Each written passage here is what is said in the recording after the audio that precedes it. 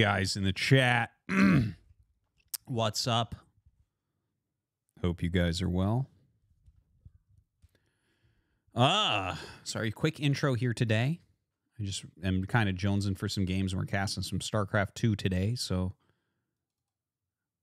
figured we'd get that going ASAP.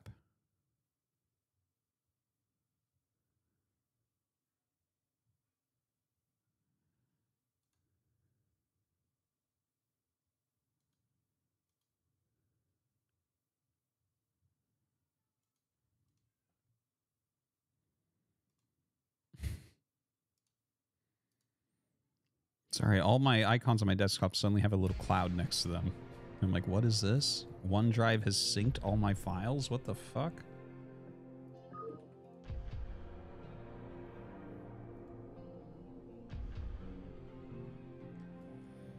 Uh, uh, uh. So, um...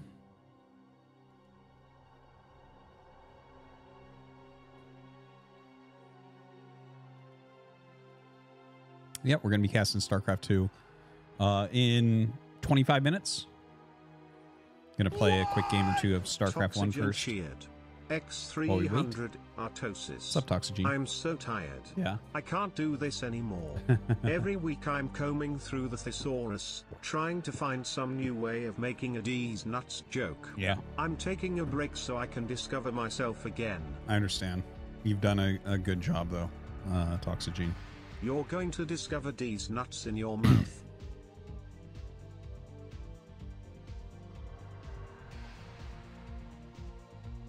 I will never trust you again.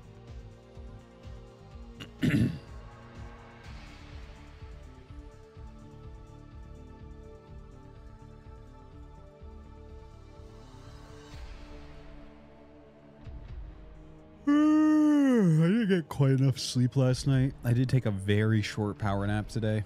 I've been working really hard all day, so I actually have like a little headache, whether that is from tiredness or caffeine, because I've had so much caffeine today. I'm not sure. Toxigen That's why we have no lights on today. X300. Oh, I forgot something. Toxygen strikes again.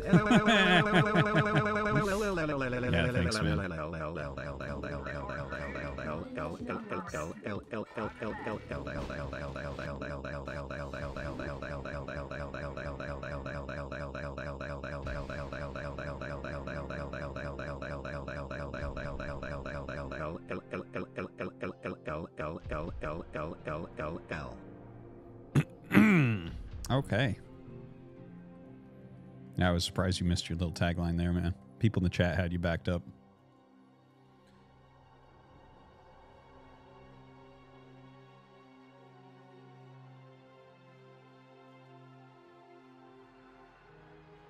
Three days closet challenge? What is that?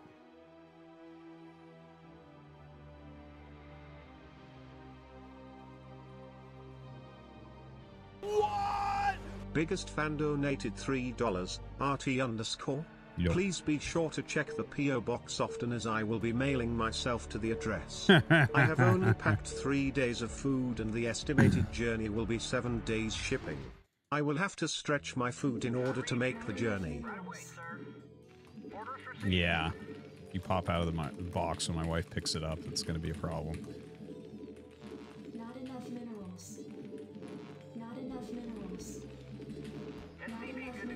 I think my wife goes to mail, goes and picks up mail like once a week or so.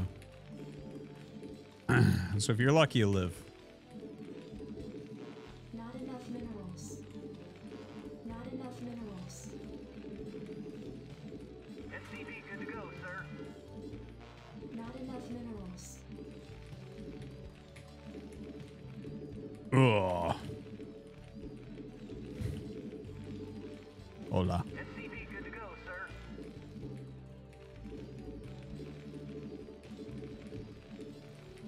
Yesterday was Thanksgiving, not today. We did Thanksgiving.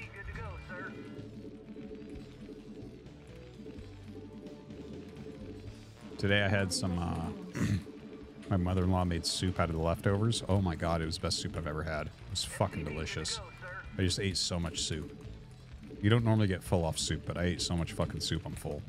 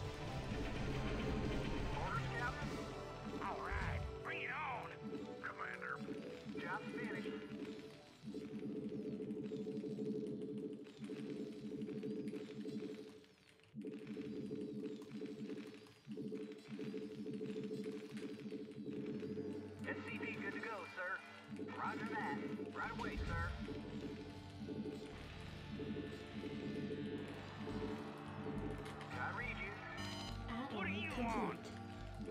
Orders, Captain? Right away, sir. Orders received. Not. I read you.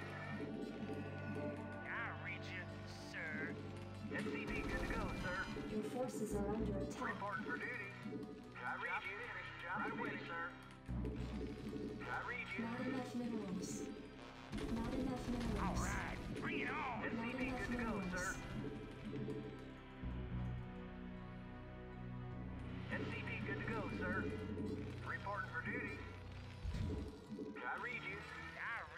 enemy forces are under attack. Not enough minerals.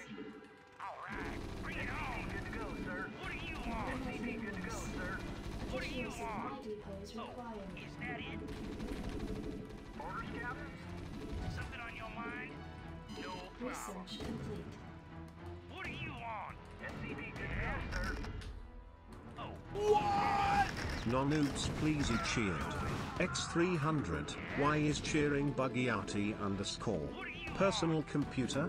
Personal computer? Personal What's computer? Personal computer? Personal computer?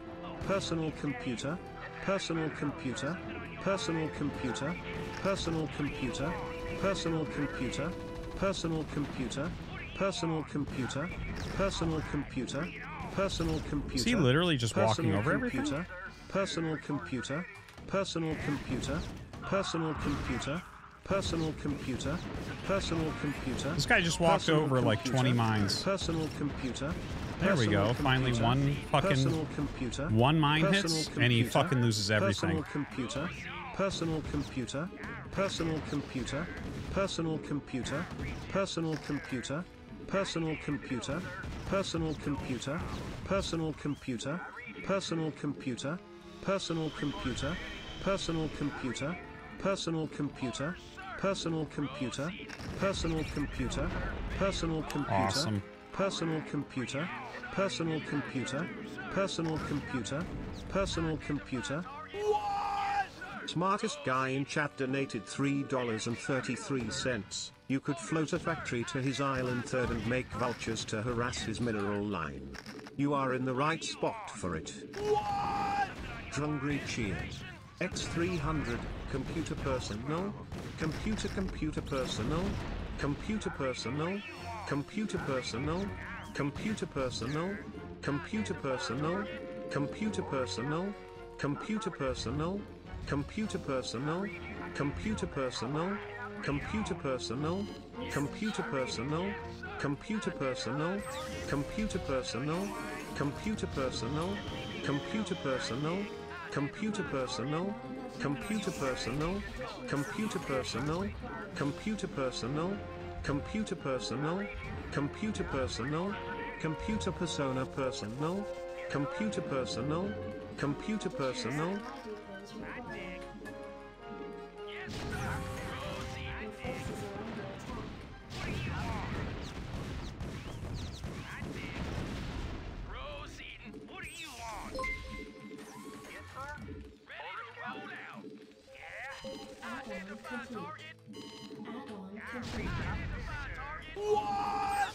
Actual StarCraft question donated $3.33. Why does Terran behave key main kavaki poor or awi alien unicop kauman effect shoes something that did ni lekian auk sap no six sieve binik shall we ni jar defara wedekavabate aara hala jar makalapa papal ar oni kakamana babagata fave kafagata wade kaksa dagajar anor aakakamala paokop.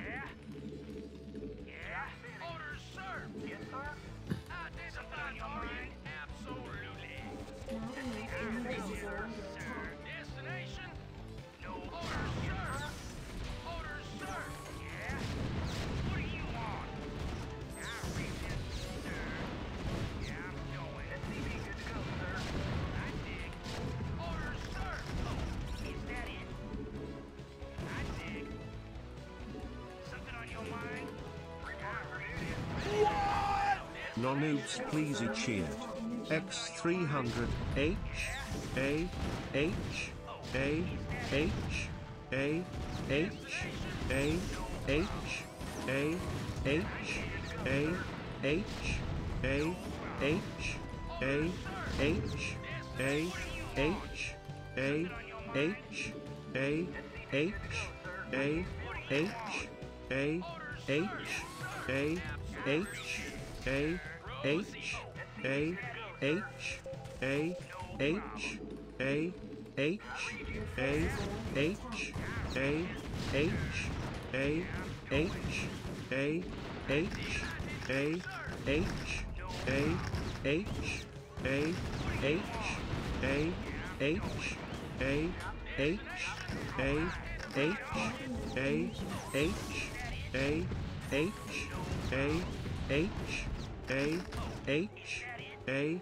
H A H A H A H A H A H A H A H A H A H A H A H A H A H A H A H A H A H A H A H A H A H A H A H A H A H A H A H A H A H A H A H A H A H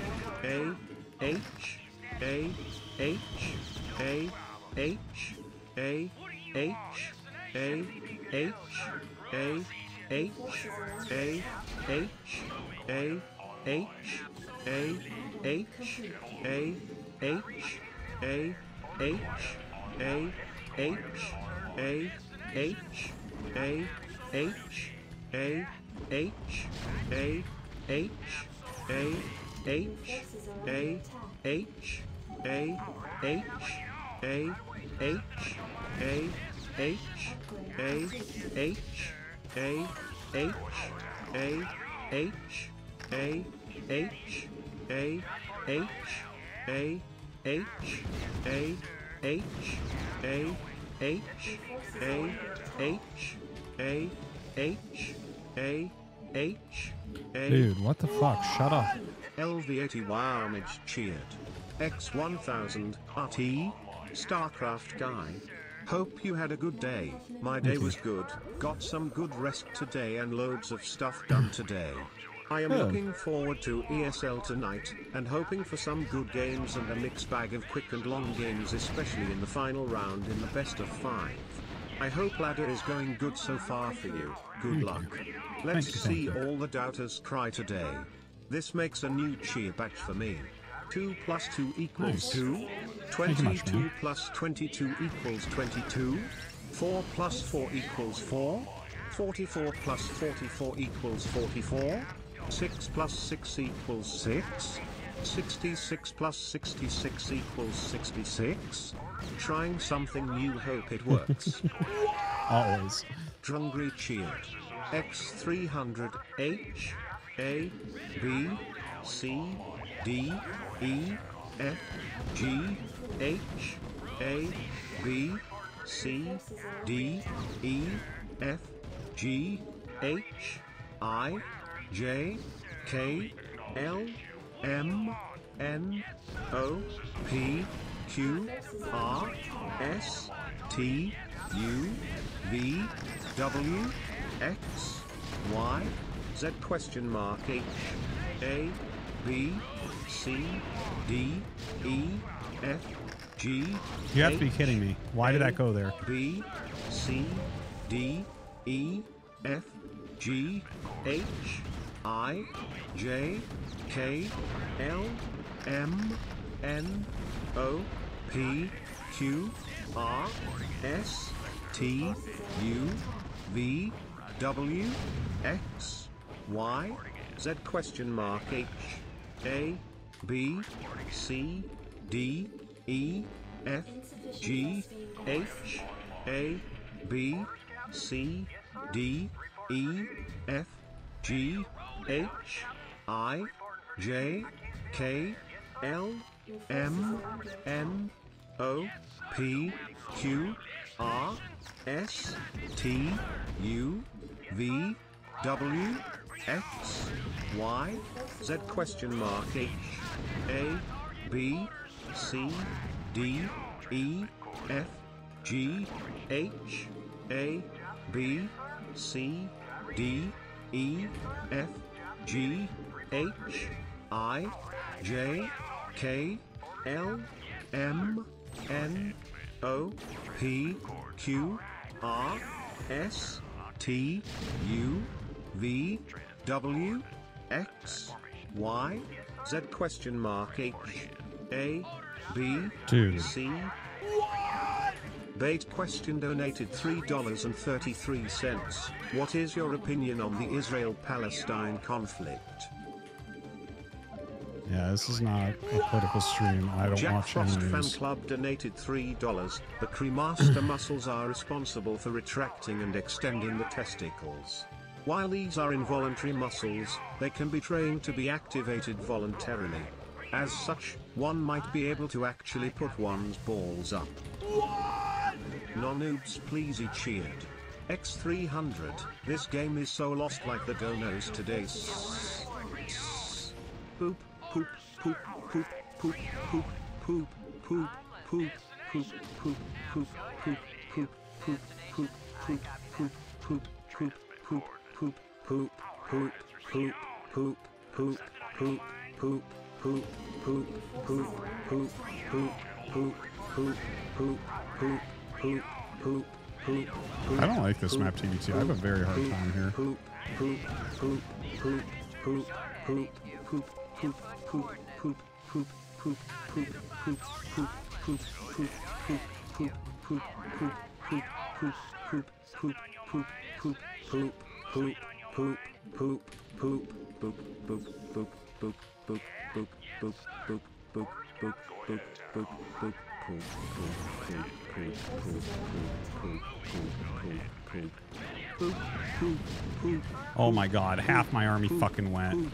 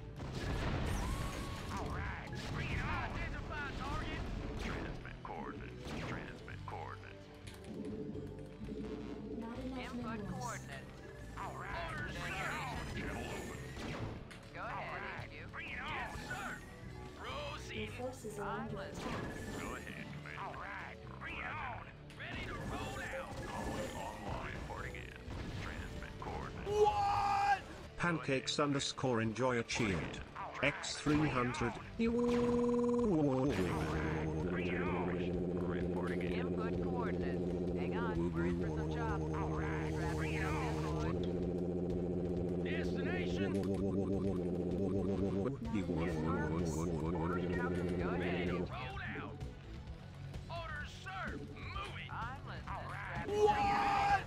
Bear, Country 2, Frog, Kumalu donated $3.33. Bear, Frog, Bear, Frog, Bear, Frog, Bear, Frog, Bear, Frog, Bear, Frog, Bear, Frog, Bear, Frog, Bear, Frog, Bear, Frog, Bear, Frog, Bear, Frog, Bear, Frog, Bear, Frog, Bear, Frog, Bear, Frog, Bear, Frog, Bear, Frog, Bear, Frog, Bear, Frog, Bear, Frog, Bear, Frog, Bear, Frog, Bear, Frog, Bear, Frog, Bear, Frog, Bear, Frog, Bear, Frog, Bear, Frog, Bear, Frog, Bear, Frog, Bear, Bear, Frog, Bear, Frog, Bear, Frog, Bear, Frog, Bear, Frog, Bear, Frog, Bear, Frog,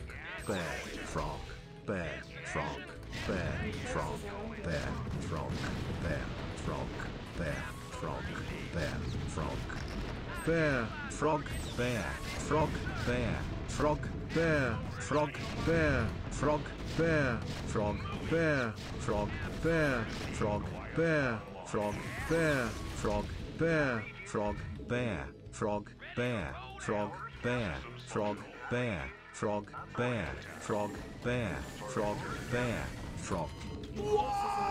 No noobs please he cheered. X300.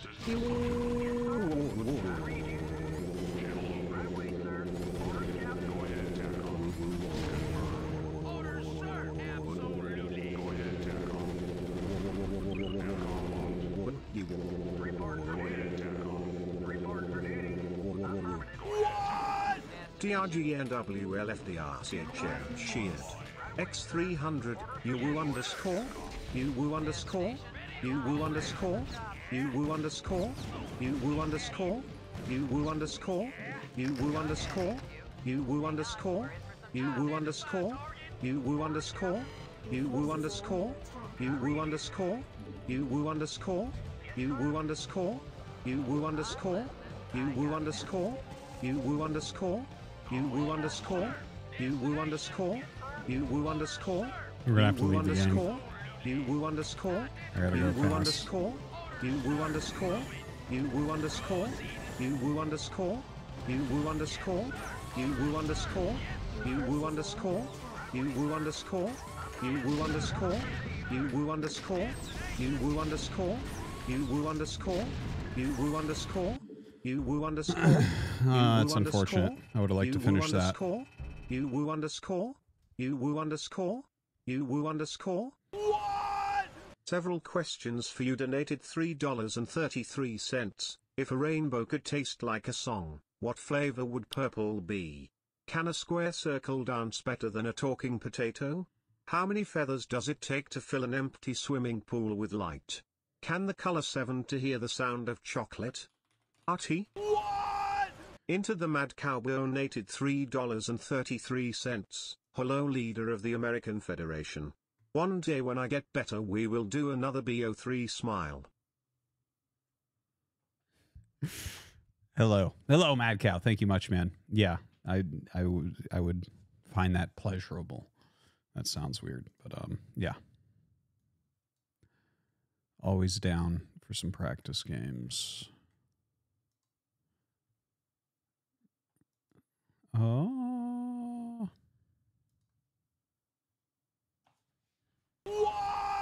D4T40001 cheered. X300, this is a Dono meta from the future. You won't understand why this is funny, sorry. Burgundy is one of France's main wine producing areas. It is well known for both its red and white wines, mostly made from Pinot Noir and Chardonnay grapes, respectively, although other grape varieties can be found, including Gamay, Aligoté, Pinot Blanc, and Sauvignon Blanc. Mm. Are you a fan of wines from Burgundy? Burgundy's nuts. Burgundy's nuts. Yeah. Yeah. Bitch. Gumiho uh, up here at the top. We got Pig, Gerald, Mm-mm-mm. Trigger. All right, Trigger's back. Clem. So this top bracket looking like a Gumi Gerald or Gumi Trigger bracket. Clem here. He's been winning a lot of cups lately. Nina Mixu. Uh, Beyond Solar. Right, that's Solar. Yeah. Uh, we got Fork, Vindicta, nice. Cletaby, mm-hmm. Got Hero down here, Wayne.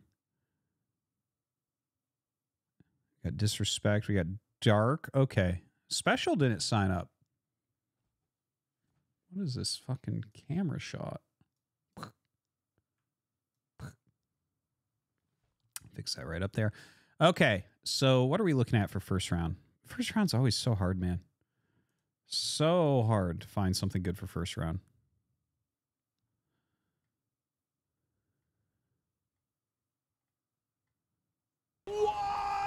Obscure reference donated $3.33. I don't know if you remember this but remember that time, lol, when you, lol, built one pylon lol, and when it died you lost the game, lol?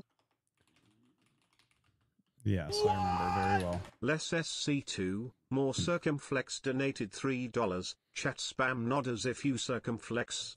Because I circumflex. You circumflex I circumflex you circumflex. RT do you circumflex. Because I circumflex. Oh, You circumflex I circumflex you circumflex. You circumflex. I circumflex. You circumflex I circumflex you circumflex. You circumflex. I circumflex. You circumflex I circumflex you circumflex. You circumflex. I circumflex. You circumflex I circumflex you circumflex. You circumflex. I circumflex. You circumflex I circumflex you circumflex. You circumflex. I circumflex. You circumflex I circumflex you circumflex. You circumflex. I circumflex. Ah! circum- Thank you. Thank you. yes, guys, I understand. Gary Oak leading the StarCraft 2 resistance in the chat.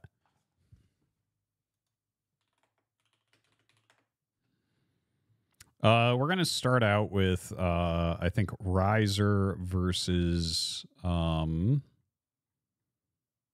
disrespect. It's around a 32 match. It looks like the matches start to get pretty good in round of 16. So we're gonna we're gonna there will probably be like one a match to start. That's always the case on the ESL Cups. It's pretty rare we get a good first match. Um, I'm sorry, Gary Oak. Uh, so um, wait, I had something. Okay, we're gonna get into that match. Let me just run to the bathroom real quick. I'll be right back. Tangia paused. BRB.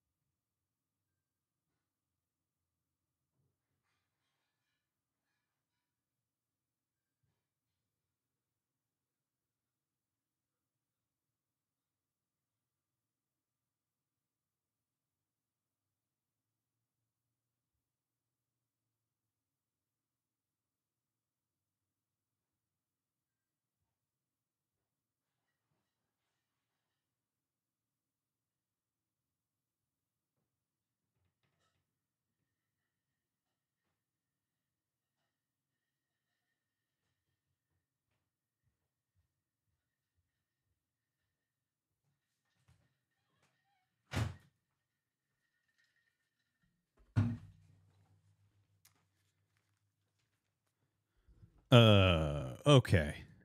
Okay. Sorry about that. Definitely really had to go. Um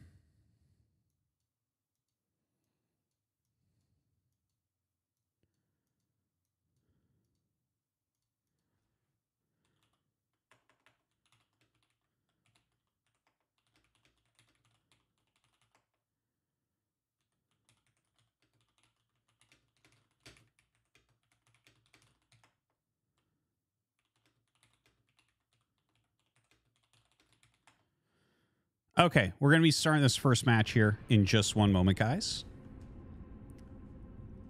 Well, it- of course, uh, how many rooms in my house? A lot. Six rooms. Um, we're going to start off with, uh, yeah, Riser Disrespect. Again, around a 32. uh, match here. We're going to have, of course, as always, Mapu observing. So do enjoy that. Did you find a C2 in the toilet, RT? oh, shit. That's so funny.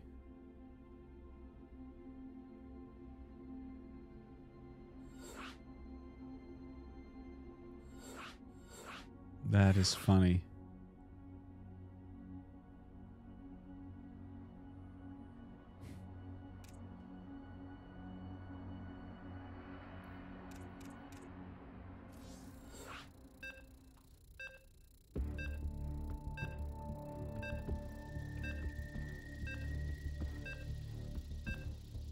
All right, we're getting the first match. This is a this is a pretty close MMR match actually. So this is going to be one of our better uh, one of our better ones, I think, for the first round that we're showing. Uh, so yeah, it's like 5.6k Terran against 5.8k Protoss, so that's like very very close. You know, within 200 MMR of each other. Uh, on StarCraft 2 ladder, that's a lot closer than on StarCraft 1 ladder. Um, think that might be just slightly loud. ST4 and Kai Hanglo cheer. X300. What's up, I Stanky? don't remember Dune 2 looking this sharp. Wow. uh, yeah, I was looking. Uh, I actually, I don't know if that's you in the Discord. I assume it is. I assume there's not another guy that names himself ST4 and Kai in the in the Discord. But anyways, I was looking to download it today. Uh, the downloads were all broken, but I found a web browser based version. So we are good to go. I think we'll be playing Dune 2 this week. I'm actually kind of excited. Actually, kind of excited for it. So we'll be giving that a try later this week. Okay. Anyways, let's see what we got here. We got Disrespect in the bottom left. In the top right, uh, we have Riser. Uh, again, two strong NA players. Um, yeah, Disrespect we've actually casted uh, a fair amount uh, in the past. And yeah, he's pretty good and still up and coming, I think. Um, Riser we've done a little tiny bit of. Mm, definitely heard of him a little bit more than Disrespect as well. Kwisatz Haderach. Yeah, for sure you know that. Um, yeah, I, I love Dune. Read all the books. It's great. Actually, I haven't read the prequels yet, but I did buy the prequels, so maybe I'll read those at some point. Anyways, uh, yeah, we're on uh, Radhuset Station. So we have seen this map uh, previously. This is the one with that third base that's kind of pocketed behind that looks really hard to attack. So a very defensive map. And it's like forever from base to base. and Kai Hanglo What's up. Stanky? X300, yeah, that's me. I responded, you can emulate it in a browser. Oh, yeah, yeah, yeah. Also, I haven't really used Discord much, but I got an email notification that you tagged me and I logged into the Artosis Discord and immediately I was like, wow. This must be where all the hottest girls on the internet hang out. Yeah, yeah, but be careful because Celia's a mod in there. Uh, anyways, yeah, we'll be we'll be playing uh, Dune 2. I'm actually yeah. Thank you for the uh, constant harassment about it. We'll we'll get to that this week. Anyways, uh, taking a look, guys. By the way, before this uh, cast really gets going, I do want to mention that that uh, there is a new YouTube channel, Artosis Casts 2 for StarCraft 2 videos. So if you are someone that likes uh, StarCraft 2, that's where the uh, StarCraft 2 casts are going to go. Uh, just kind of its own spot. Mapu's running that channel. And uh, yeah, we're going to be uploading all the casts from this and other various things that I end up casting uh, on that channel. So, and yeah, of course, Artosis Cast is just StarCraft 1. Uh, I'm sure a lot of you already know that one. I've been doing that one for years. So, anyways, anyways, it is an Oracle opener here. Uh, he's throwing down a shield battery, has the double adept here as well. And it looks like Disrespect is going to try to just run by. Yeah, throws down a single grenade. Uh, the shade was pretty quick. He is going to get a few probes at least. So, gets two already. And it looks like that's going to be it. So, only a couple of probe kills. Uh, maybe not executed quite as well as he would have liked. So, a little bit painful there. Oracle going across the map. Oh my god, it's a fleet beacon. Dude, tell me it's a mothership rush. Tell me it's a mothership rush. Honestly, I could see it being uh, a Tempest as well. Like Tempest from back there though doesn't make as much sense to me. Really hoping that we end up seeing a mothership here. That would be that would be amazing to see a mothership rush. You know, uh, the patch has come out recently, and uh, the mothership has been changed dramatically. It costs way less than before. Its stats are very, very different. Not mana based anymore, all energy based. Oh, it is going to be a Tempest. Okay, so Tempests have also changed in the patch, uh, in case you weren't aware, and they are going to be a little bit faster now and look a little bit smaller as well. Um, yeah, I'm pretty sure that's it for Tempest. So that's kind of interesting. One thing to mention about the Tempest. Okay, and I, I want to talk about why I think the Tempest is a good unit for this map in a second, but um, the uh, Cyclone was so heavily changed, it doesn't really counter Tempest anymore. Uh, Tempests are very good against those. So, like, you're going to have to basically... Oh, my God, he's going Mothership and Tempest. I love him. Riser is my new favorite player. Goodbye, Trigger. Hello, Riser. My new favorite Protoss from North America. Okay, so this is super, super cool. I can't wait for this. You can see that this thing is speedy, speedy fast right now. Uh, it turns and excels better than it used to. Uh, Mothership as well turns really, really well now at this point.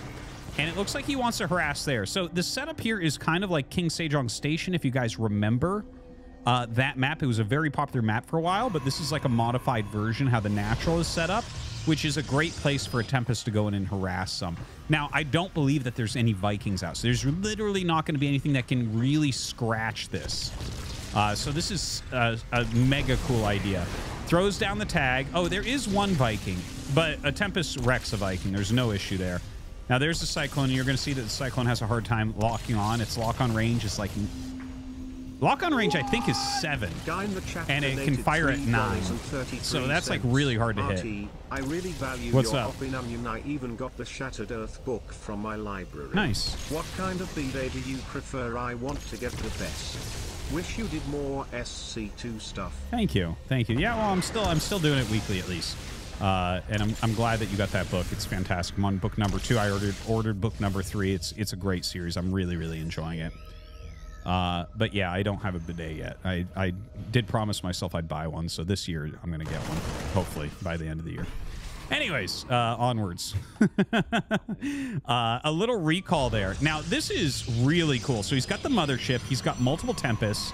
And if you look at this base layout, you can't really attack him. He can kind of just go for this. He's going into carriers, more Tempests. Like, this is really cool. And you see with the tags, he's able to just target down what he wants with these Tempests right now. Now, the Mothership doesn't permanently cloak. That's an ability that it can use every 50 seconds for a duration of 20 seconds. It's really weird.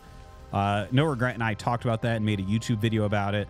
Uh, but, like, I think that that is a bit of a mistake. They should have just let it have its permanent cloaking field to be a s such an interesting unit at that point. But still, I think it's it's it's very interesting at the moment.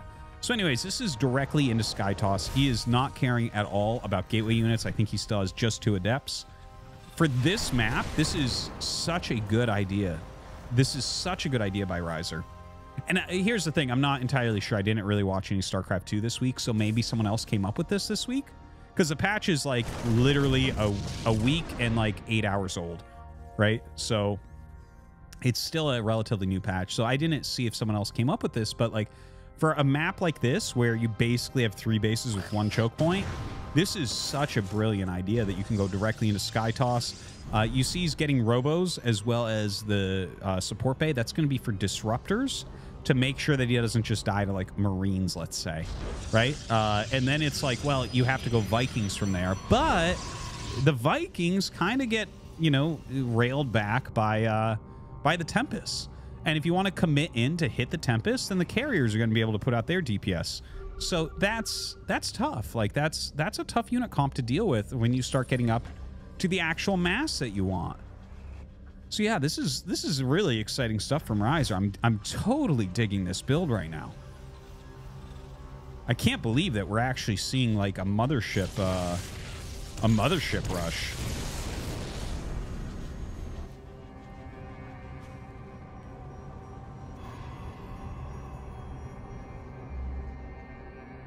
So plus one is almost done. I'm sure you'll get into plus two very quickly. That fourth base being taken. And look at this. This is the funny thing about Radhuset Station. Uh, and again, this is something I talked about in last week's cast as well.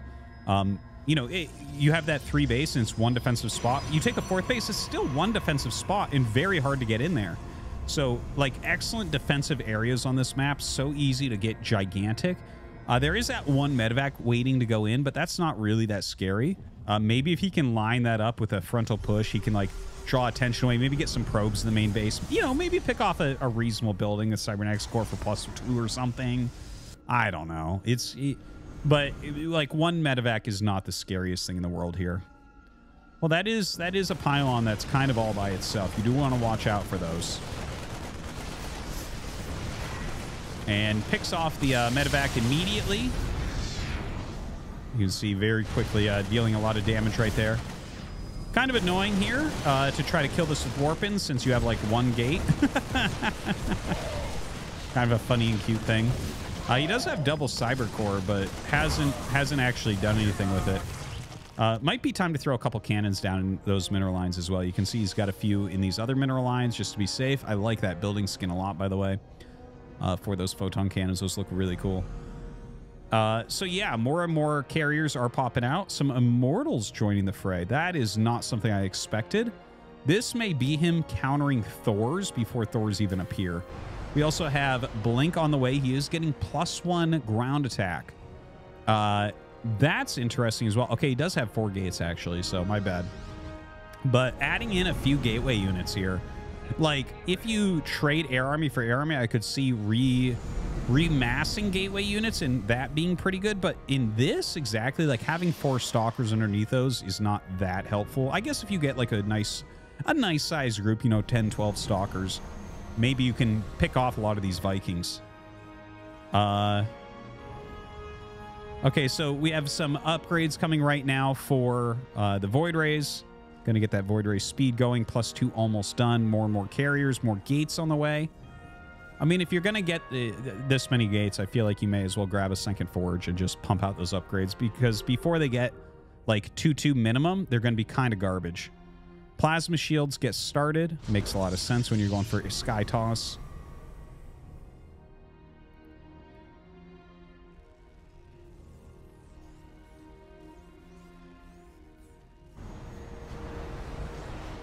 All right, down he comes, and oh my. Okay, so the disruptor actually goes out, gets a really reasonable hit, throws down uh, the time warp here.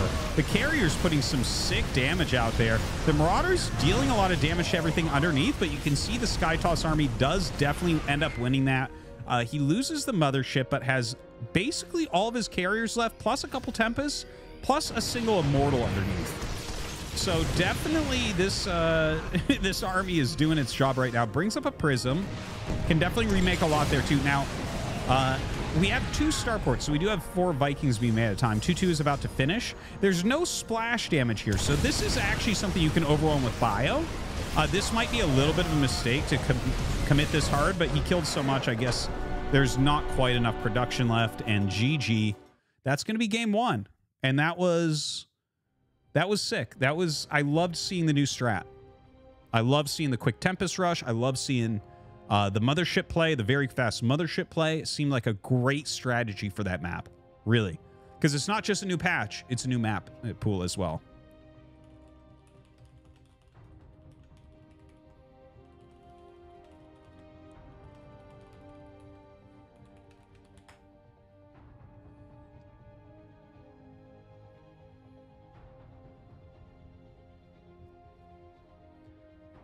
Oh, okay.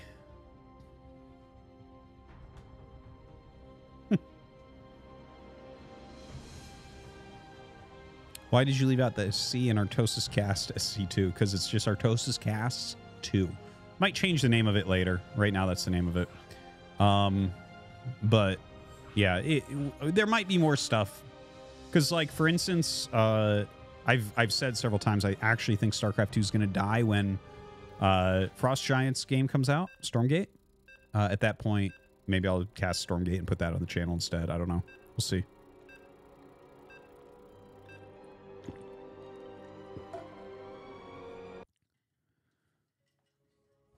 All right, we're going to the next game.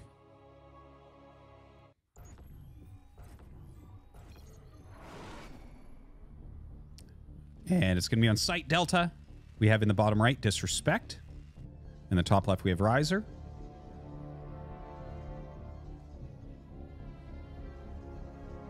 And let's see, let's see uh, if there's anything special up Riser's uh, sleeve this game. Would love to see something uh, nifty like that.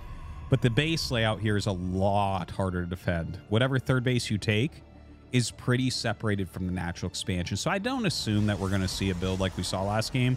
If he has something like that, I'd be really interested in it. But without the kind of free third base, doesn't seem like a good idea.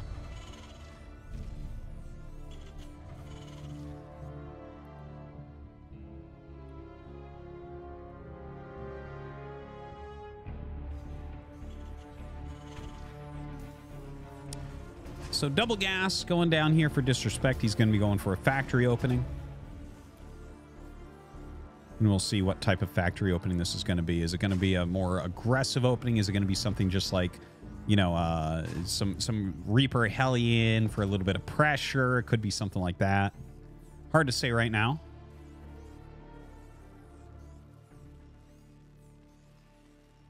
Probe coming in, checking that out. Realizes, okay, we see basically what's going on. You know, I think aggression on a map like this uh, going to be much much weaker. It's fine to open with a factory, but like I think it should be expansion right after factory. You know, when you have a ramped natural, uh, it just makes attacking so much harder. You're never going to get the first volley. Uh, you know, they can have all sorts of sim cities up there that can mess you up. It's really hard to pre-scout exactly what the positioning of the army is, so you don't know. And you know, again, that first volley makes all the difference in StarCraft. So. Uh, yeah, I, I do want to see after this factory a command center going down pretty quickly here.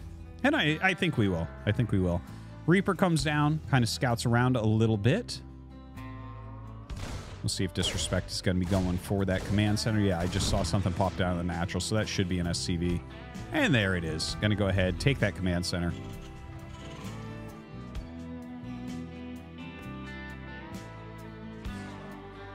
Terran music is legit. StarCraft 1 or StarCraft 2. This is like legit good music.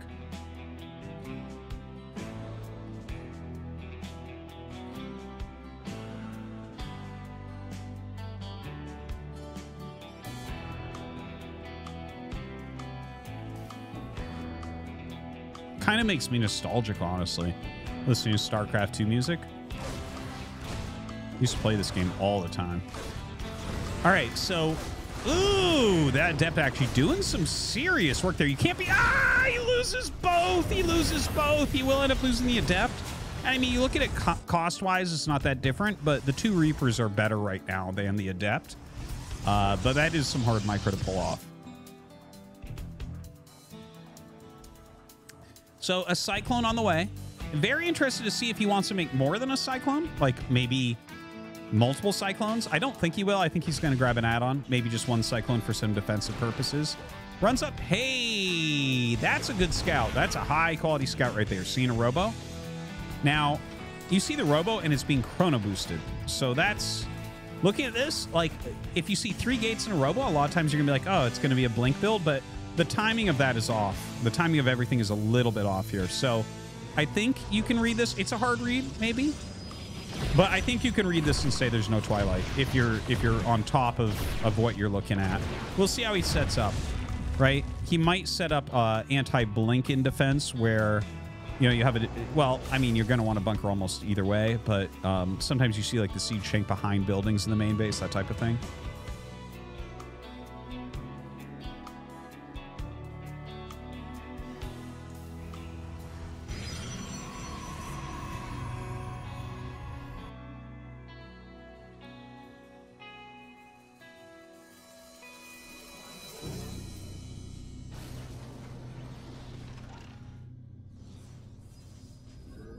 So Warpin coming in right now. This is a funny looking little army. Look at that Cyclone waiting. That's waiting for a flank on a Prism 100%. Let's see if he gets it. He's going for it. And he turns to actually attack all this. Uh, ooh, uh, uh, uh, uh. Oh, that's a great lock on right there. Oh my God, and the save. What a sick save there from Riser. Uh, but it looks like he will end up holding, loses six SCVs. So disrespects economy, definitely hurting. Nice catch there on the observer. Oh, dude. Oh, target, target, target, target. Ooh, just barely. Yeah, Like he had some some ripe targets right there. A nice siege up, and I think you are going to have to pull back. The attack, not that successful, um, but does kill some of those SCVs. Now, I believe from this position, this is not as bad for disrespect as it looks. Okay, because like this is very delayed blink, very delayed splash damage from Riser. And his army's not going to scale as much, right? So if you have these, if you add extra gateways early and you're relying on micromanagement to kind of get an advantage, a slightly slowed attack from Terran to counterattack as they get stim and combat shields is going to do very well against that. You're not going to be able to do much with your very early units because Protoss is going to be able to kind of out control you, like we just saw there. Uh, but when Disrespect is ready to move out, uh, I feel like he should have a much better army in like the next one minute or so, let's say. We'll see if he's actually going to go ahead and do that, but uh, that's that's kind of my gut feeling on that. The scan goes down. He sees, okay, third base. I think you got to be thinking about uh, moving out, you know, get a couple medevacs out. Uh, you know, you have three, three, four tanks at that point. Good bioforce, plus one, combat shields, stim, right? That's that's a very good, very high quality army at that point. So Riser right now adding in a lot of stalkers.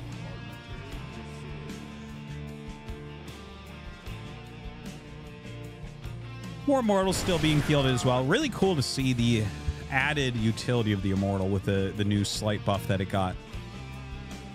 The slight buff being uh, whatever sets off its shield, it actually blocks that damage as part of the shield.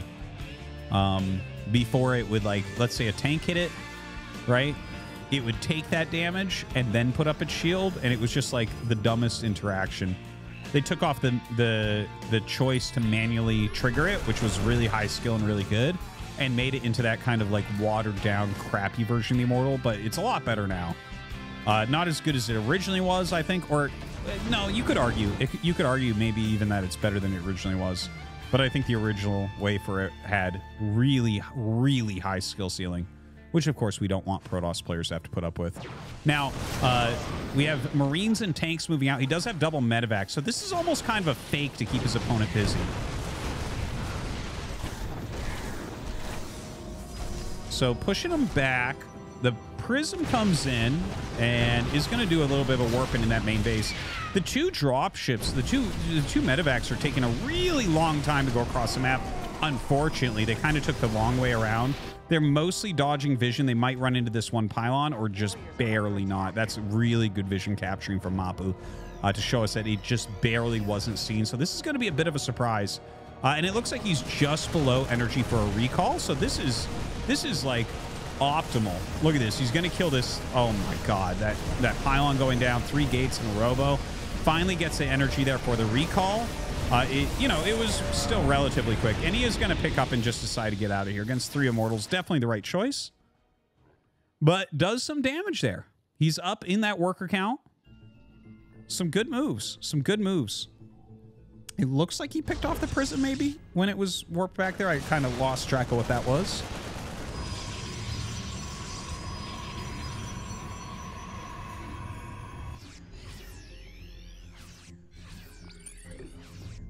Mm.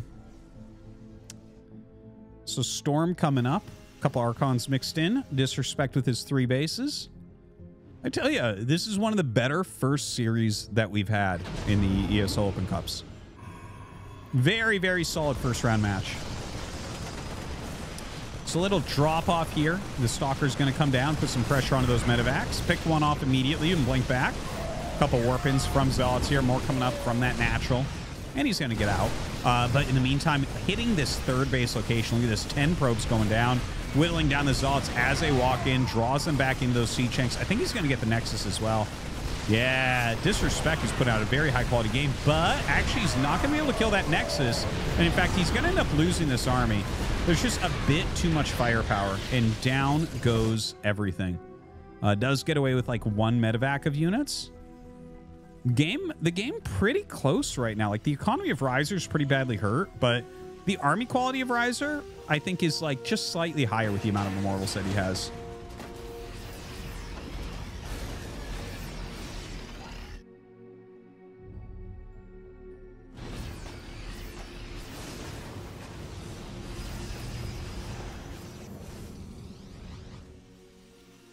All right, looks like Riser is setting up for an attack. He's got Archons, he's got Charge Lots, he's got Immortals in here.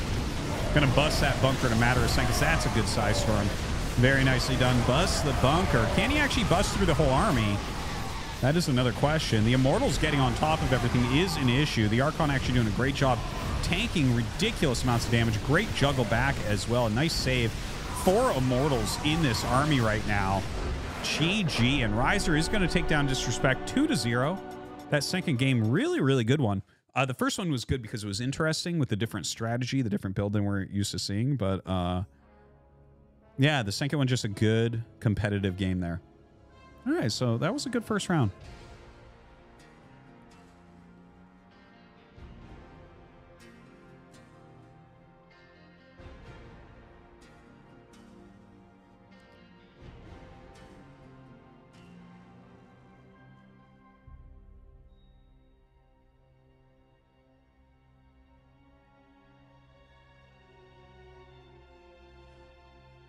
Ugh.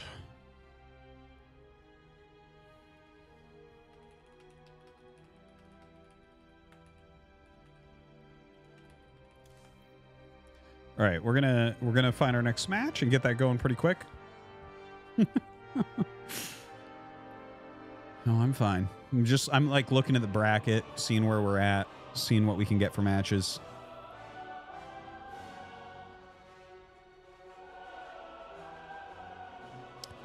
Artie will hate Stormgate the minute he finds out about hero units.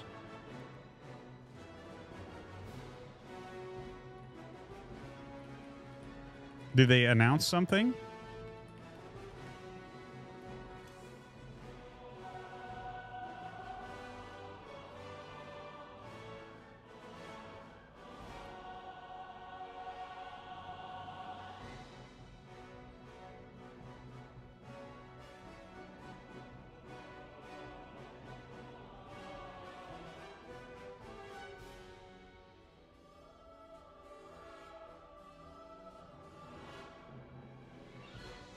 Heroes do not gain experience, nor are they able to carry items, nor are they in one versus one mode. So who the fuck cares?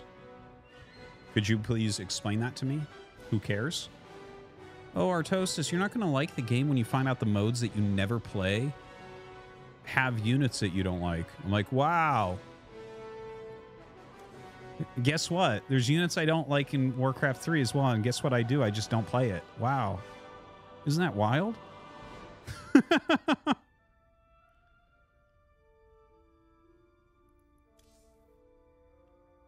A hero is a game mechanic which makes an RTS worse.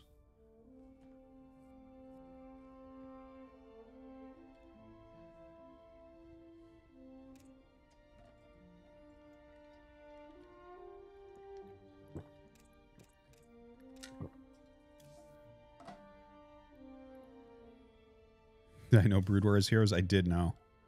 My favorite is the Zergling hero, the Devouring one. He's fantastic. I've used him on use map games before.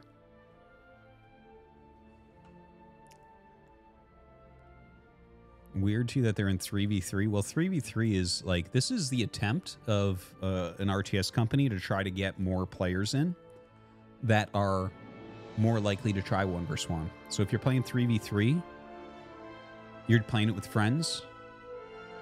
It's hard enough to get a solo partner, right? But if you got to get three guys together, dude, they just literally you have to be friends with them, right? So then you got this little group of three friends that play together. You got your little heroes, so the game's not too hard, and then maybe you'll try one versus one. Uriel underscore lost cheer. What's up, Uriel? X300, hey Artie have you seen the new Dune movie and will you be going to see the part 2 coming out soon? I think they made this one a bit more faithful to the books so if you are a fan and haven't seen part 1 of the new Dune series it's on Netflix now. Yeah, so I did see I did see part one. I've talked about it a little bit, but I'll mention again. Uh, I will watch part two. So I think part one, and I didn't think it was unfaithful to the books. I think it just didn't explain anything. Because my wife, who hasn't read Dune books, was sitting next to me, and I had to pause the movie over and over and explain to her what the fuck was going on, because it was mostly beautiful cinematic scenes, but nonetheless cinematic scenes of people walking on and off ships in an epic fashion. It kind of reminded me of Peaky Blinders, right? Where it's just like, wow, look at these guys walk there. That's crazy. Look at that ship. That's crazy. Okay. And it was beautiful in that way. And I liked putting images to the things that were already in my head. Uh, but if you don't know the Dune story, the movie really didn't fucking help you at all. They like this is what happens when you turn a fucking 500 page book into two two hour movies, right? Uh, so yeah, it's I, I don't think that it's super great, but um, I'll be watching the second one. Yeah, the rumors of StarCraft 3 are complete bullshit. Uh,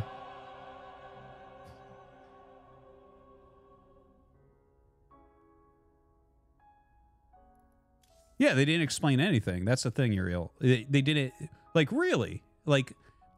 It's almost hard to uh, explain how much they didn't explain, especially if you've read the books because you kind of know what's going on. You're like, oh wow, that's what they think that looks like.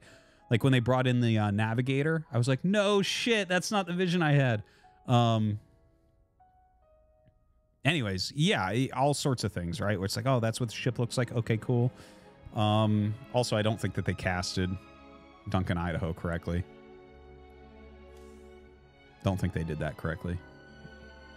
Um, as much as I like that guy, but yeah. Anyways, uh, it, it was good actors and stuff. Like I, I'm not hating on the movie, but it's like it's really hard to turn a book like that into a movie, and it's really not. I don't feel like it's doing any favors to Dune. You know. he was way too scrawny, flimsy, and weak. Shit.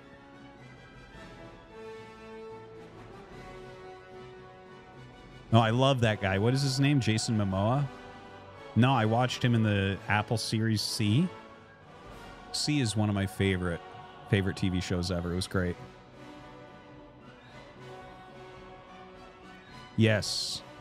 Yes, TV adaptations of books do way better than movies. 100 million percent. I'm loving Foundation. I think it's actually better than the books. Um, yeah, See is amazing. But um Yeah, movies are a bad format in, in general. I did watch the Dark Tower movie. I liked it, but I haven't read the Dark Tower books. Actually, maybe I should read that. I've only read a little bit of Stephen King. Right, that's a Stephen King one, isn't it? But it looked really interesting from watching the movie, like the storyline. I was like, ooh, this is kind of cool. Maybe I'll try that. Yeah, the Empire actor is amazing. Yeah, th- those three are great. Dude, it's it's really good.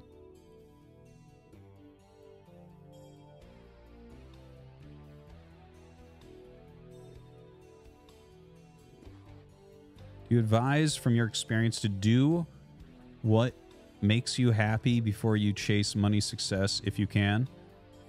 Yeah. Well, like you need to you need to um the thing is if you love something really a lot and you get good at it and you like work really hard at it and you don't think about the money, that can turn into making a living. I never thought I'd make a living like this, but here I am because I like never, you know, I just went for it super hard. But it's it's a hard thing to follow too. You do some people have to balance different responsibilities. It really it has a lot to do with how many responsibilities you have. If you're like a solo dude that's young, dude, you can take so many risks. It's crazy. I had no money. You know, when I moved to Korea, no money, no girlfriend, no fucking possessions, nothing. And it's like, yeah, I can live off of almost nothing. I actually lost a lot of weight because I was barely eating food, but you could take those risks, right? but uh yeah, once you get older, maybe you maybe you have some kids already and stuff, and then you have to balance it a bit more. So it becomes it becomes more difficult, but that doesn't mean it can't be done. You just got to really focus your free time.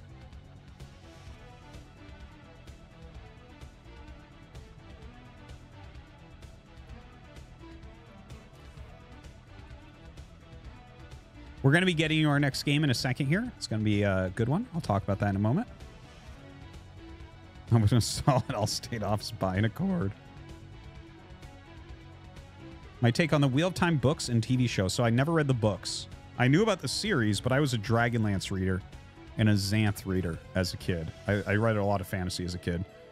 I read my favorite series when I was a kid were Dragonlance, the Xanth series by Piers Anthony, and um, the Black Company series by Glenn Cook. Oh my God, Black Company's fucking that one holds up like crazy. Uh, but yeah, that those were my favorite series. So I didn't read that one, but when I watched season one of Wheel of Time, it was giving me vibes from my childhood reading Dragonlance books, and that was making me so excited. I was like, God damn, I'm getting that feel. Haven't had that feel in a long time.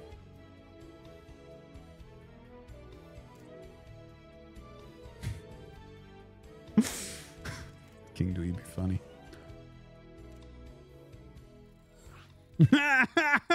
Mario looked at Flint Fireforge in the eyes. He had something stirring within him. No! No! Oh, shit. Okay, we're going to go to our next series. This is going to be a good one. We have Vindicta going up against Reaper. Uh, both these guys 6k on the NA server. Vindicta definitely one of the best Terrans. Reaper a very strong Zerg. Vindicta is up 1 to 0 in this series already. We're starting out on hard lead or hard lead. I still don't know. Uh, in the bottom right goes Reaper. In the top left, Vindicta. And yeah, I'm ready to see how this is going to go down.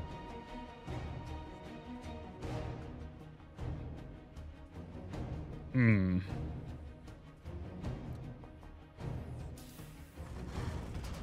Well, um, you know, thinking about it, right? Like Vindicta's a pretty uh, heavy macro player. Plays kind of a turtley, turtley style. Gets himself really going before he puts on a lot of aggression. Generally, Reaper we've casted a few times, but I feel like I don't have a good recollection of his games. So it might have been some more one-sided series against like Koreans or something that I've casted him in.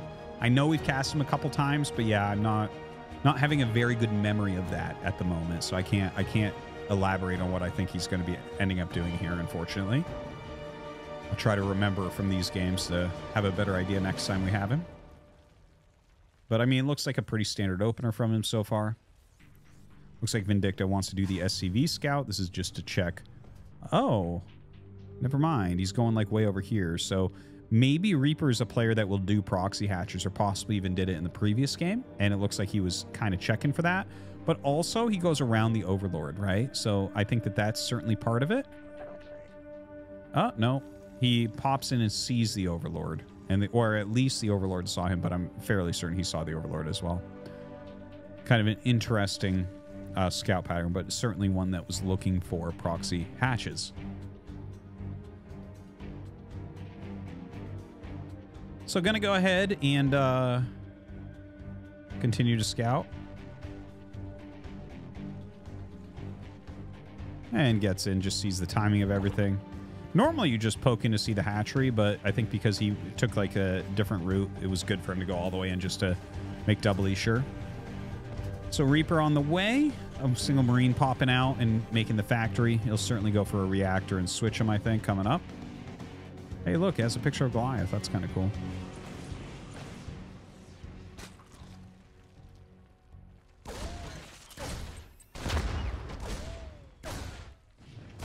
Ah, nice, nice quick uh, reaction there on the drone. I actually thought he was going to lose that drone. That does get the uh, building going. Really annoying. He's going to... Oh, just barely doesn't lose that one. What's up, Stanky? X300, Tanis Half-Elven had never made love to an Italian plumber before. Dude. But he did walk in on Tasslehoff cleaning Sturm's pipes one day so he was pretty sure what to expect. Oh my god. Ruining my childhood right now, for real. I cried over Tanis as a kid, man. Miss that series. That was a lot of fun. All right, so let's take a look. We don't have the third hatchery started yet. Instead, a much quicker layer. This is interesting. Uh, and he is going for another reactor as well as a factory. So it looks like we might end up seeing mass cyclones here. That's certainly what it looks like right now. Kind of interesting. We've been looking towards something like this, or looking forward to something like this, I guess is the right way to put it. Uh, and playing against this two base, that's that's kind of interesting as well because it's going to be harder to overwhelm. Well, that used to be how you would fight against cyclones, but it doesn't feel like that's necessarily the case anymore. Uh, this does to me look like right now that it might end up being like a two hatch muta opener, which was really popular a few years ago, but hasn't really been utilized much lately. Uh, I feel like I might have in the last year seen a pro gamer in a tournament use it like one time, maybe. It maybe it was more than that, but I I, I feel like I remember one time. Either way, uh, the masses of cyclones coming out, I feel like will pair well against this type of strategy. Uh, you know, brings up this cyclone and shows two cyclones. So already Reaper's knowing that something's something's a little bit off about this build. Nice little SCV up here, do some auto repairing. Nice. Add a little bit of uh, sustainability to this. Dish placement cheer. Uh, we'll we'll play it afterwards. Sorry, we'll uh, we'll play. I'm gonna pause donuts for now. We'll play them after this game. Uh, but yeah, so right now, uh, chasing down these queens a little bit, putting that extra damage. And the lings come out. This used to counter them really hard. But as you can see, the quicker lock-ons are doing a fantastic job. In fact, picking off multiple queens, it looks like Vindicta may be able to go up and actually eliminate uh, Reaper here with a 2-0. Like, he is dealing some significant damage. Look at the amount of drones already dead. The Queen's all going down as well. The Spire not even finishing. And GG Vindicta with the mass uh, Cyclone play. Dude, he literally just went two factory double reactor Cyclones in one. Nothing else. Nothing to it. Crazy, crazy build. Really interesting to see these new units used here today.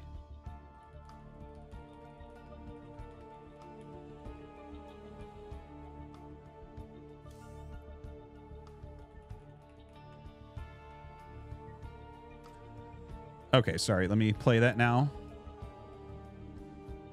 What? Dish placement cheered. X300, Diglett and Luigi sat on their picnic blanked. For a while they say in harmonious silence, enjoying the view and each other's company. And then Diglett asked a question that made Luigi's heart freeze in his chest. I have to ask, the Pokemon said with trepidation. Tell me if this is too forward. Have you ever been with a Pokemon before? Luigi's moustache quivered. I haven't, he admitted. There was. Once, there was a Charizard but it didn't work out.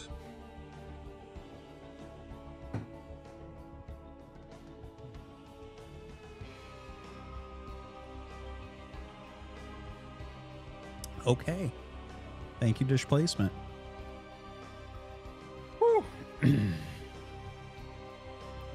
Dugtrio, man. I forgot about Dugtrio.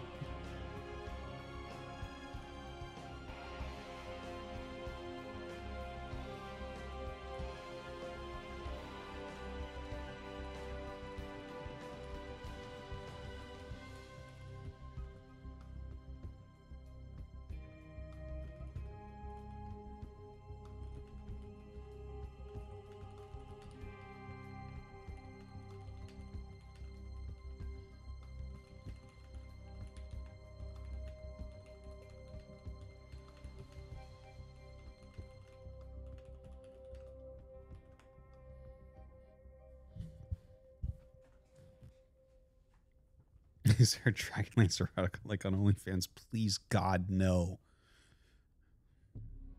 Now I can't. I can't actually. I have a really hard time reading uh, fantasy books anymore. Like I, I devour science fiction all the time, and I didn't like science fiction that much as a kid. Like I read Ender's Game and pretty much nothing else. It's completely opposite now.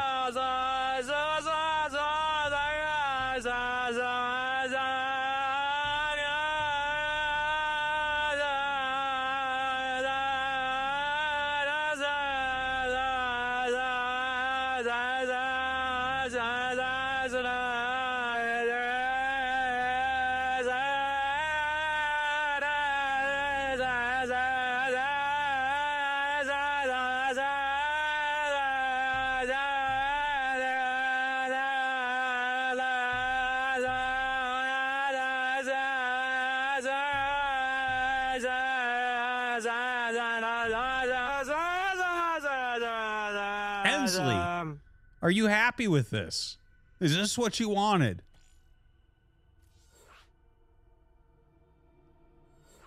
God damn.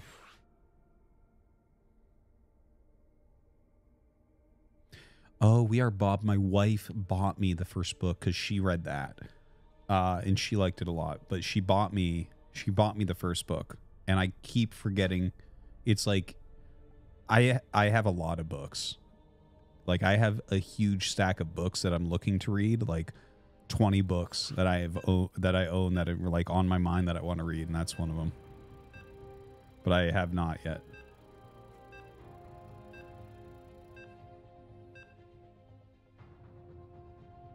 Oh, I typed Alex Rider in to. Uh, no, I haven't bought any, but I, I I did type that into my webpage.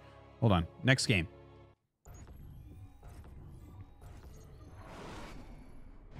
All right, here we go. We got Hero in the bottom right.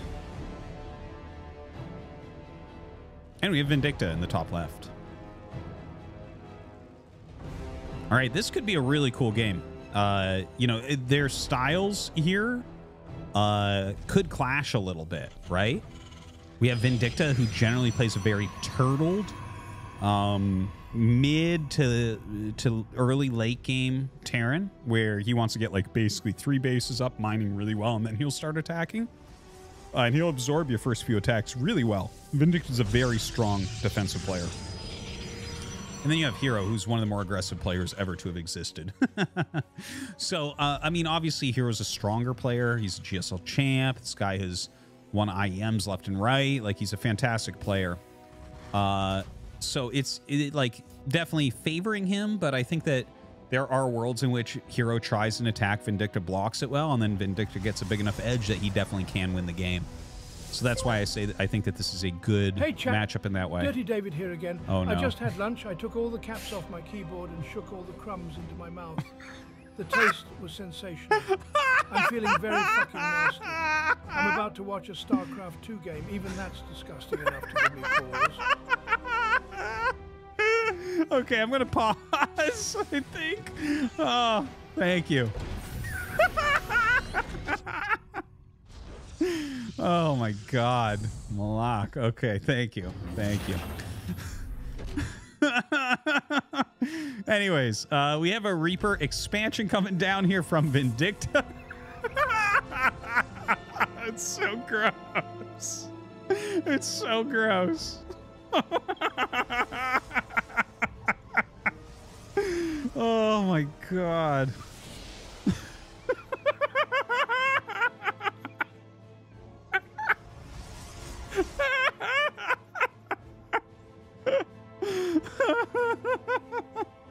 Sorry, sorry. oh my god, it's so gross. I can't stop thinking about it.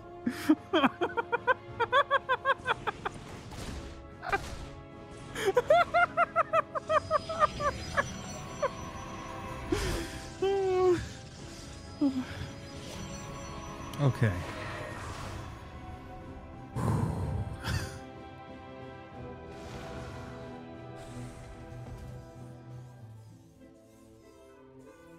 Okay, okay, okay. Where are we at in this game now? I've like lost track of what's going on. Okay, so it's like a Reaper expansion, yeah, yeah, against uh, Blink Opener. It looks like here from uh, I almost said from Dirty David from Hero in the bottom right. Uh, okay, so he's gonna most likely be going Blink here. Uh, you'd imagine it's gonna be three gate with Robo. That's that's generally what Hero likes to do. No one really does the four gate anymore, honestly. I feel like MaxPax and Parting are the well, Parting doesn't really play now, but you know, those are like the people that I think about a little bit more with the the possibilities with that, right? Having great Blink Stalker Micro super important. Not that Hero does not. Hero certainly has uh, some of the best Blink Stalker Micro in the world, but I feel like the build doesn't work as much for him. Either way, uh, it's only two gates right now. We'll see. Okay, yeah, there's the third gate as expected. Uh, I do like the add-in of the hallucinated oracle here to fly across the map, and you know it just it gets scouting, and it can make your opponent think at least for a moment that it is something else than what it is. Oh, nice catch, nice catch. It seems like Vindicta might have misclicked there slightly. It looked like he was supposed to keep going up the main, and then he like turned around for a moment. Looked like Brood War pathing, but Uh, yeah, not sure about that exactly. Robo on the way, two more gas as well. Reaper comes up and sees a little bit of a move out towards that third. Double mines being shuttled over with some Marines at the moment. Not sure if we'll see any damage found here by Vindicta. Kind of an interesting uh, position he's taken. I feel like what you're looking at right there, it could be to catch a Warp Prism flying in. Uh, I feel like that's more dangerous, though. I think more likely it's to catch a hallucinated Oracle or Phoenix coming across the map. Uh, don't know if he'll have one go that goes over there, but if so, that would be a fantastic catch for him. Charge already on the way. It doesn't seem like there was any aggressive intentions this game from Hero.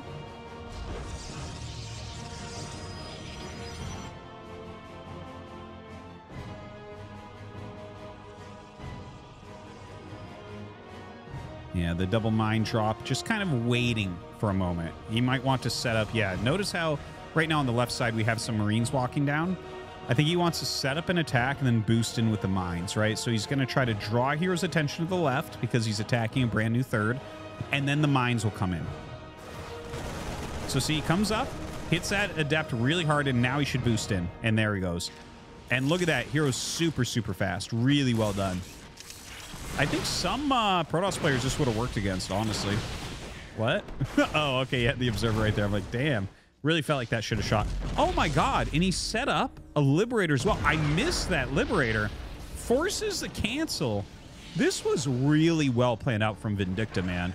Honestly, I, I God, I really, I wish that the NA scene just had like a little bit better time than than it does because I look at the play of some of these guys like Trigger, like Vindicta, like these are legit good players. Like that this was a very good setup with the Liberator, like the mines plus the attack, that in and of itself is fundamentally really good, but the fact that he had a Liberator slipped in there as well, he had incredible potential for damage. Now this is the, the Protoss that we're watching here, right? Like you have to give him top three Protoss in the world. There's just no, there's nothing, no two ways about it. It's like Creator, him, and MaxPax are basically the strongest Protosses. So the fact that Vindictus sets that up, Hero does a magnificent job blocking it, but it was still good for Vindicta. Forcing the cancel doesn't get much with the, the drop, doesn't get much with the Liberator. Liberator's still there being annoying though. Vindicta, pretty much on point for everything he wants to have. He's up in workers, which is kind of insane. Uh, and you know, it just it's all looking it's all looking awesome. Dude, he's putting out this this beautiful, beautiful game right now. Thanks. So, uh, third command center gets going. I like the five barracks production. Normally, five barracks production turns into an attack. In this particular case, if he sits back defensively, that is going to be better. Uh, Hero has Storm just now finishing. He has Immortals. He's very low on bases and very high on units. So, like, the type of army right now that he has is very good against an attack. Uh, now, we have a... Ooh, a Storm Drop comes in. Nine SCVs. That's a lot. Oh, man. Good recall there, too. Really solid recall. Does not get the Prism. If he didn't have recall energy there, man, that would have been that would have been sad for Hero. But gets out the Prism, gets out the High Templars. Looks like he's going to leave one in that main base. He's got such a great defensive position here. All right, does trade that. Okay, some feedbacks go down. Not bad. Oh, and at the same time as that, he actually snipes the High Templar that was in the main base.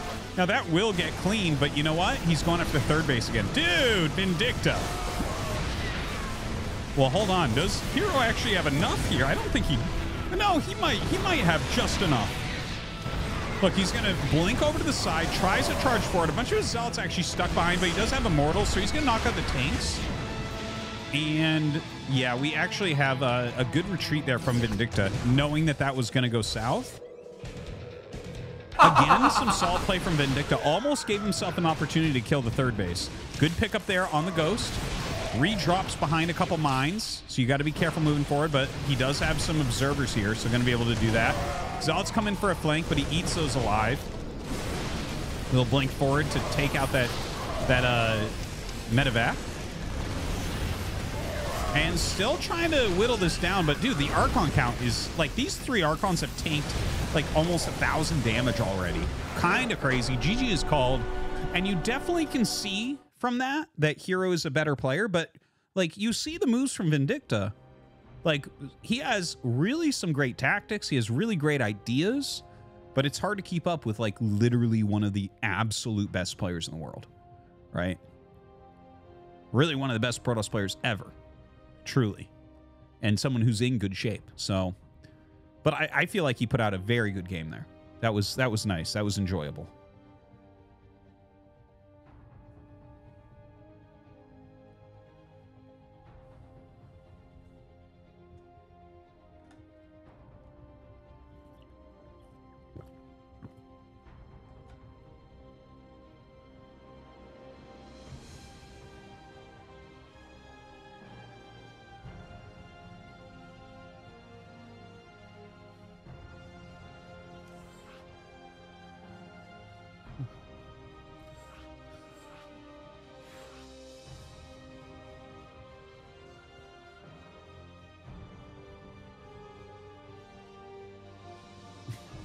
Why is Artosis wearing a black check with a white hat and a bottle? Is he trying to be a reverse Oreo? All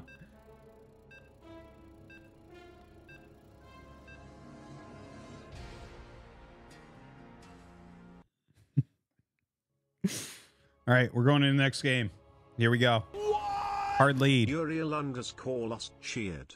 X300, I still think Hero has room to improve as he has a tendency to F2 move his army leaving his expansions vulnerable but other than that still a scary thought that he can still get better than he is. Oh, that is for sure. That is for sure. Uh, honestly, at this point, players are still improving, but not really forced to improve that much. Uh, here's here's a couple hard facts, right? The Korean scene is not growing; it's it's shrinking. It has been shrinking for a long time. There's never going to be a moment where Hero can't qualify for GSL or even be a contender for GSL. But for him to improve dramatically to like actually actually like beat Maru regularly would take so much effort and the amount of gain for that effort might not be there for someone who's already won a bunch of stuff. The guy's married, you know, like he's already, you know, there's that's the thing. Like if if it if it was super duper competitive still, I could see him like you know, doing some of those things because there's a lot of things like that that exist where it's like, well, you could improve a lot. It's, it would take a ton of work, but you already are in every tournament and you already make good money and like you're not going to go up that much if you grind all day every day. But uh, yeah, that's a good point. All right, so hard lead. Vindicta going out with that SCV scout.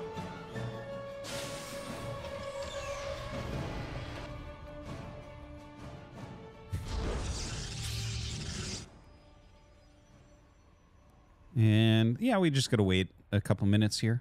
Um, yeah, I do want to point out to everyone once again, I'm going to do this a few times today. Uh, you can use the command StarCraft 2 in chat. In Mad Cow. Hey. Mad Cow. X1600. Damn. Thank you very much, Mad Cow. Appreciate it. That's a big tip, man. You're doing well. Hope you're practicing hard for our rematch. Uh, but yeah, guys, uh, use the command StarCraft 2 in the chat. Uh, I do now have a StarCraft 2 casting channel, which may expand in the future. Not sure exactly yet. Feeling it out, working with Mapu on it. Uh, but yeah, you should check it out. It's uh, a lot of efforts being put in and, and will be put in as well. We're uploading these StarCraft 2 casts, and I'm sure there'll be more in the future than just NA Open Cups. Uh, but not sure exactly, exactly what as of right now. So, Stargate at the natural here. Uh, you know, for hero. Kind of an interesting place to throw it down. Looks like he'll go ahead and throw down his shield battery now, making those adepts. Double Reaper with two more racks coming up. Kind of interesting. So, three racks opener, right? This is something that we've seen Beyond do like a million times. Now, I wonder what the idea is here. Does he want to do the early attack? I would imagine. right? If you're going to go three racks, you do want to pressure with it. He's going to pop in here, throws down the grenade. Maybe not the best grenade there, but you know what? He sees an Oracle coming. He's going to get a couple probes at least. It's Going to be impossible to stop him from that. Uh, the Oracle pops out, and yeah, not too much you can do against that when the Oracle gets out there, but he gets two. Uh, makes Oracle use energy, sees where it's at. And sometimes against something like this, the, the, the three racks can do something if your opponent gets like too greedy, but it's hard to imagine that here from Hero, honestly. Uh, yeah, Hero, you know, his micro is so good. So it's like just making extra Marines, I don't think is going to be the thing that gets him, unfortunately, for Vindicta. Little fake shade in there. Does cost uh, maybe one mule trip. No, maybe not. I think it's going to hit it just right. The three adepts coming in the other side now.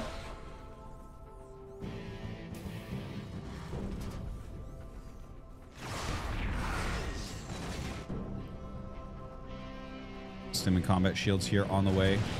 Gonna fly away from that missile turret. Maybe you can get the edge though. Uh, kind of cute. Throwing down that uh, stasis ward.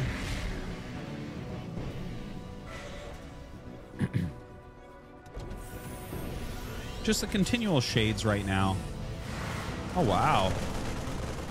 I don't think he meant to do that. I think he meant to cancel. So a little bit of a mistake there without doubt. Uh, the three oracles may need to pull back to actually help fight. It is quite a strong group of marines considering you just lost three adepts basically for free.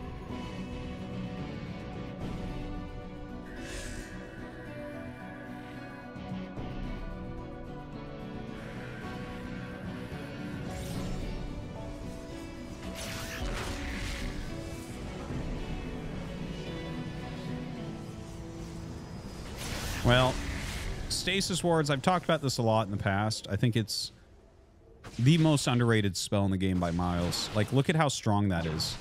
One stasis ward from an oracle. Stop this attack dead so hard. It's insane. Now, Hero did not deal with that perfectly, but in a lot of situations, you'll actually kill half the army for free. Uh, he didn't have a lot there. But yeah, Vindicta trying to punch through. Look at that. Overcharge. Everything gonna die. Like I said, these three racks openers, I'm not a fan personally. I feel like every time I watch them, this is exactly the type of thing that happens to them.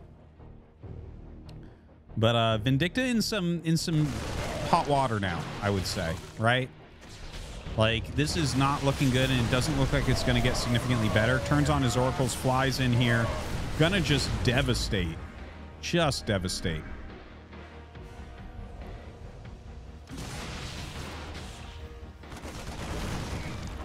Yeah, picks off that Marauder.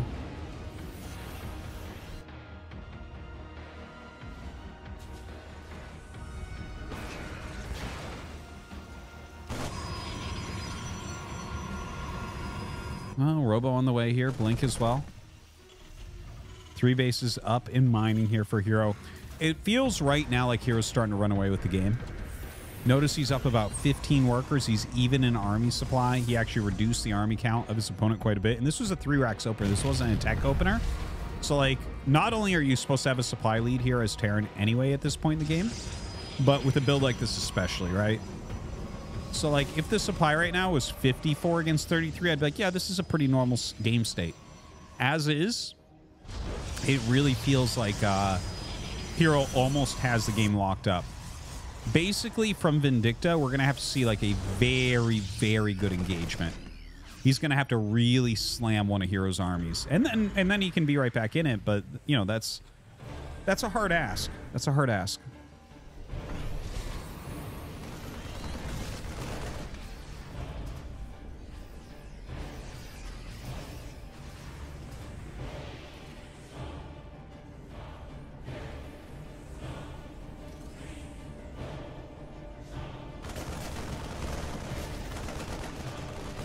Oof. Still gets it out. Nice tag. Let's kind of keep track of what's going on, where the army's at and everything. Charge on the way. Second Robo. Let's see if he goes Disruptor or Colossus from here. Honestly, I feel like I'd go Disruptor. I think Disruptor's fine here. This it feels like uh, Disruptor will keep the worst situations from occurring. And I don't think you need the the more linear scaling of the Colossus. Oh, he does go Colossus though. I guess since he almost has plus two, or it's a little over halfway done rather, Colossus will be useful. Going to take a little bit for those Colossus to kick in, but uh, it doesn't seem like there's a real attack timing coming anyways.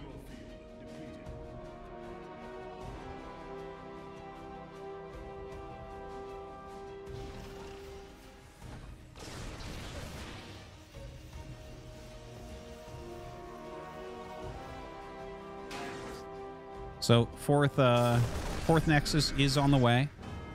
And notice how no upgrades are coming right now for Vindicta. It looks like he's setting up for an all-in. Double, uh, double Liberator. We'll see if he keeps that with the army or tries to make that go around another direction. Honestly, I think you should just keep it with the army. It feels like your chances are already very tough. So bring everything together to try to make this unbeatable blob. Uh, we'll see. You know, the double Colossus is out, but only two. He's making two observers. He doesn't have Thermal Lance. You're not going to get a better attack timing than this. I like the setup there. I like those tanks up there, too. That's good. There's the boys ready to go. Force fields go down. Oh, overcommitting the boys a little bit.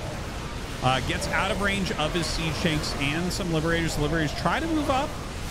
Uh, a good warp in there from Hero, but the SCV is doing a good job of blocking that. Uh, with the overcharge, I don't think he can quite break it, unfortunately. His siege tanks never did get moved up. Look at this. If it wasn't for overcharge, maybe, maybe. But what are you going to do? Overcharge exists. Whew. All right. Well, that was uh, a little bit more one-sided than I was hoping, but I think you did see some some moments of brilliance there from Vindicta. I think he showed some good stuff, which is, you know, all we can hope for. All right, let's take a look at the bracket. Thank you again, Mad Cow, for the big tip.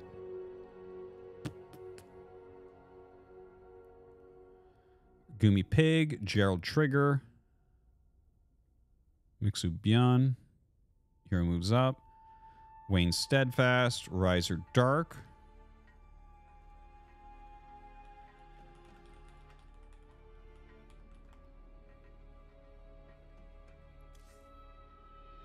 Hmm. Gerald Trigger's okay.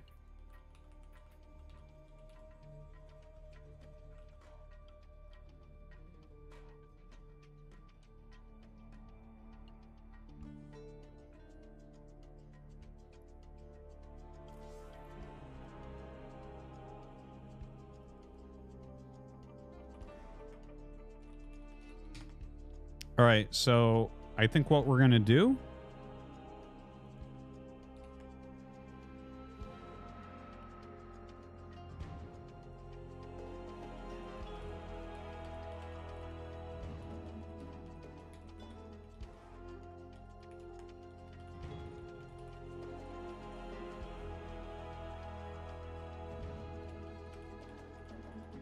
All right, this is what we're going to do.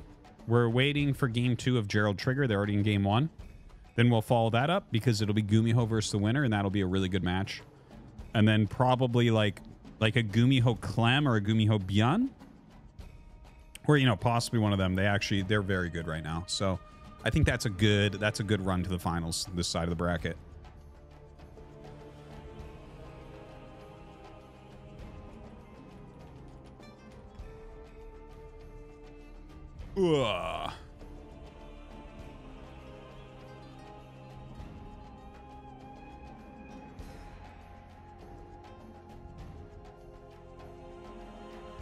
Clever man.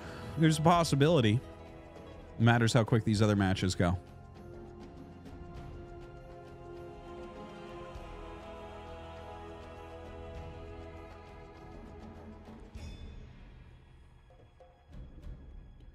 Yeah, Gumi is one of my absolute favorite players to watch personally. I think I have more fun watching him than maybe anyone else.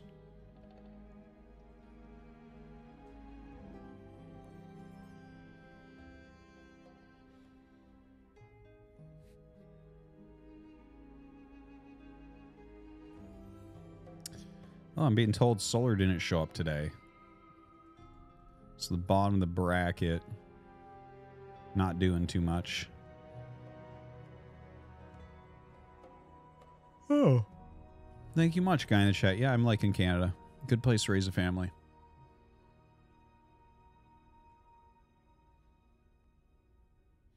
All right, I'm going to run to the bathroom. Sorry I have to go again. BRB.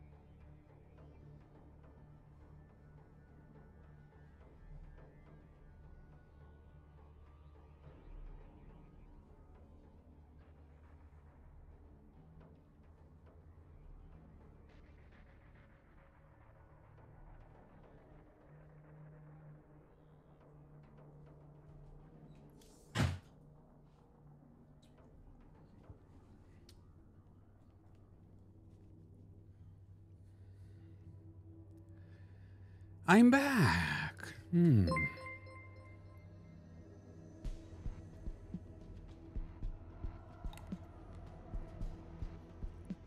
And guess what?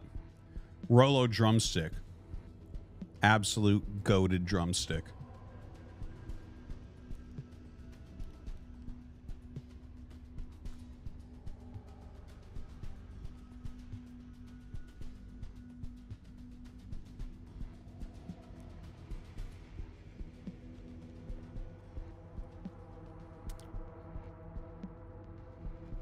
So good.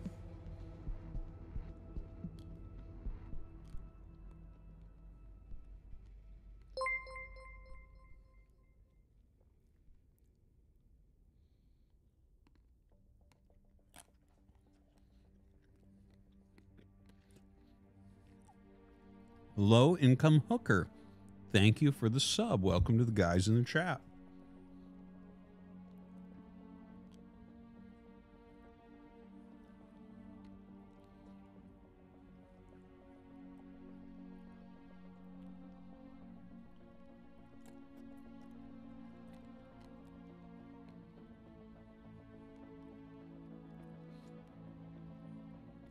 Taco Boat, thank you.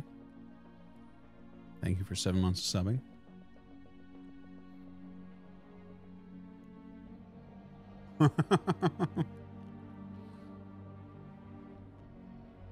Blaboo, Drop Zone Killer, Fart Bath, thank you for the subs today, guys. Tetsaiga, thank you.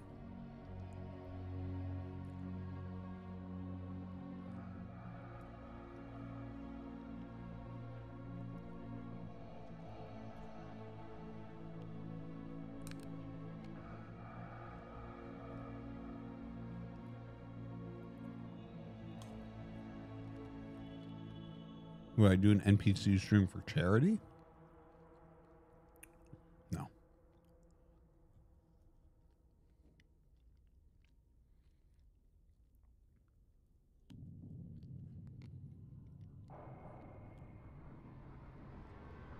Why do I love light mode? I don't use light mode.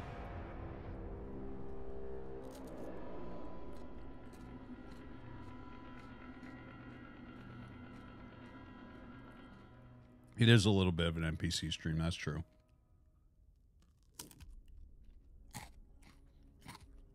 Dude, Rolo is literally the best drumstick. It's crazy. Last week we didn't have any Rolo ones, and I tried a peanut butter one, and I was like, this is fucking garbage. Threw that shit away.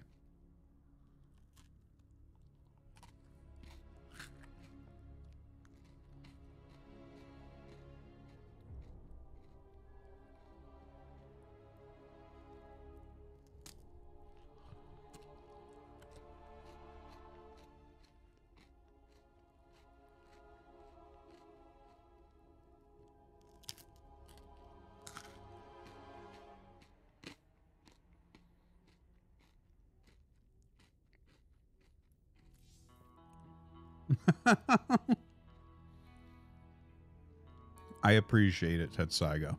I appreciate that you're smart enough to know this and say it out loud. I do appreciate that.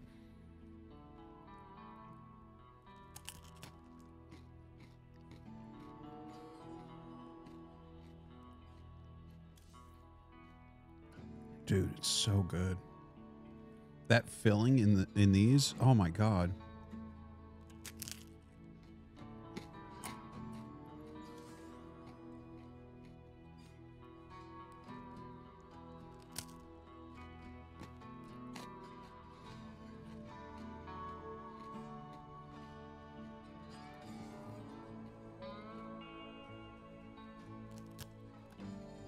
Hmm.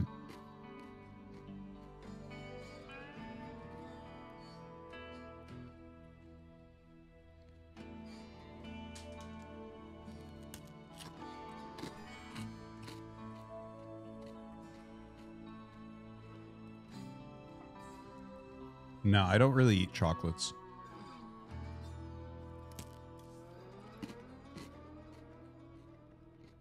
Here's what I like. Like an occasional ice cream. I like oatmeal cookies.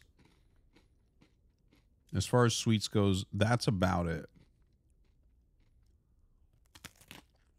I have a weak I have a weak spot in my heart for oatmeal cookies.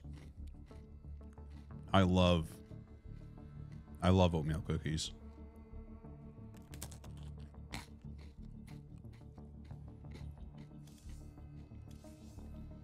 I show my kids sweets. no, I don't. That's bullshit. Say GG. How many oatmeal cookies could I eat in a day? Dude. Let's say an oatmeal cookie, yeah, like the size of a Subway sandwich oatmeal cookie. I could eat seven oatmeal cookies in a day and not get sick.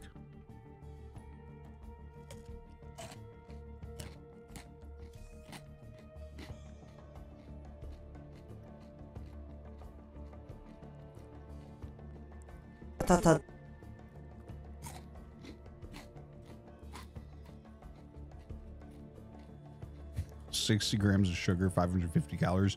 How big was this oatmeal cookie? Maybe that's like the oatmeal cream pie from like Little Debbie's or whatever, which are, by the way, really tasty. But I don't eat those.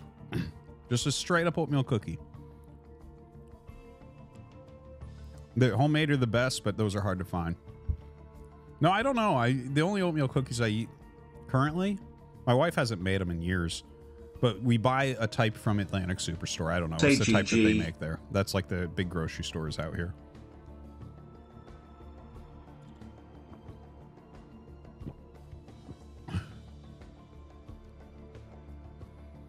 Yeah, oatmeal raisin is my favorite. It goes oatmeal raisin, then plain oatmeal, and then oatmeal chocolate chip.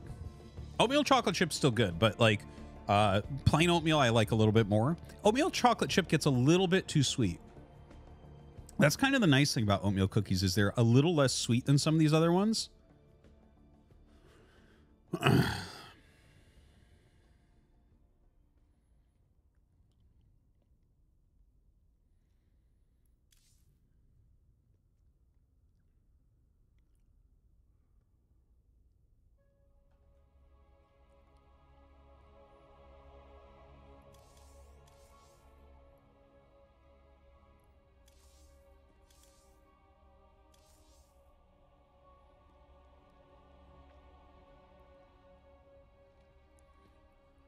No, dude, raisins are amazing.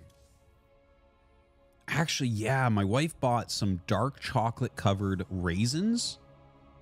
Holy shit, I gotta tell her get another bag of those. Those were fucking good. That was like three months ago we had a bag of those. Holy shit, me and my kids devoured those. Devoured. They were big raisins too. Oh man. Those were fucking good. Oh yeah, no, dark chocolate's by far the best chocolate. Dude, I can't believe how sweet people will eat shit, right? Like it's like double chocolate, like triple chocolate fucking sundae, and it's like so sugary. It literally gives me a headache if I take one bite. It's like I look at it and I start to get a headache. Way too sweet. These people that have like these sugary cereals and pour like sweet milk on it, like fucking dude, what are you doing? How sweet do we want to make this shit? God. Milk. Milk is sweet, dude. It's got sugar in it.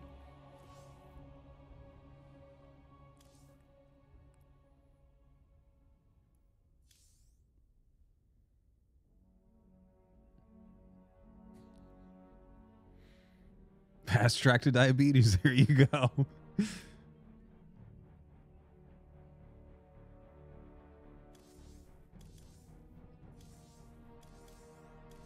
yeah, 85% dark's real good. I used to get that in Korea. They had it at uh at uh Home Plus grocery store.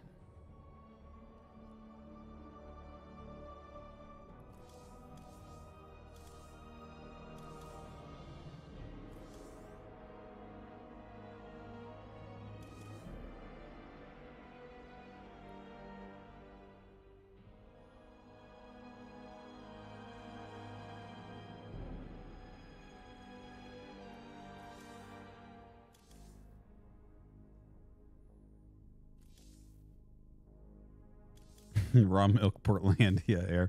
Portlandia was pretty funny.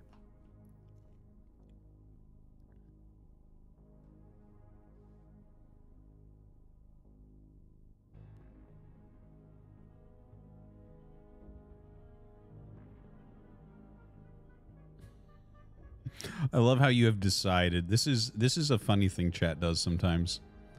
RT, you go to the bathroom too much, get checked out, or it might be hypertension, the silent killer. The chat seeing me for like just this very short amount of time, they're like, ah, you go to the bathroom too much. It's like, well, here's the thing, guy in the chat. I peed the first time and then I had to poop later. So that's why I went a second time. But thank you for being like fucking WebMD for me. Watch out, Artosis. You might die. I saw you go to the bathroom twice on the stream. Wow, sick guy in the chat. Thanks so much.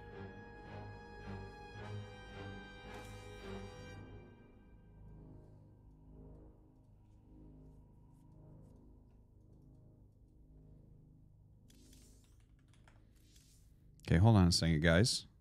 We are going to check something out here.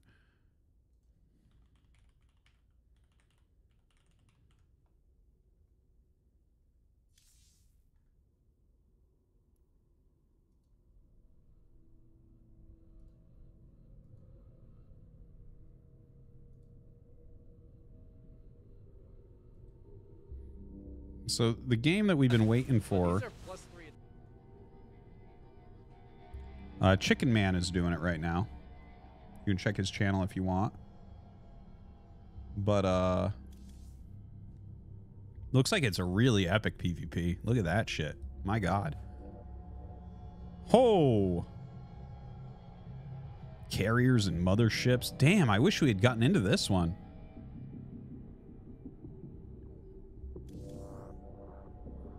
Obviously, it's Huntington's. Jesus Christ. Fucking darkness. It's like Artosis, I can't believe you had to both pee and then also poop. I think you might be diseased. I know, isn't that crazy? Isn't that crazy how sometimes you'll just pee and think, oh, I probably won't have to poop. And then you find out you do have to poop later and then people think you're sick.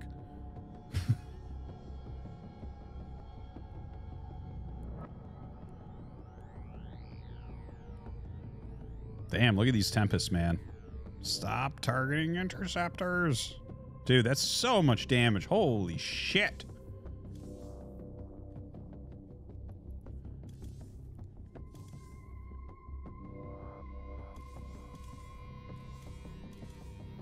Alzheimer's, I forgot to do it. Really, I'm trying to hurry back when I go to the bathroom. I used to be scared before I had pause buttons. I was like, God damn, I'm going to get banned. I got to go quick. Uh, but now that I have pause buttons, I'm a little bit more relaxed about it. But like, you know, I'm trying. I'm trying to make sure I get back as quickly as possible.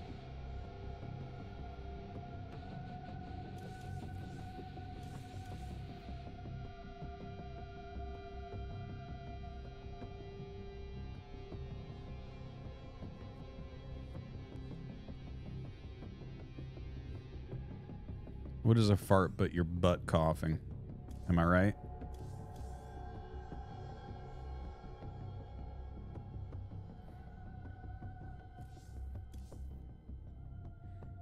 Dude, we got crazy stuff going on here.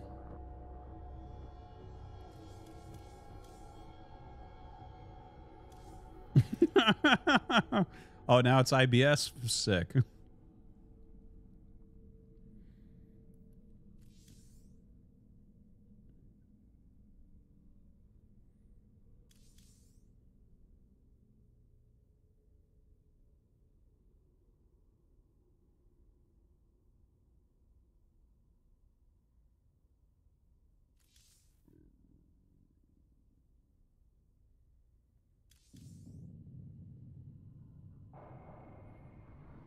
That is a lot of DTs, man. Holy shit.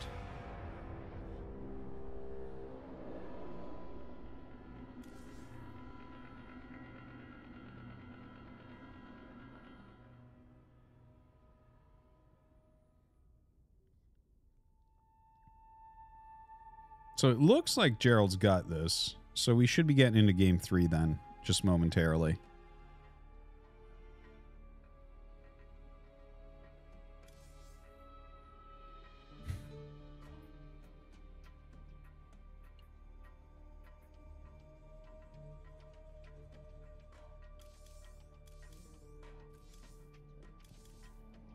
Yeah, Trigger still has workers, but his supply is so low right now.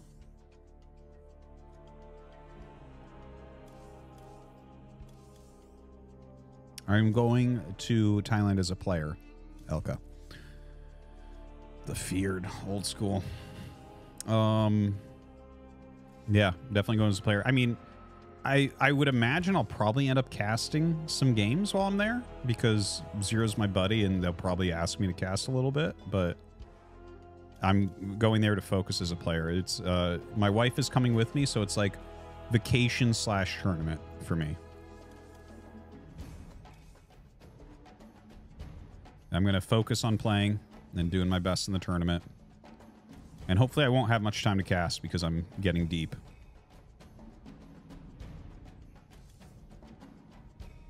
Guys, my wife is going with me. You can stop with the fucking prostitute jokes. Thank you very much.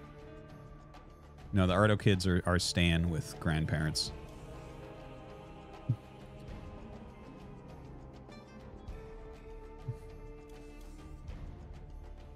The stream of the tournament? Yeah, yeah. It'll be on Zero's YouTube channel or uh, Zero's uh, Zero's channel, I believe, right? I'll make sure to like tweet it and stuff and put it in the Discord and whatnot.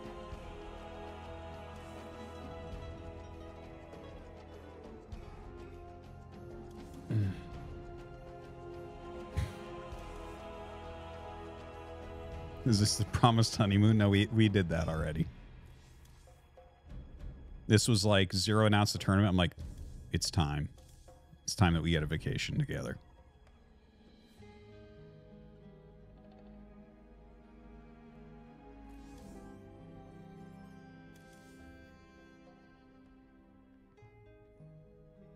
All right. Good job by Gerald. Very cool. Dude, look at this setup he's got. That's a good looking setup.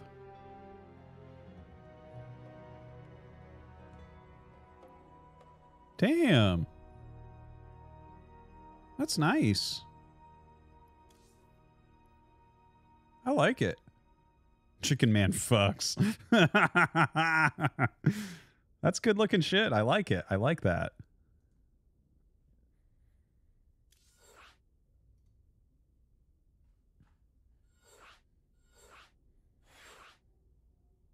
Wait, you guys don't like my bags of garbage in my room?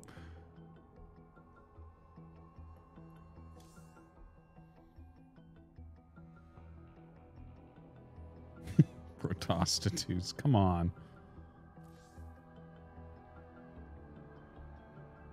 Does it snow in Canada? Yeah.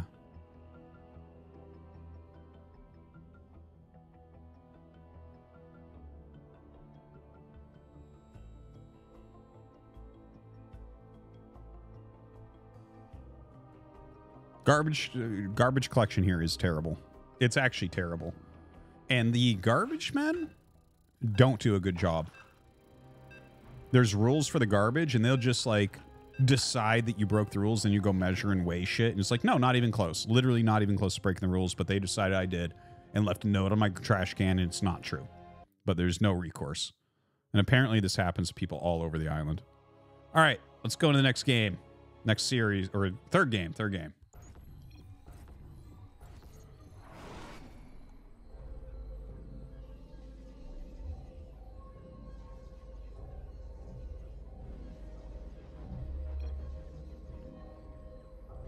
All right. So we have Gerald in the top right, Trigger in the bottom left. Looks like they just had a really epic PvP game. They're in game number three now. I don't expect it to be long like that again. That was kind of crazy.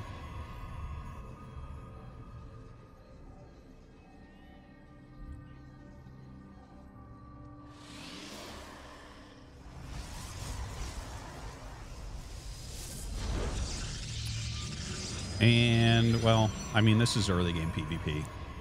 I'll let you know when something interesting happens. So we'll just sit back, relax. Wait for some cool stuff. Thanks, Mad Cow. Uh, yeah. Hmm.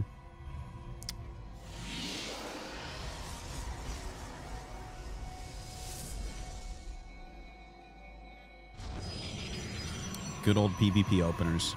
Both of them going two gate, so nothing out of the ordinary as of yet. The first thing we're really kind of looking for, guys, is well, depending on the the uh, map, you know, it can be a little bit different. But um, like ramp naturals, you have a different looking opener.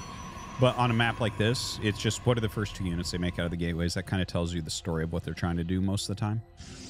Uh, by the way, those accelerator zones are different than the speed up zones from before. They make you way faster. It's kind of insane, actually. It's a really interesting, uh, interesting thing that they're adding in.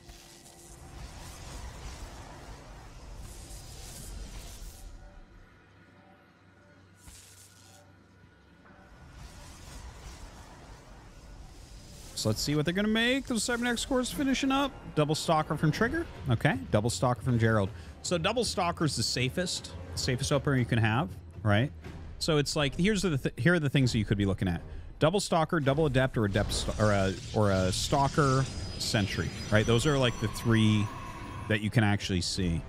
Uh, Stalker Sentry is like more of a macro play. Double Stalker is actually safer, um, but lacks some of the scouting that you can get from the Sentry. So going four Stalkers on both sides, and basically when you're both making no nothing but Stalkers, you can't really hurt each other. So they you may see them try to poke each other, but as soon as they realize that you know it's basically the same thing on both sides, they'll back up.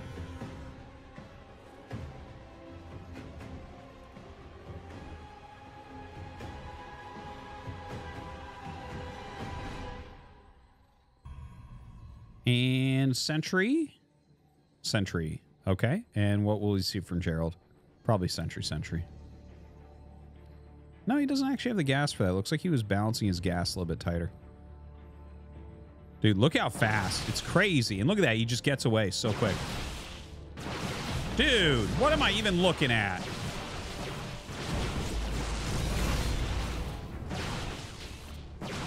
Dude, these accelerator zones are actually insane. We need to see more of those. Like, they're only giving you the edge right there, and you see some interesting micro because of it, but I want to see more. Now, Trigger's going into Twilight quickly. Twilight coming up here for Gerald as well. Does feel like Trigger's opener's a little bit superior, right? Like, he got double sentry, and I don't believe Gerald did, so he's going to have a bit more scouting. Plus, his Twilight's a bit quicker. He is down a few probes, so I guess we do have that for Gerald. His Adepts are going to be his form of scouting here.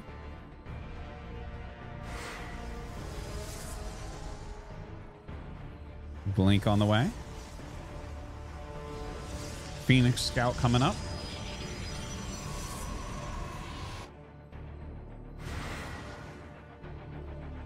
Let's see if these Adepts can get a good clean scout off.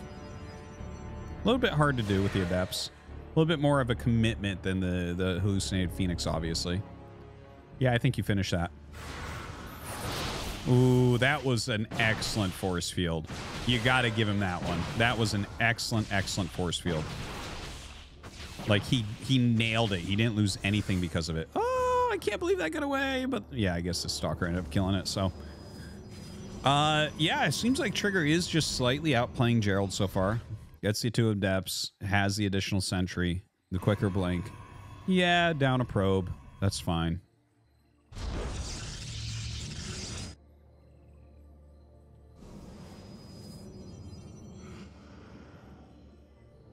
Beer is a soup if it has ice cubes in it.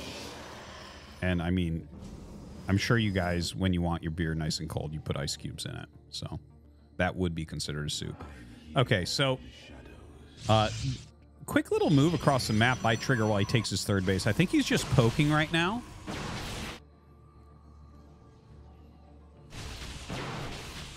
And he is going to poke at this third. Look at this.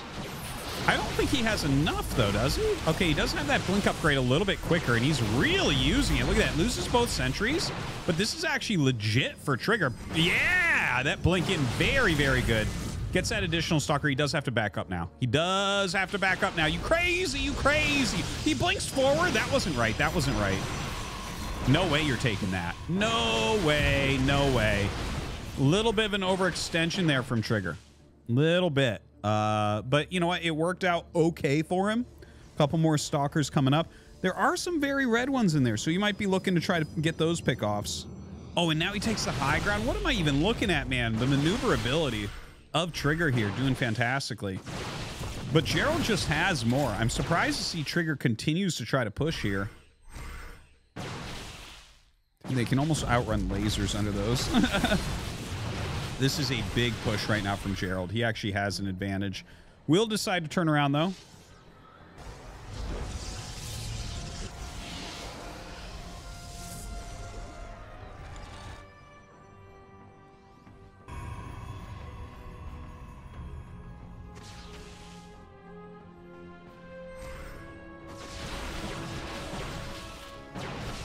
Ooh, nice observer pick off.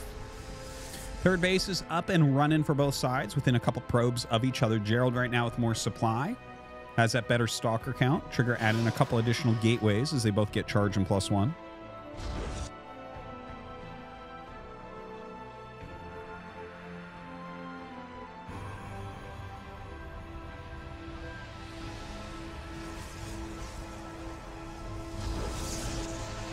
Immortal coming up here for Trigger. I like the uh, the Immortal ad. It's it's interesting to me because it went out of style, but because Trigger lost a few extra stalkers in those battles, I think adding that one Immortal in is going to give him the stability he needs, so that there's no there's no kill timing here from Gerald. Because Gerald is Gerald does have a little of an a little bit of an edge, right?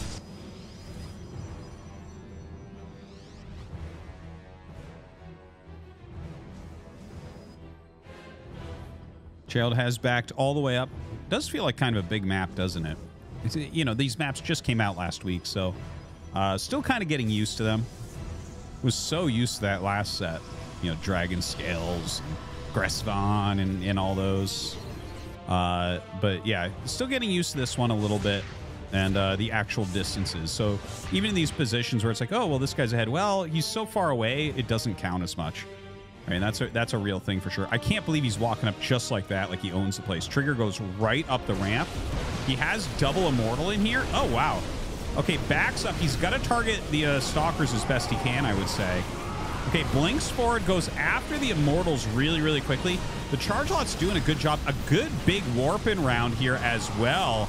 And Trigger is like so rabid. It's kind of insane but I think he's actually doing it. I think he's got just enough here with the Zealots that he's getting the, the good uh, trade at the moment. Blinks forward there, gets an extra Stalker kill.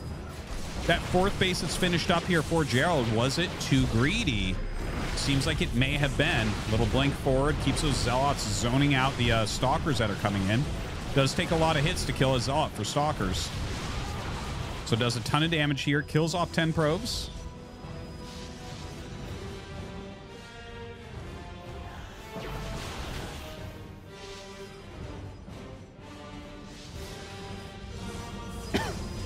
Excuse me. Yeah, I like the Stalker Warpins here too. That seems really, really good to me. Going to be a lot harder to take a defensive stance when it's mass, mass Stalker that you're up against. Okay, Overcharge comes out. He just simply backs up. Definitely the right call there. And actually backs up with everything, deciding not to go after that base. Leaves the other Nexus as well. I think he will go back to kill it, though. Like, Trigger has such an advantage. I think you do have to push it right now. So, yeah, looks like he's going to blink forward here. Uh, down the ramp comes Trigger. He does have a couple sentries. He does have an Immortal in here. But the charge lots more than make up for what he's missing. Now, the force fields actually give a good engage here to Gerald for the moment. Uh, definitely has a lot more units shooting. But now his probe count is dreadfully low.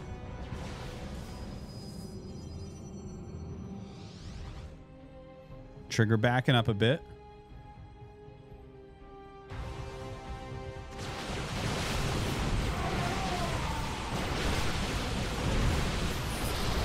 Yeah, the double immortal are actually doing a fantastic job right now. Look at those immortals, man. Holy crap. That immortal at the top, or on the left side rather, tanked so much damage in there and dealt so much damage. All right, he backs up. You know, the problem is that he just does not have the same economy as Trigger. Trigger is just on top of these warping rounds, continues to have a higher supply. The few charge lots he's adding in are fantastic here. Keeps that stalker advantage. He's moving into great positions here. Uh, where he is a bit favored. You know, he's got this like high ground position. You lose vision for a half second there, and some of your stalkers aren't going to be firing. Greater surface area right now for Trigger as well. And I think we're going to be seeing GG. Gerald is going to end up falling. Really excellent play here from Trigger. And look at that. Holds part of it, attacks into the natural. This forces Gerald up the ramp, and, you know, we, yeah, we'll see GG any second. Gerald's super duper giga dead right now. Not sure about this. Yeah, he blinks up, doesn't even one shot the prism, unfortunately. Surprised he's still in it. That's going to be it. GG.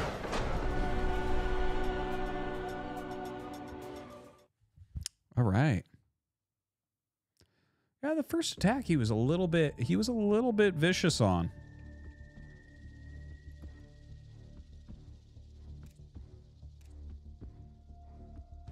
So we're gonna go into uh, Gumiho versus Trigger next, and that's a that is a great match. That is a great match. Gumi Trigger looks like ByuN Clem most likely. Uh, Nina's good, and she plays a different style, but Clem I think is too good to really lose to anything offbeat unless you're like top four five Protoss in the world, something like that. Uh, we got Maples up here. This is kind of a weak part of the bracket. Maples is not bad, but oh, Hero already beat him. Wayne versus Dark. Wayne's been doing fantastically. Don't count him out. He could he could win that. But we're actually going to be flying towards the end of the tournament pretty soon. There's actually a very good chance that we'll be able to catch some of Clem ByuN. Uh, matters how long this series is, but uh, we'll try that. We'll see if we can hop in over there. Uh, well, actually, Hero Dark, I would really like to see as well. so I guess we'll just keep track of what's going on.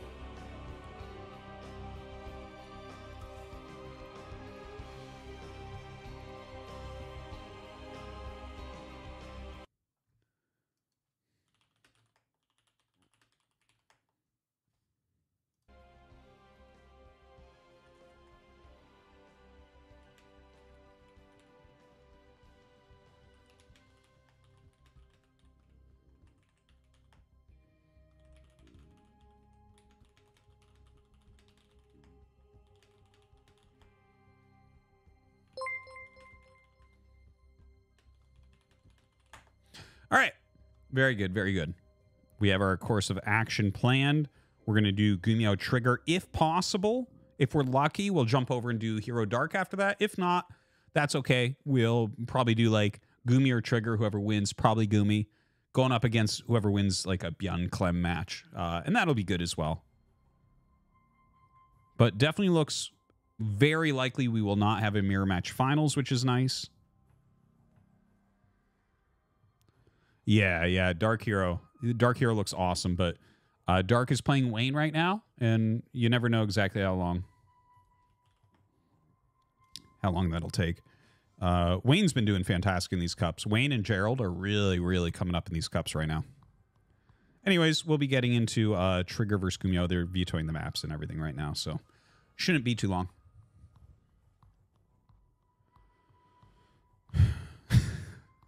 Sorry, Silver Vibes. Not my job, man. My hand is too tired to ban you 193 times. I gotta rest it. Keep my wrist healthy for my StarCraft games.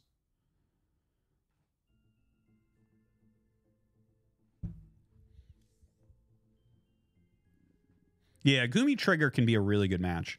Trigger's got some very good PVT. Uh, and Gumi's always fun.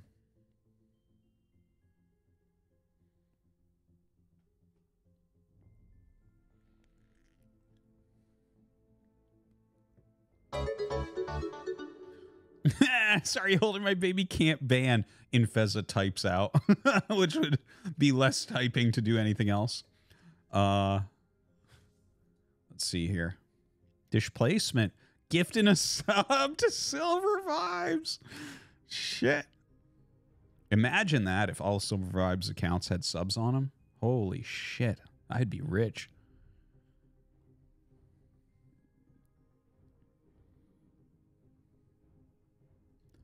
Oh, Dark took down MaxPax earlier? That's sick. That must have been a nice series.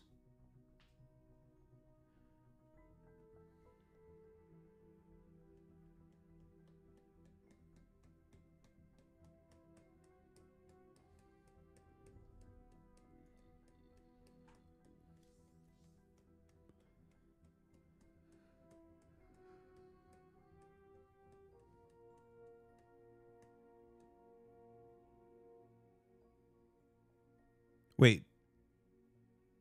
Dark is playing Protoss versus Wayne right now? Is that true? That's crazy. Oh, damn. I wish I could see that. Oh, that would be a lot of fun to watch, actually. Yeah, whatever I'm being mailed is going to be opened on stream, guy in the chat. So don't embarrass yourself. All right, we're going to go into our next match, guys.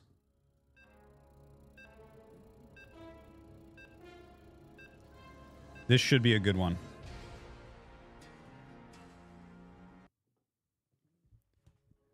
Gumiho versus Trigger on Radhuset Station.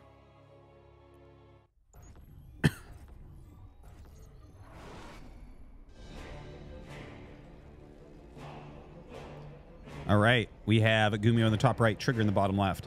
Radhuset Station. You know, you guys are probably still learning the maps and the map names and everything. This is the map where basically four bases are free with one defensive location. Uh, we saw Riser earlier today with a really sick Tempest build on this map, which looked amazingly good. I would love, love, love to see something like that. Another thing I would love, love, love is a mech build out of Gumiho because, again, there's like one defensive spot. This map looks terrible for Terran Bio. Dude, you, yeah, it looks terrible for Terran Bio. It, it, you know, it looks like a really good map for Protoss, in my opinion. Um, yeah, I think you got to do something special here, honestly. I'm excited about this, though. Kai Britt, 24 months, two years of subbing. Thank you very much, man. Hope you're enjoying the stream today. Hope you're doing well. Thank you, thank you. Yeah, I'm loving I'm loving the new patch so far. The new maps are actually kind of interesting. Like a map like this really does give you Wait, that's command center first. I was I wasn't paying that close of attention, but command center first shows you how big the map is. It's a really long rush distance. The map is super defendable. This seems like a great build from Gumi. And Trigger's going to look at that and be like, damn. Toffee Mad Cow cheered. X4000. Dude. Mad Cow. That is a lot of bits, my man. Thank you very much. Thank you very much. You've been overly generous today. And recently in general. Thank you much, dude.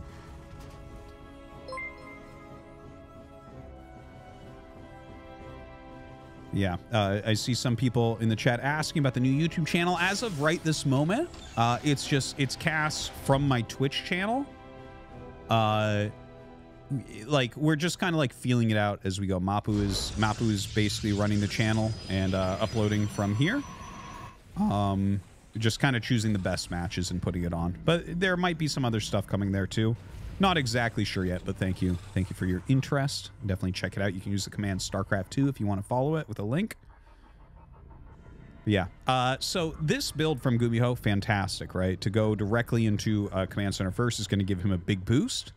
Uh, we have a Stargate opener here from Trigger. We don't know if this is going to be like Oracle Tempest. We saw that from Riser. And as I mentioned, I didn't really watch any StarCraft 2 this week. So I just don't know if that's maybe a real build on this map right now. Was that a Riser special? I don't know. We'll see. If Trigger does it, then it's it's something that's been done previously, right? You can't have two players doing it in the same tournament. Maybe it's just meta on North America, right? Riser and Trigger both from North America. We'll see, though. I don't see a fleet beacon as of yet, but we'll hold our breath. So right now, Trigger mining out for that third base location. Wants to take that Nexus pretty soon, it looks like. What's up, Maples? Good job today. yeah. Sorry to hear.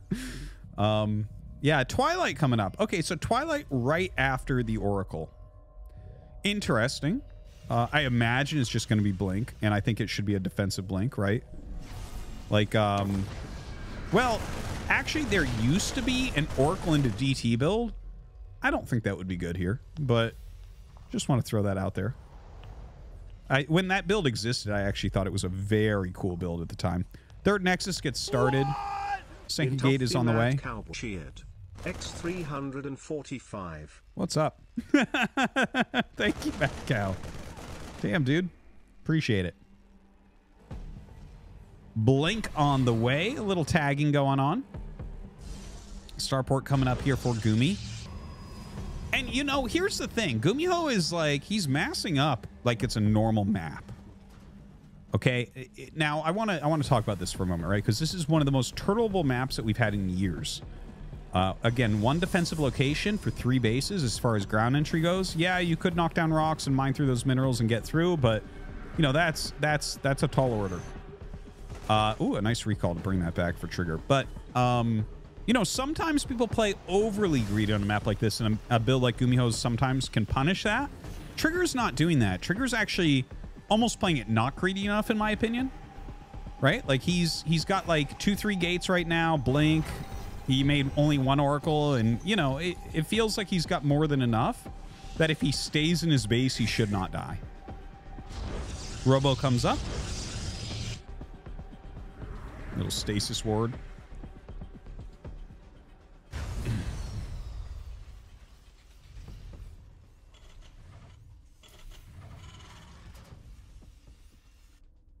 So Gumiho with his third command center getting started, but this is after Trigger's third Nexus is done. Dude, you can really see how big the map is as the Oracle flies across, where it's like, well, hmm. No, that was that was actually pretty reasonable. He sees pretty much what's going on. Doesn't do a full scout, but uh, backs up instead. Gumiho moving out with a good amount of Marines. Trigger should have enough that he does not end up dying to this. Now, will he try to do something right here? You could just boost over and drop at the third. That's a possibility. With only three stalkers there, yeah, you'd get you get the unload. He's doing it, man. He's doing it. Look at this. Oh, I think he saw the stalkers. Goes. Oh, yeah. No, that's not to work. Oh. So this is what I was talking about, where these normal builds, like if Trigger just stays in his base, it's it's hard to imagine. Like if he had dropped it, he could have unloaded pretty much everything at the third base, but at that natural got totally slammed. I tell you, like it just it, this is a map where I don't think anyone can attack each other. it reminds me of Abyssal Reef, but bigger. If you guys recall Abyssal Reef.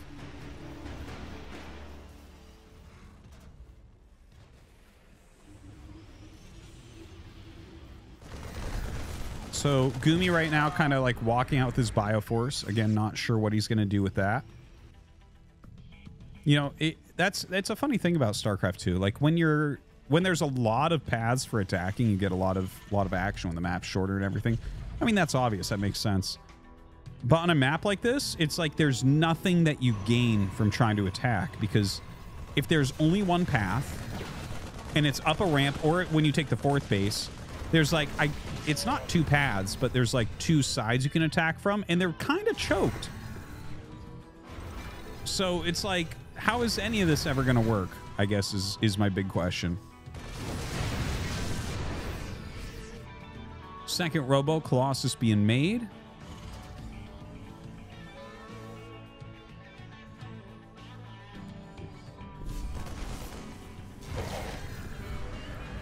This game, I think, has like this map. You just can't knock it into the late game.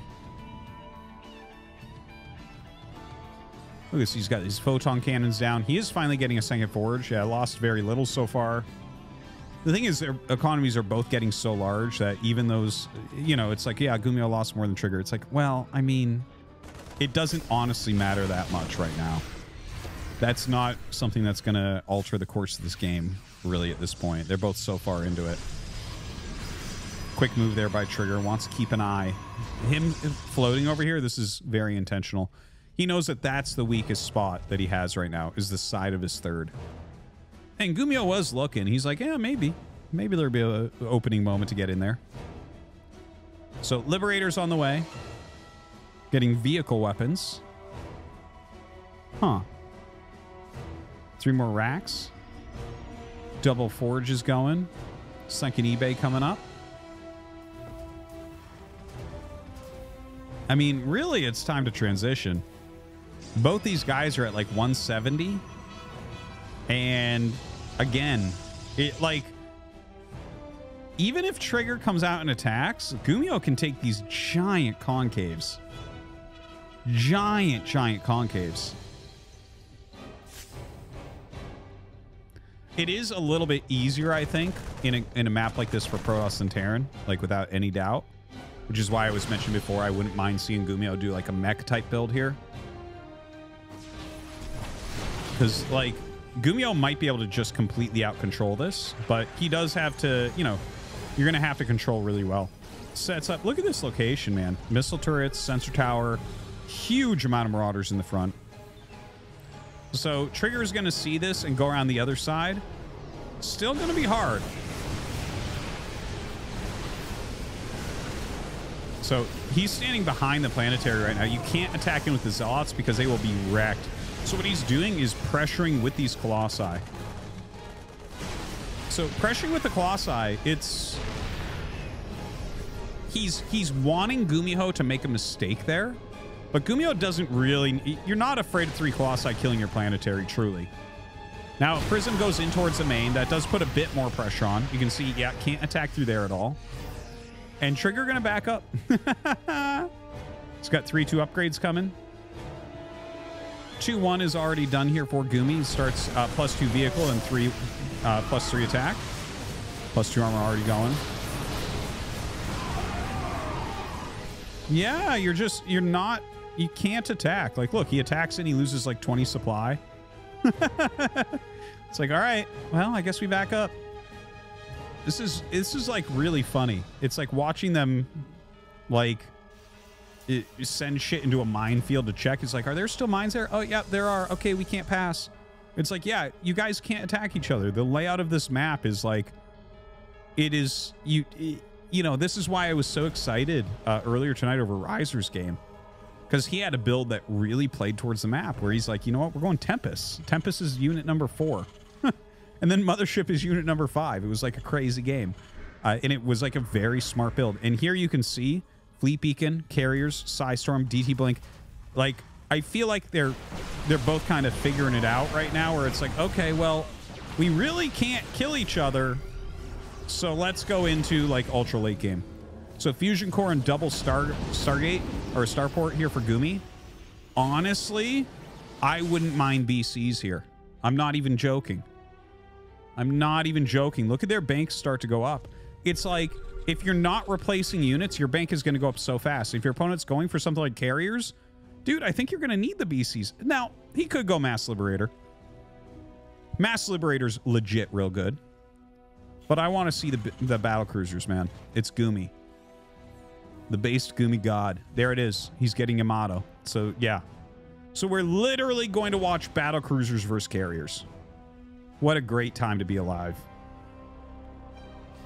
Radhuset station, guys. This is gonna be our this is gonna be our giant macro map for a, a year.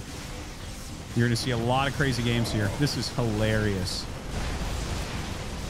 So you see that happen, and you might be like, "Oh no, he screwed up. Why do you leave those Colossus there? He doesn't even want those." Didn't see that, but uh, looks like it was good. So, loot like he, I don't know if he sacked those bosses 100% on purpose, or that was some sort of misclick or something, but honestly, well, I'd probably keep the Colossus alive and like shred some Zealots or something like that first, but like you need supply for your carriers, right? Like a lot of the ground army is not not that important. So now BCs are coming, double armory BC upgrades. We have plus one air attack here for Trigger on the way. We have three carriers making fourth Stargate coming up. Mass command centers for Gumi. I guess the one big problem for Gumi is setting up the fifth base. For Trigger, it's not an issue. As I've been mentioning, this map really does look good for Protoss, in my opinion. You can see him just expand up the side. And he can do cannons, he can do batteries, he can do warping rounds, right? Dark Templar, High Templar. You can put a disruptor at a base if you really want. Uh, right? There's a lot of ways to expand and defend those expansions as trigger. For Gumi, though, it's a lot harder. It's a lot harder. It's like, do you float down a command center and make a planetary? Well, you can't lift a planetary, so it, it might die. Also, the more open you get, the harder it's going to be to defend against the uh, the incoming Protoss attack. So yeah, there are little issues here that Gumi has to deal with.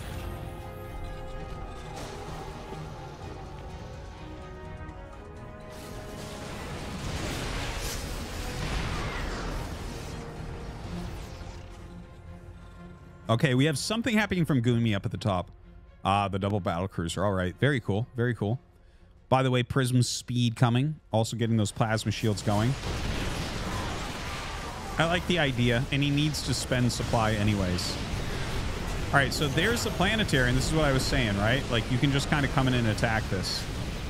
Now, the two battle cruisers should be doing some damage now. And don't forget, these can just jump out, and there's no there's no real Protoss recourse to that. Like, he can just... Oh, dude, where's the jump? What? I thought he flew those out. Am I crazy? Did he not just fly those out, or did he jump those out? He must have jumped them out? I could have sworn I saw him flying out, but okay, my bad. Uh, loses one. Okay, he jumps some more out, or maybe that's what the idea was. He wanted to jump more in to just kill all that. That's interesting. He could just perpetually jump BCs out there and then clear that side of the map and jump home. That could be a cool idea. Lot of Vikings being made now. We are transitioning more and more towards uh, Sky Terran.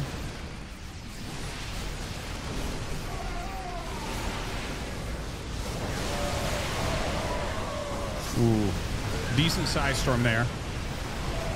A lot of Gumiho units being picked off. Really, the important units here are the flying units and the ghosts. The ground units, really not that impactful for Gumi. You can definitely see that Protoss having a bit of an advantage here. Now, technically, battle cruisers can beat basically everything that Protoss has, but there are tactics you can use as Protoss to fight battle cruisers. There's like certain recalls, uh, Tempest usage, that type of thing that you can utilize. But BCs actually can beat everything Protoss has. I remember when we had that very weird one week of BC meta after Nathanias started using mass BCs and TY like mastered it. It was pretty sick. There were some fun games that week. Now some more turrets in uh, sensor tower coming up. We have 2-2 upgrades as well as plus 2 plasma. Another pick off there by Trigger. You can see Trigger definitely has a little bit of an advantage. But this is not, again, like the end of the game or anything. Uh, the only thing that we're really worried about right now is Gumiho, uh, you know, not getting that fifth base mining consistently. He does have a fifth base. It's just to the left of this and north. The north uh, west, I guess. Uh, and now he does bring those BCs down. So it looks like he's going to try to trade for a base. Now, this planetary, obviously, he can't really lift off. This is going to end up going down. So, again, the fifth base eliminated. We, you know, for, for Trigger right now, he, he's going to lose the top left, it looks like. But he's got five, six, seven, seven bases after this dies. Okay, so Yamato's that and jumps out. Gonna have to continue that battle cruiser production. Some another siege tank being made. You know, I wonder about that actually. I wonder, like Viking BC siege tank is that is that going to be like the sickest composition? You know, uh, there's not like perfect theory crafting of perfect comps because of course your opponent can always kind of counter you. But that sounds pretty solid. You have some siege tanks to zone out high templars and stalkers. And then, you know, you have Vikings to help uh, parry the, the air units. That could kill BCs. Yeah, I like the idea. But look at this. Dude, this siege tanks against these stalkers everything. The Archon's trying to tank a bit. Dude, Gumiho's engaged. Holy crap. Oh my God, that engage. That damage coming out.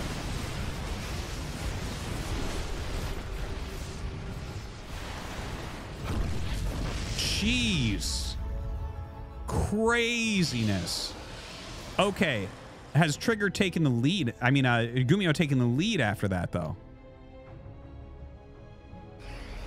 How many battle cruisers does he have, I wonder? Like, he's got an insane setup right now. Just insane.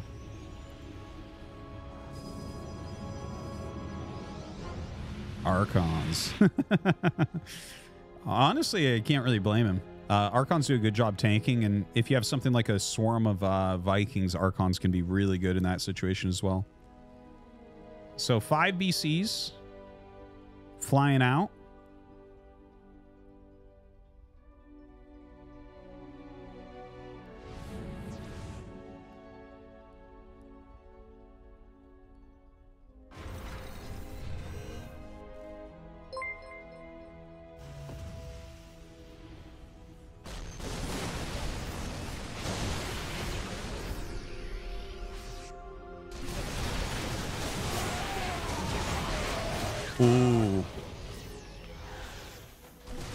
All right, some very good Psy Storms. I like these little scuffles we're seeing. They're kind of fun, right? A little bit of a micro battle, a little bit of cost efficiency one way or the other. Uh, but not necessarily what's going to end up deciding the game, but can can start to tilt the game in a favor, right? Three threes on the way for these BCs. They're going to the top left again. Now, if he can hold on against this main army and his BCs go ahead and kill everything in the top left, then Gumiho's in a very good position at that point, I think. Now, the Vikings not being very useful. Oh, man. The, the battle cruisers come home, and it does take them a minute, but they start to change that battle immediately. Well, immediately after they warp in, and it can actually attack again. Uh, some Psy Storms coming down from that high ground. That is a lot of Stalkers right there. But as the tanks come up, he is going to have to back up. Yeah, the tanks start to absolutely shatter those Stalkers. Damn, what a game this one is.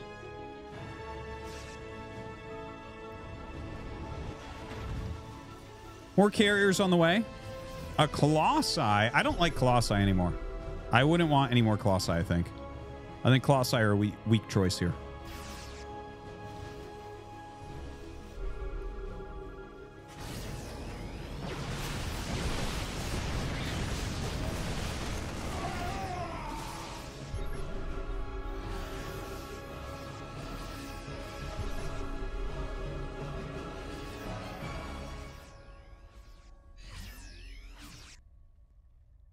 Right.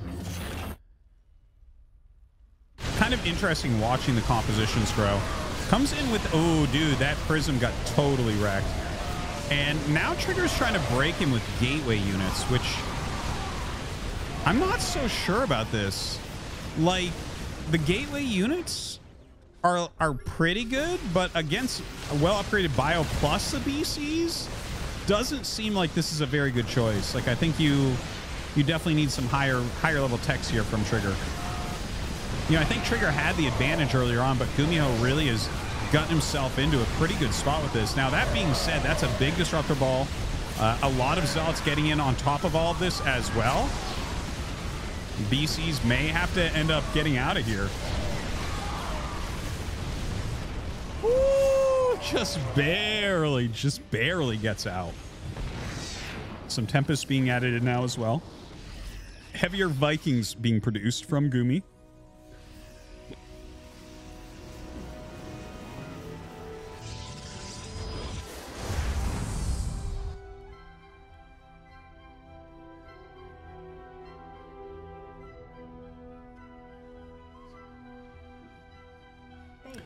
Oh yeah, I forgot that that was a gold base. I don't know why. we never really get zoom ins of that one, but uh, yeah, gonna go ahead retake this base. Gumiho is even dropping mules there, not even given given a care in the world the fact that mules on gold bases are reek of inefficiency. Zealot's gonna come in, try to surround this immediately. I like the Liberator coming in, but uh, Is he to save this? I think just barely. Oh God, look at this. Gumiho's army on some sort of like move command doesn't get there in time to save the planetary, unfortunately. So Trigger will get that kill. If he had saved that, that would have been kind of a big moment there for Gumi. Comes in with BCs. Just murderizing those probes.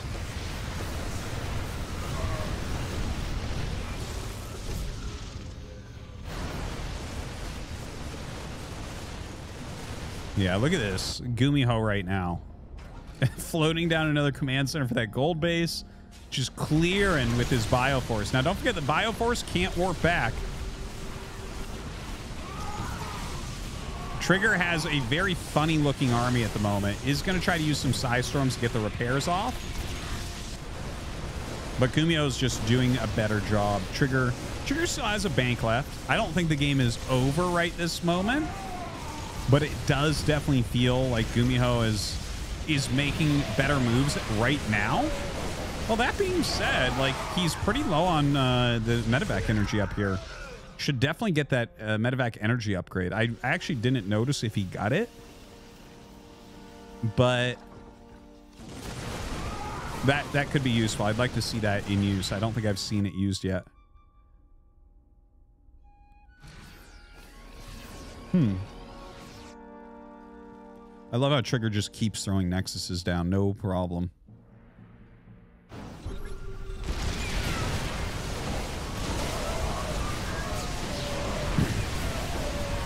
Well, some very good Psy Storms going down here from Trigger. But it seems like his army is a little bit flimsy. The Colossi, I don't know that they're really doing their job well enough here. A lot of these Marauders are getting very, very low, but they are going to be able to pick off that Colossi. And in fact, the air unit's starting to take some big damage here as well. Turns around, fights with the Zealots for a moment, pulls them back as the overcharge heals everything up. Both sides falling dramatically in supply. Oh god, single DT over here ruining everything. 13 kills. Insanity.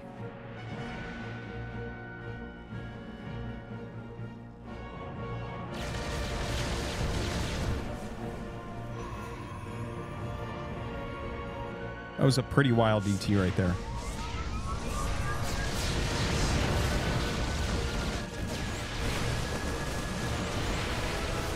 All right, Gumiho coming in, gonna gun down this Nexus super fast, and of course the Nexus behind it should fall as well. Look at this, his BC's dealing with the bases in the top left, and his army dealing with the bases in the bottom right, making it very, very tough right now for uh, Trigger to keep an actual economy together. Yeah, maybe we had those warp out. Tempest, though, doing a good job kind of countering those BCs lightly. Gonna leave that Ghost Bind deny the Nexus if it tries to come back.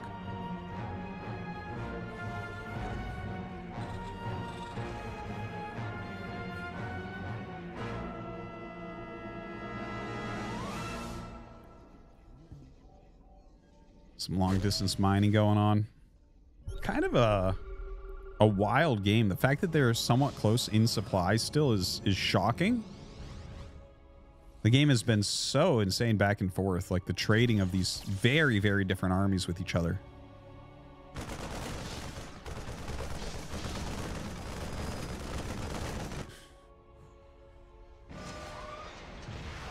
Oh, nuke time. All right.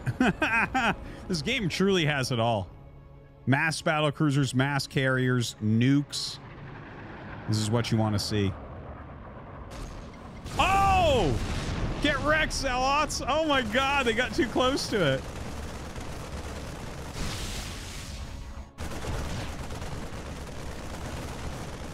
Gumiho once again sending some units to that top left. The DT blink on top of the siege tanks. Love to see it. Doesn't quite work out. A little bit late on the scan there, Gumi. Damn, Zealots are fast.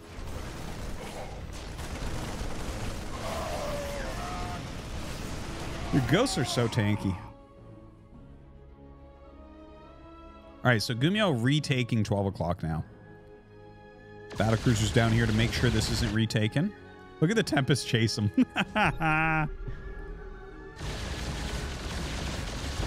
If they pick one off, that's a pretty big deal. Look at that, getting out immediately. Hopefully, you'll go back and repair those up. The banks on both sides are very, very depleted at this point. Trigger doing a bit better as far as mining goes, but I think that is about to switch over to Gumi. As he's landed 12, he should start dropping a lot of mules there. Yeah, there they are. Dude, it's so funny in the late game when you see like 12 mules dropped on a base. The speed with which those minerals get sucked out. Crazy.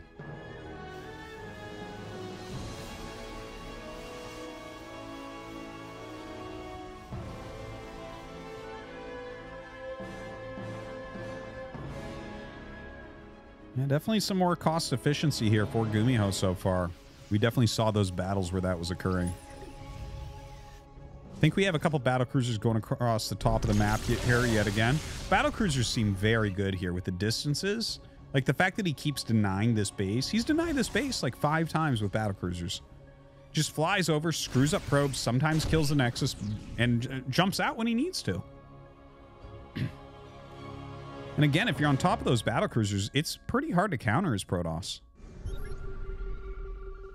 You got to be pretty serious about it.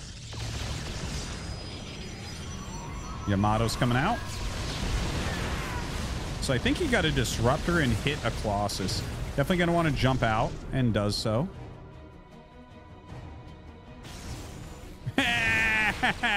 good try. Good try. He was trying to snipe the High Templars there. Uh, did get spotted by the Observer. Tried, he got an EMP off, but did get killed off.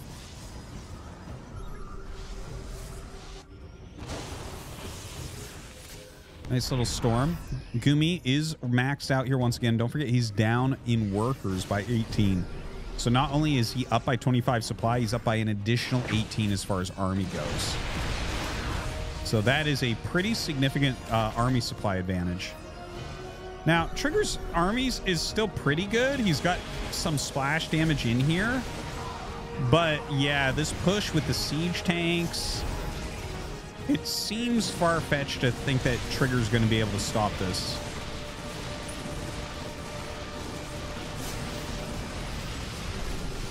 Now going after that Nexus, I like it. Just a small group of Marauders. It reminds me of Terran versus Zerg engages against Mass Bane.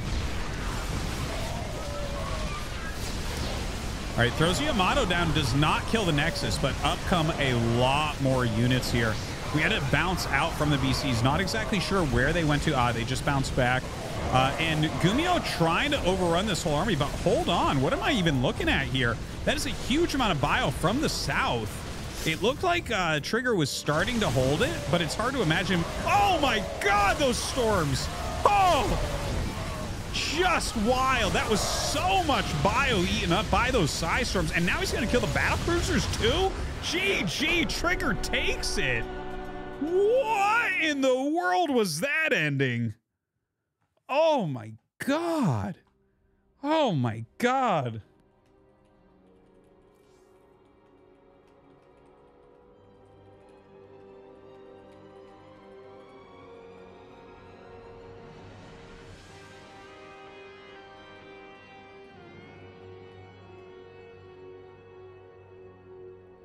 Woo! That was, dude, that was crazy. That was crazy. My voice is tired now.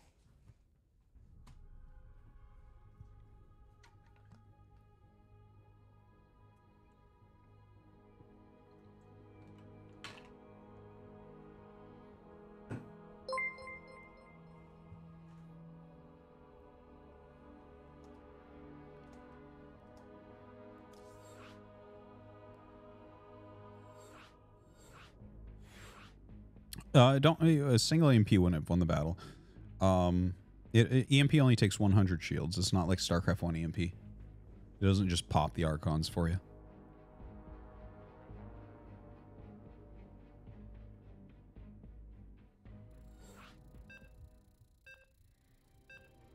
It's rewatch ending. No, we're going into game two.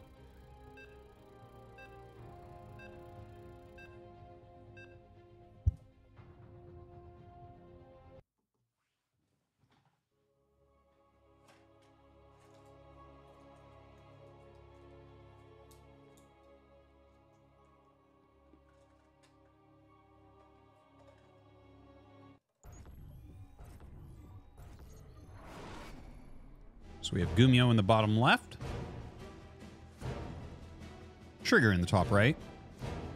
We're on Hecate or Hecate. I don't I don't know, man. If you're a weeb, it's Hecate. If if if not, it's Hecate. Um ST4 and Kai Hanglo. Stanky, what's up? X300 Arty Dragoons. Can we talk about this for a minute? Yeah. When they die on the map, they squirt blue liquid all over the place. Oh no. They seem moist. I was wondering why you call them dragoons. What does Brian say when he says dragoons? Is it dragoons or dragoons? I've been watching your stream very carefully and I've wanted to bring this up and not sure if you've given this much thought or have any opinions on the subject of dragoons. I believe I believe he calls them dragoons, which is almost dragoons, but not quite. He's aware that inside they are anything but dry.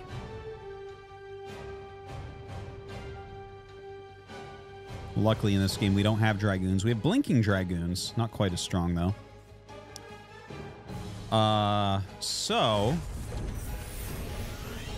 You know, actually, that reminds me of something. Uh, you know, there was... Uh, um, Starbow a long time ago. You guys might remember. I actually was a pretty big fan of Starbow.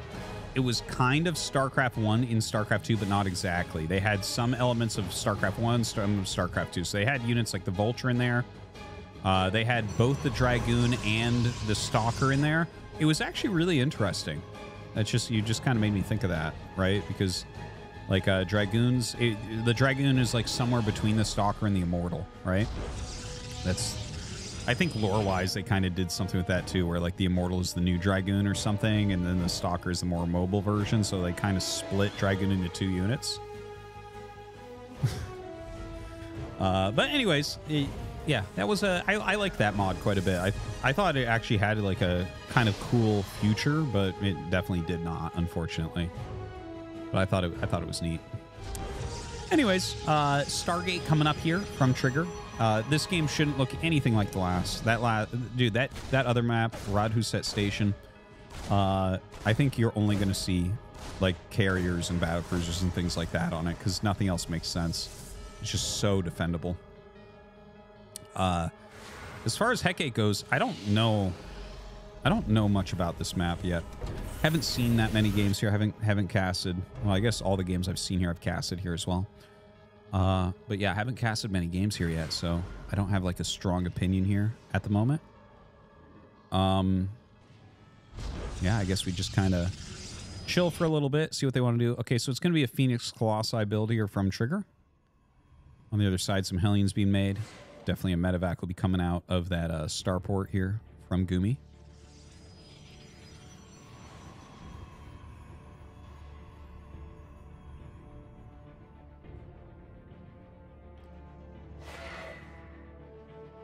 Definitely be trying it later tonight, Stanky. Thank you.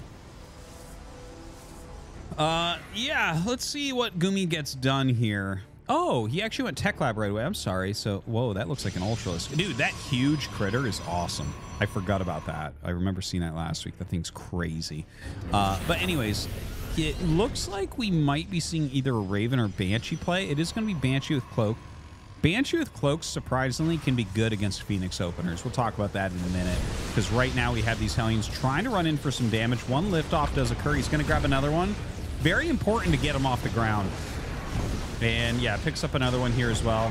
So he ends up trading here uh, four, four uh, Hellions and the Reaper for seven probes.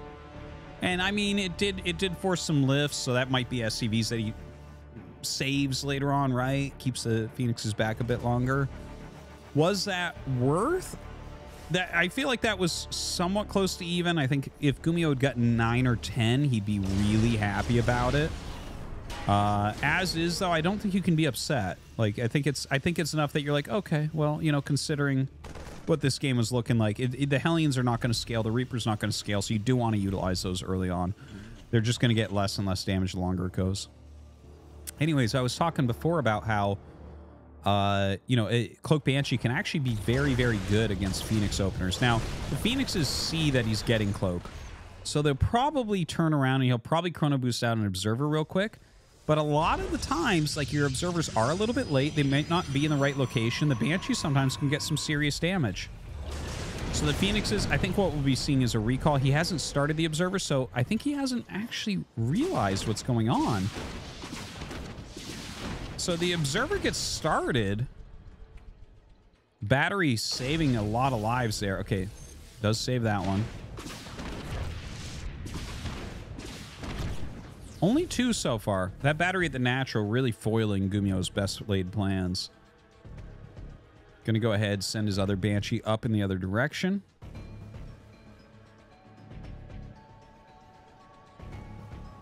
This is a pretty map, by the way. I enjoy the aesthetics of the new maps. I think the map makers are quite artistic with their maps nowadays. Like they just they look good. They're they're very cool looking. It's kind of fresh. You know, when all the maps look a little bit more the same, I feel like it can be a little bit more boring to cast or watch or even play. But like this looks really cool. I, I love I love like the dark platforms with the the bright foliage.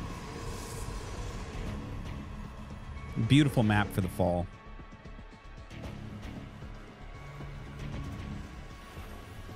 All right, setting up some defense there, some missile turrets on the sides here for Gumi. Getting his production really going. I love that thing. Dude, look at it. If I was on an ice planet, I would cut that thing open and sleep inside of it. Now, Stalker coming out for a little bit of a, a scout here. Scan goes down to make sure there's not more behind it.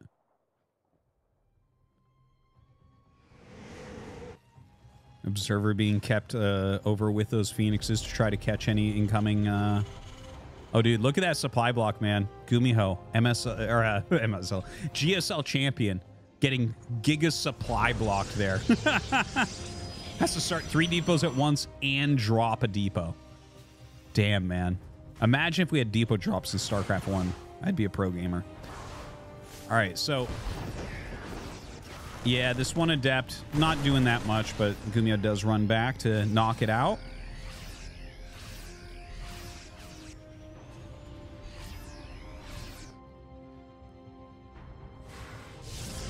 Templar Archives on the way. Yeah, this is pretty normal for Trigger. Trigger really does like when he does a build like this. He gets the Templar Archives, makes two Archons and attacks. That's a pretty common move. It, it's not just Trigger that does that. A lot of Protosses uh, enjoy that type of timing. Uh, the Archons add a lot of tankiness, and your opponent like never has EMP at that point. So that can be a really good move. Now Gumio back at home, four Vikings at a time. Uh, getting that armory as well. Male Ursadak. Ursadak. Ursa means like bear, right? Dak? I don't know. Kind of close to chicken in Korean. um, now, there's an Archon, and we should have the second Archon get started. There's charge, there's plus one, there's the second Archon. So, like, this is like a moment where Trigger's army is like pretty darn strong. I don't know if he's going to attack or not. He could just sit defensively on this. Oh, he just starts Blink now. Actually, no, I guess that's actually fine with the, the timing of uh, everything. The Phoenix opener. For a moment there, I was like, wait, what? Hmm. But yeah, getting charged first when you open with Phoenix is good. Four Liberators on the way. Oh, look at Gumi's army. Look at this handsome, handsome army very Viking heavy. And with four Liberators and Liberator range on the way, that really makes an interesting composition. You know, Liberators are, uh, in my opinion, one of the best things that you can go for a late game in this matchup. I really enjoy heavy Liberator play. Ooh, big volley, big volley. No whammies. I don't know if anyone's old enough to get that one.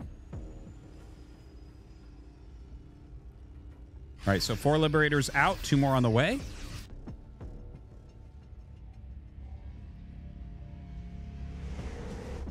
There we go. There's my old guys in the chat. Referencing daytime television from 50 years ago. Yeah. Yeah. Yeah. But the reruns were on when I was a kid, so. More Liberators coming up.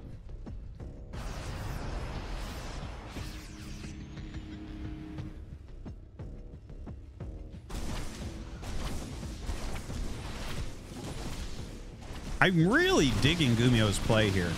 I really, really am. Look at this setup. How do you engage this? How do you engage this? And look at his Vikings just dance looking for free shots. Dude, this is crazy. Look at that. The Phoenixes fly in and take a million damage. Look at this. Look at this. Backs up, backs up. Oh, you're going to walk under there? Go ahead. Go ahead. Go ahead.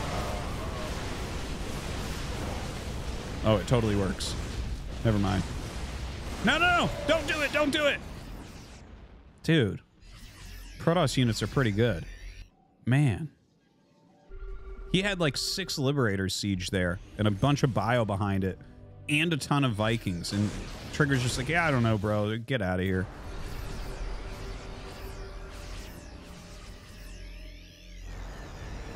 All right, gonna set up some more Liberators. Um, yeah, only has three right now. 20 Marauders on the map. That is definitely a lot of damage. Banshees continuing to be somewhat useful here on the defense. Looks like we're going, going to get into a fleet beacon. Uh, I would imagine that this is going to be for Tempest when you're playing against mass range liberators. It's really fantastic to get a few Tempests out there.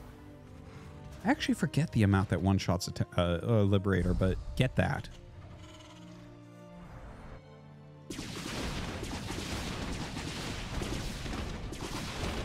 Yeah, Banshee's doing a good job pushing back some of these zealots as well. Plus two uh, air attack on the way here for Gumi. So that, you know, plus two air attack is huge on Liberators, allows them to two-shot Stalkers. And that is, like, the, the amount that that changes the engagement is so, so big. Those are always the biggest types of upgrades, right? The old plus two Banes, uh, plus one Zealots against Lings, plus plus two Liberators against, uh, you know, Stalkers, plus two Siege Tanks and Brood War against Siege Tanks, right? There's all sorts of different things like that where it's like, yeah, this upgrade is is like breaks stuff in half. Oh, Phoenix range. No shit. That's cool. That's cool. I'm down for this. Okay, so right now, Trigger is moving forward. I hope that this game does not end here. Wow, that's a lot of damage output right there. Ooh, does eat that uh, that disruptor shot a little bit. Now, this attack coming down, he's just trying to save his command center because he has a big enough army to push that back. Gumio, in the meantime, hitting 12 o'clock is going to be able to kill that Nexus. Trigger force this one away, but decides to turn around to go home and defend. And Gumio did save that command center. Oh my god, he's going to get rid of both Robos. Well, he unpowers one, gets rid of the other immediately. Gumio with another attack. Holy crap, he is just jumping upon everything right now.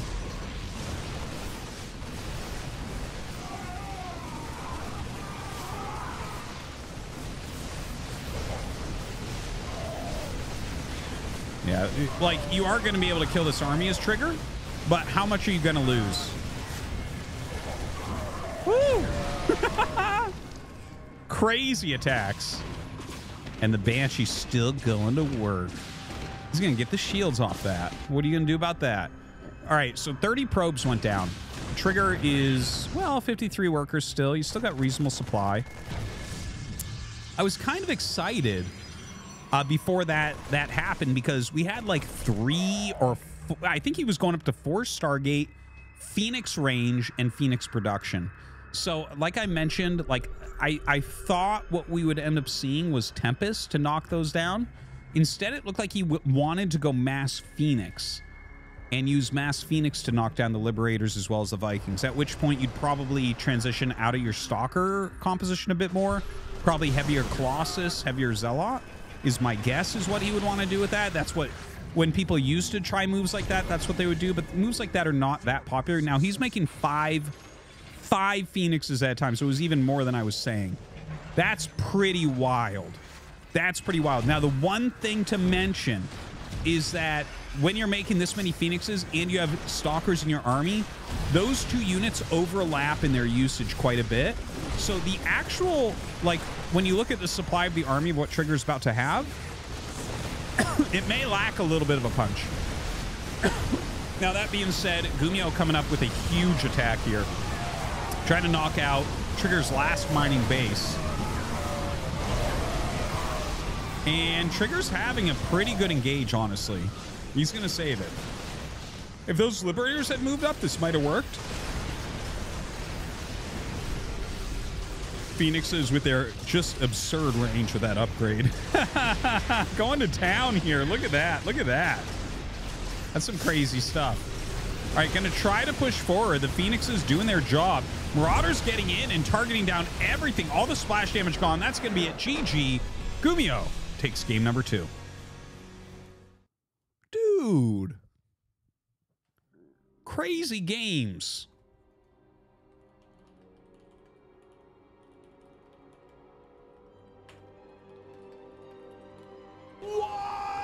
Wake Up Sheeple donated $3.33. Who did 9-11? George W. W. W. W.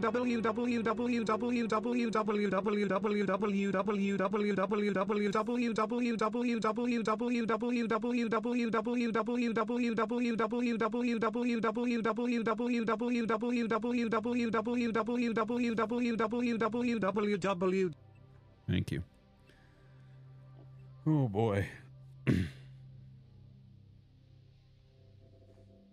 Yeah, this is one of my favorite hats. It's a good hat.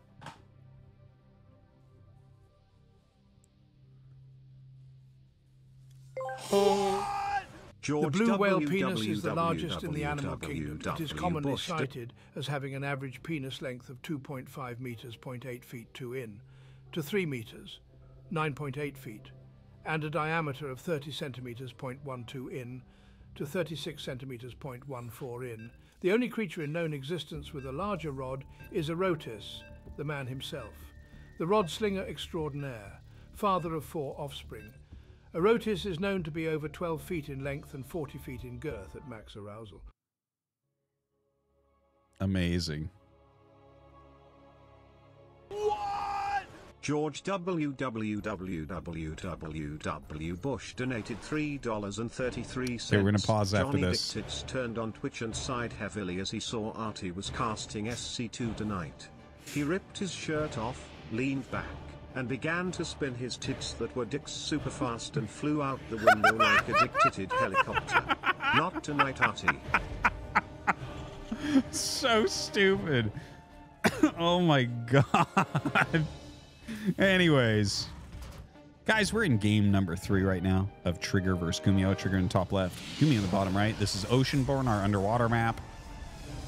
Uh, yeah, yeah, we've had two very good games from these two so far. Uh, honestly, it does feel like Gumiho's outplaying Trigger. Uh, game one, Trigger did end up winning, but that was a pretty darn close one. And it felt like Gumi was actually making better moves uh, throughout the late game, but maybe was a bit too far behind. Uh, but yeah, Trigger had some great defense there as well. But a very good series so far. Very, very, very good. And now we just gotta kind of wait, see what these guys want to do as far as their game plans go. I liked the Mass Liberator. And uh, yeah, wouldn't mind seeing something like that again if we get into the late game. I think it's a very fun unit for the late game. Uh, double gas scouted here by Trigger. So he's going to know it is a factory opener. Uh, quick, just little shout out here. There is a new YouTube channel for my StarCraft 2 casts. It's Artosis Cast 2. You know, I have Artosis Casts. Just, uh, that's a channel where I only cast Brood War, and this one's going to be for StarCraft 2 and, and possibly some other RTS games in the future. We'll see. And uh, yeah, Mapu's running that. And uh, yeah, you should check it out. You can use command StarCraft 2 for a direct link. But if you're a StarCraft 2 fan, definitely go and subscribe to that. If not, you better already be subscribed to Artosis Casts. And if you're not subscribed to one or the other, why the hell are you watching me? For the donos? Really? There are people like you? Actually, it might be most of you. Anyways, uh, Barry cheered. X300. Oh, God. Okay, last Detective dono, and then we're pausing. gave the fusion Goku left him in his Saiyan will to George W. Bush. Together, they would do the fusion dance and fuse into Detective W. Bush. Ariel from The Little Mermaid peeked at the dance through a crack in the masonry, and it turned her very on. She almost forgot about Mario entirely, but nobody forgets Mario. most excellent, Beery. Thank you.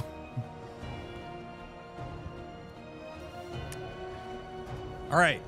Uh, Twilight coming up uh, uh, reactor uh, reapers coming out right now, as well as some Hellions.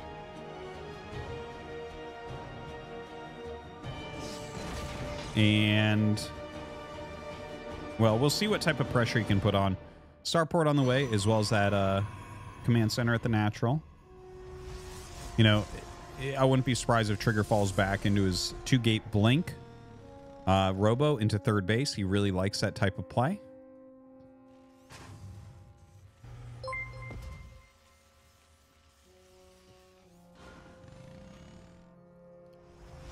Benjamin, thanks for the sub. All right, so, I mean, he's got a shield battery, which is nice, but that's a lot of possible damage incoming. Good grenade there, very good grenade there. Loses one of his Reapers on the way up. Let's see how many probes he can end up getting. This, oh, that was actually very good to pick off one of those uh, Hellions right there. Definitely needs to get the other. Okay, does end up getting it. So this was mm, six. Okay, six as the final tally. Seven is the final tally. Hmm. Yeah. Yeah. I mean, eh, you know, when Trigger's trying to defend as hard as he can there and you still get that many for these units that are not going to scale at all, I think you can't complain too, too much. Uh, but Trigger's still well up in workers, which is a little bit painful. Of course, he gets uh, Nexus a little bit quicker.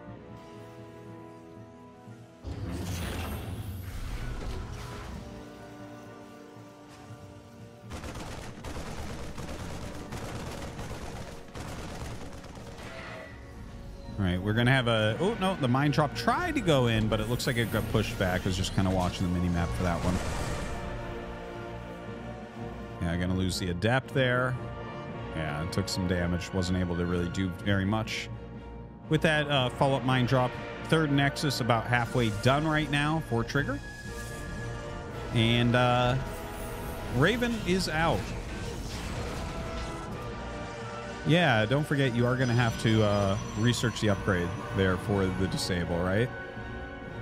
So disable definitely has been nerfed. I think he'll probably utilize the Raven just for harassment. Yeah, Gumio's just going to send that across the map. That makes a lot of sense.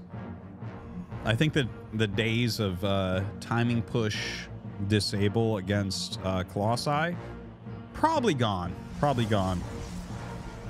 But, you know, the auto turret harassment still can be really good if you get a map with the right kind of a dead space behind the, the natural or the main, it can be really nice. Still leaving that uh, medevac there, keeping an observer on it. Doesn't want that to come in for free.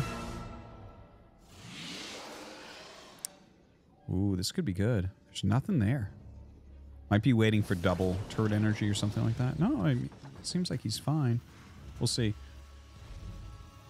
Maybe waiting for something else to happen.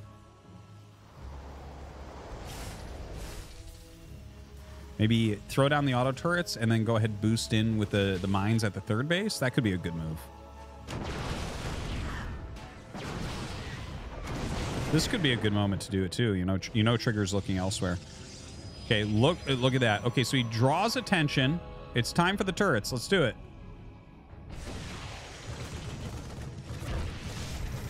Okay, not bad. Three. No, doesn't quite get three. I thought he was going to get a third. A lot of times there'll be one that's popping out of the gas as you run everything away and it'll get picked. A couple of stalkers being picked off there as well. Gumio pushing across the map. Gumio's army supply is pretty, pretty fearsome right now. He's about to have uh, combat shields and plus one attack. Plus one attack may not be done by the time he gets up to the space, though. Now another auto turret goes down, picking off these probes. Trigger could be in some trouble.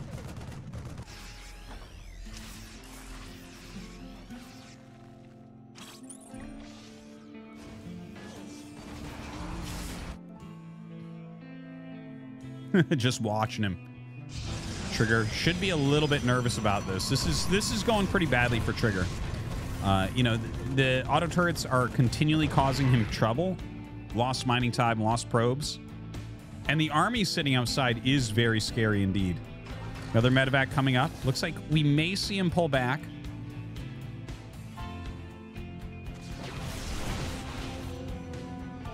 Yeah, I can't quite can't quite zoom in there.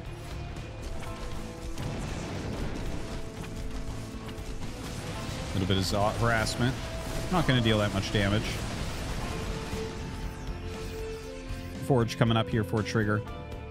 In fact, double Forge looks like is the way that he wants to go.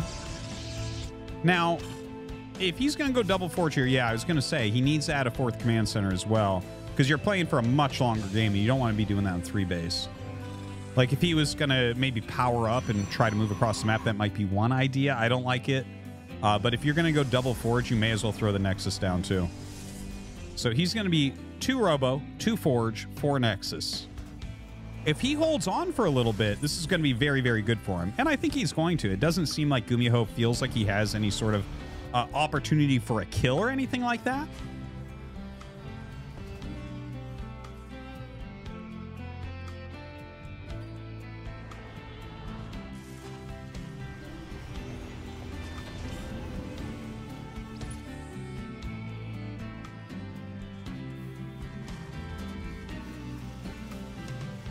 So Gumiho is set up very, very nicely at the moment. I like the Raven helping him get rid of some observers. His fourth uh, command center is going to be finishing up. Of course, the fourth Nexus is just about to finish here as well for uh, for Mr. Trigger. Getting some disruptors in there. Oh, I like the disruptor ads very, very much. Very, very much. That's going to make him defensively much stronger. Uh, you know, any attack from Gumiho is still a bit scary. There's so much, so much Terran supply right now, and you definitely need those those extra defensive units. And disruptor is definitely one of the harder things to attack into. A little bit harder, to, uh, a little bit easier to engage when disruptors are attacking you. Whereas if you're attacking into disruptors, they can sit very far back. Oh, this is kind of a cute position. Now, Trigger's going to have to deal with this very calmly. I think that's one of the main things that we need to take away from this. Like, he needs to not worry about that, basically. Oh, God. What is this move command? Gumiho gets a lot of free units there. Now, Gumi unloading into the natural, he realizes, oh, Trigger might be doing a counterattack, so we got to get this damage ramped up.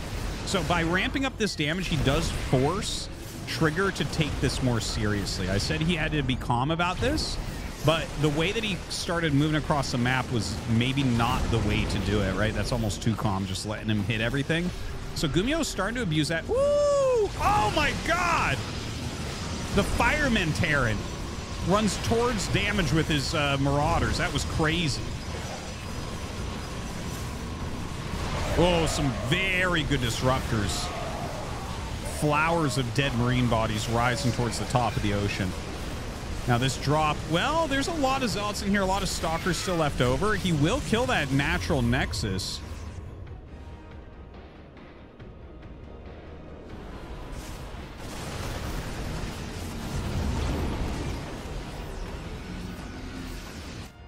Three more command centers on the way for Gumi. Gumi's feeling good, man. He's maxed out. He's adding mass command centers.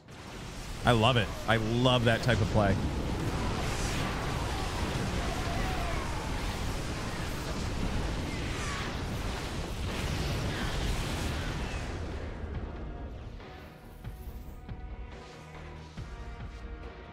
Okay, where are we at right now with Trigger, right? He's lost his natural, he's lost a robo. He's got good upgrades. He's going to have 2-2, which is nice, right? And, it, like, so that'll be tied up, I guess, right? Gumi already has 2-2. Gumiho's really on top of things. My God. Double robo being made. So Trigger, I think, looking at this and saying, okay, we need to play a, a much longer game for me to win. And so that's where the triple robo is going to come in. Very, very useful. That being said, Gumiho getting ready. Ooh, nice hit with the fusion core. Ooh, another nice hit. Uh, we should be seeing Liberator range come out of Gumiho once again. And probably a lot of Liberators. Dude, these disruptors are hitting so much more than I'm used to at the pro level. I feel like ByuN would not have taken many losses there. Uh, but Gumi right now, he is he's got so much he can't absorb a lot. Zal's trying to run up, don't have much of a chance. But, you know, the Disruptor Ball's doing a great job. Has that overcharge keep everything alive. Ooh, dude, he's hitting him every time. Disruptors for Trigger have an extra range, it feels like.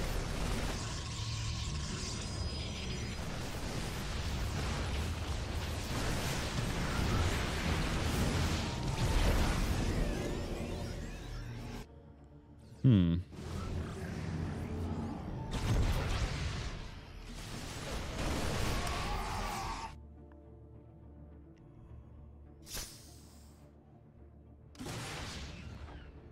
All right, little counterattack here from Gumi. I don't see a single medevac here, so this is definitely a one-way journey for this, this Bioforce. Oh my god, he does force a cancel there, which is nice. Dodges that Disruptor Ball. Yeah, pretty good dodging. Continue to keep that pressure on, but, you know, having to stim a second time is going to make his army die very, very quickly at this point. Trigger, he's keeping it together, right? Like, he's not dead. He's got a lot of disruptors. His gateway army's not that big. That is a lot of disruptors, though. And don't forget, disruptors now cost four supply instead of three. Right? That was a nerf that they had recently. So when we look at his army supply as 81, you know, if he's got 10 disruptors, think of it as 71, right? Because that's what you're going to be used to as far as what the actual army size is. So I just want to throw that out there, right? This is this is kind of a podunk army here from Trigger.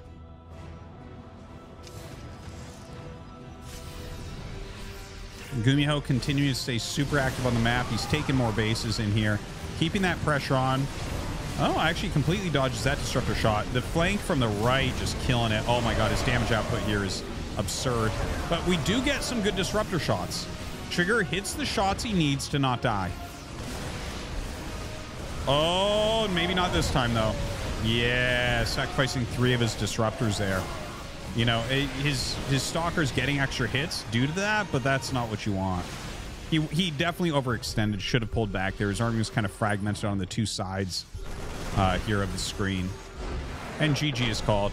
Gumiho's going to take it down. Really, really uh, very nice series between them.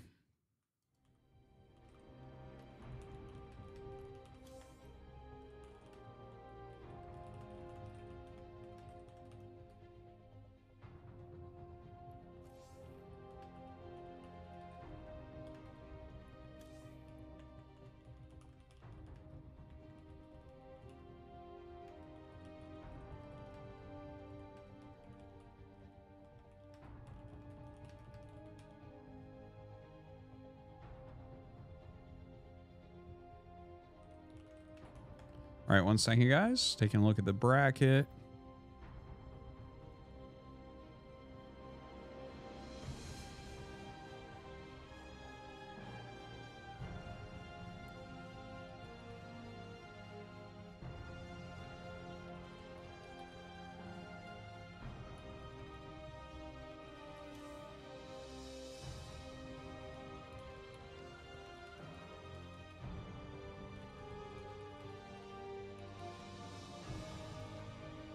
So we're almost to the end of the tournament.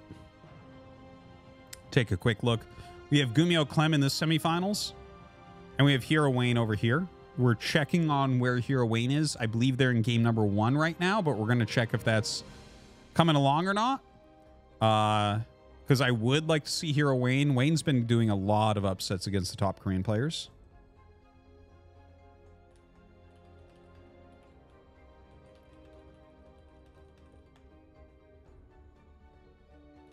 Okay, so we're going to jump into game number two of Hero vs. Wayne. Haven't seen a lot of PVZ on the new patch.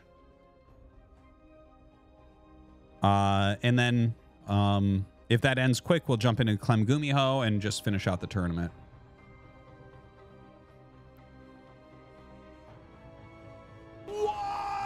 Barry cheered. X300, Detective W. Bush and Sergeant Sub-Zero took a moment to reflect. What the hell did they just do? Dr. Zaius knew 15 Kamehameha's directly into the moon had to be dangerous, but goddammit Bowser had to be stopped. If it damns humanity, so be it. I understand that. Uh, I don't. I don't mind damning humanity if it means I can kill all the mosquitoes and flies in the world.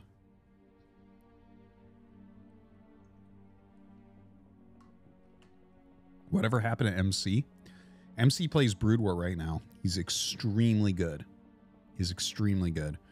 Um, also, he played that Legends match and fucking easied everybody in Gamers 8. Guy's a fucking legend. My voice is your announcer pack. Thank you.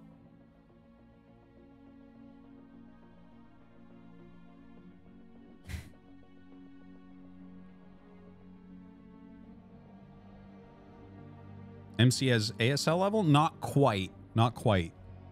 There's a lot of StarCraft 2 guys that aren't quite ASL level, but they're like they can beat the pros. They can. But MC's very good right now. Like I've I've hit him a couple times on the ladder and dude, he's fucking strong.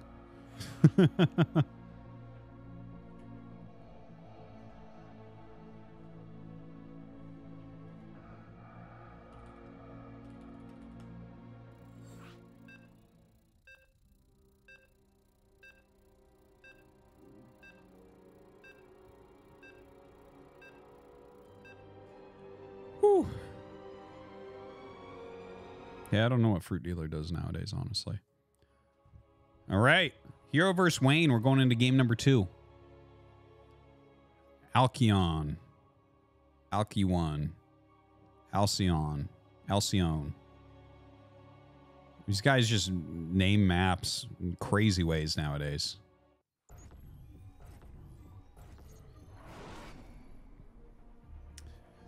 do appreciate non-symmetric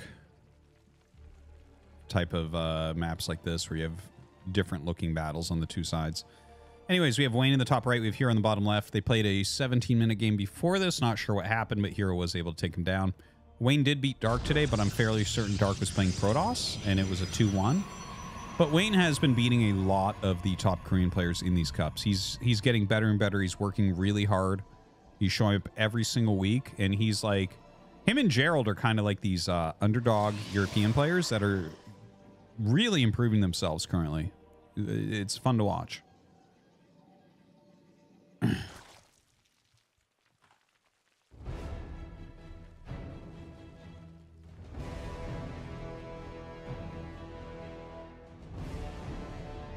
so uh, we're just gonna chill. It's PVZ. So you have to wait for the Cybernetics core to finish. Talked about that a lot in the past.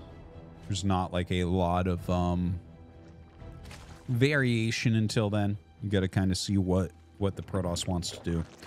And it's almost always Stargate, but we'll see about that. Hero has multiple styles that he likes to play. Definitely makes it interesting.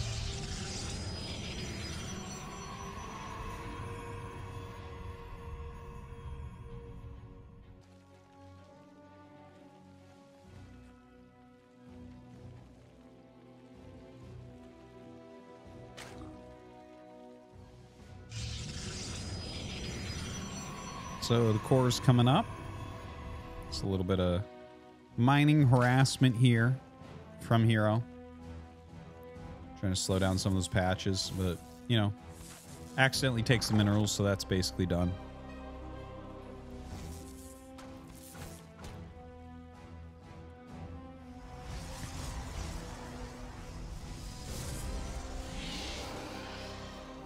So chrono boosting an adept, but no warp gate. So we should be seeing the Stargate. There it is. And warp gate right afterwards. I mean, generally this will just be uh, Oracle and oftentimes three Oracles. Occasionally we see some interesting Void Ray type of plays. Uh, not sure if that's something that we're going to see here.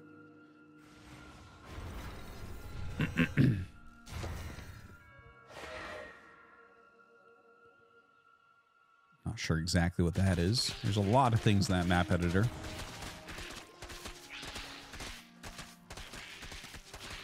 So the third hatch is coming up. Stargate almost done. And there's that Oracle to start.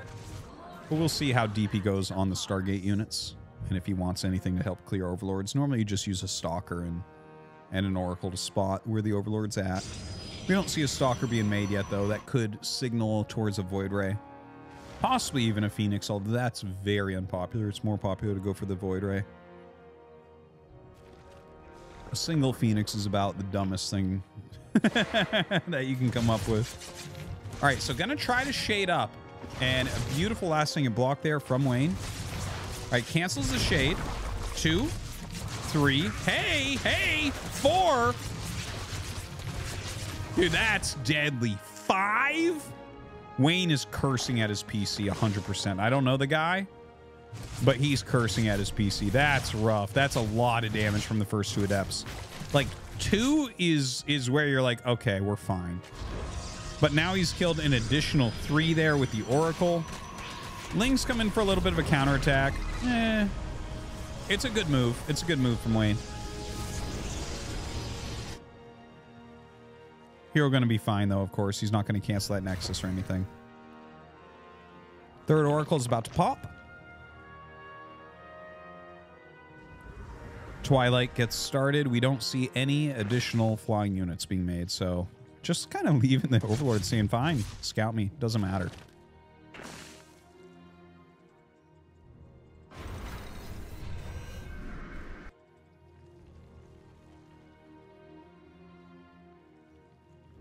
So the Oracle's coming up.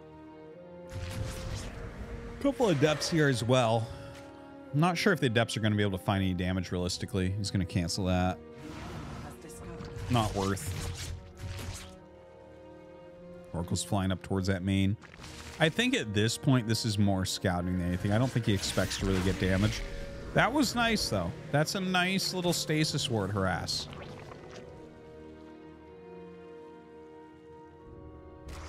Triple Oracle together now.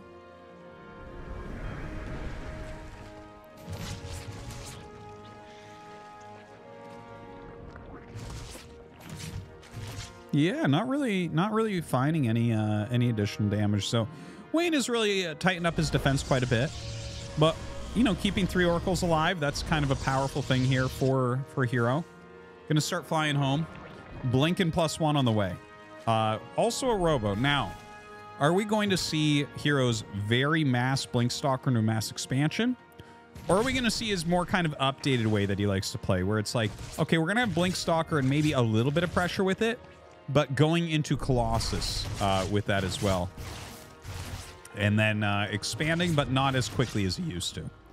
You know, there's been like so many different strategies that have come out of Hero in this matchup with these uh, Oracle into Blink openers. Oh, damn!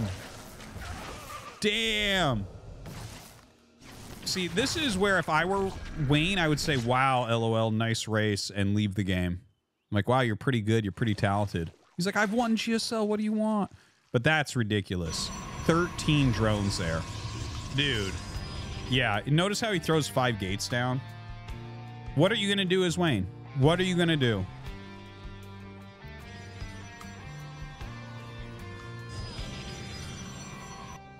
I, I think this is... Like, if Wayne comes back, it's truly impressive. Now, he's getting Infestation Pit. That could be interesting.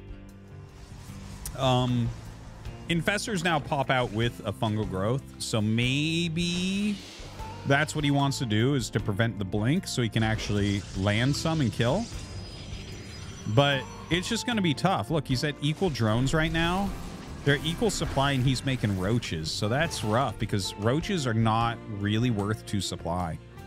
You know, they're they're they're just they don't scale that well. The stalkers to be much much better. Okay, Hydralisk uh, Den on the way. Okay, this is actually kind of becoming interesting, and he's actually going for a quick hive as opposed to, uh, you know, the the uh, infestors that I was suggesting there. So instead of trying to stop Blink, he may be rushing up in hive, and specifically, I don't think it would be for Lurker. It could be for Lurker. Let's see if he throws down the Lurker Den. Lurkers do hard counter uh, Blink Stalkers in a lot of ways. And yeah, it is going to be that Lurker tech. Uh, and obviously, Hive unlocks the better Lurker upgrades. But you would imagine if you're going to Hive, it's specifically for the Viper. Right? That's that's what I would lean towards.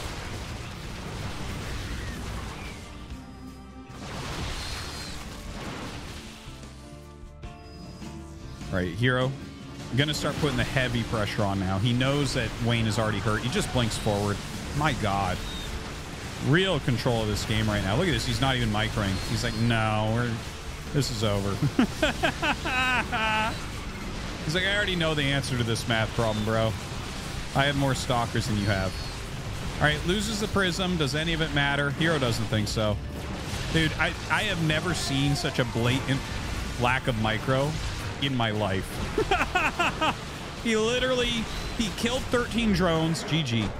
Okay, so he killed 13 drones.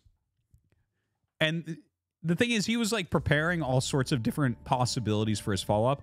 The 13 drones died. He immediately added five gates. Gets a couple warping rounds, walks forward, blinks on top of his opponent, and just sits there. There wasn't targeting going on. There wasn't micro going on. Just says, fuck it.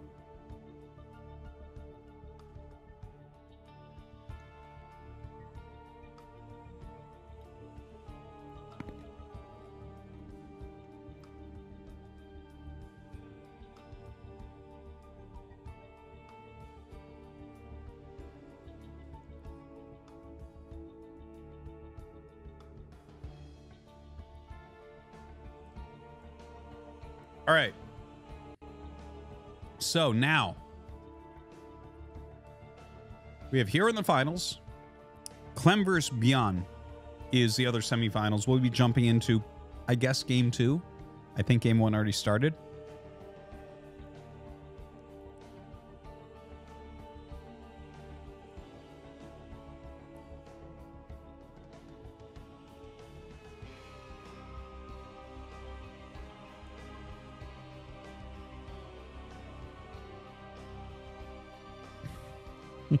Why do you think guy in the chat? Why does that mail that PO box thing have a picture of Mario pretending to be a mailman? That was my attempt at using um, an AI to draw me a picture. I told it to make Mario as a mailman delivering a package, and that's what it gave me.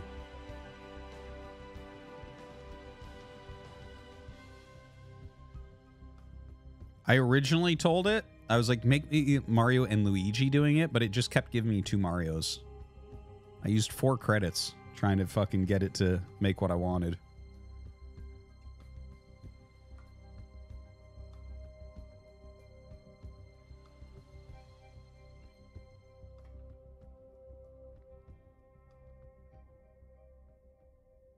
Mail row.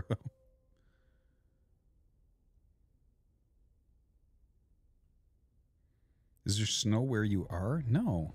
What? Fucking fall, bro.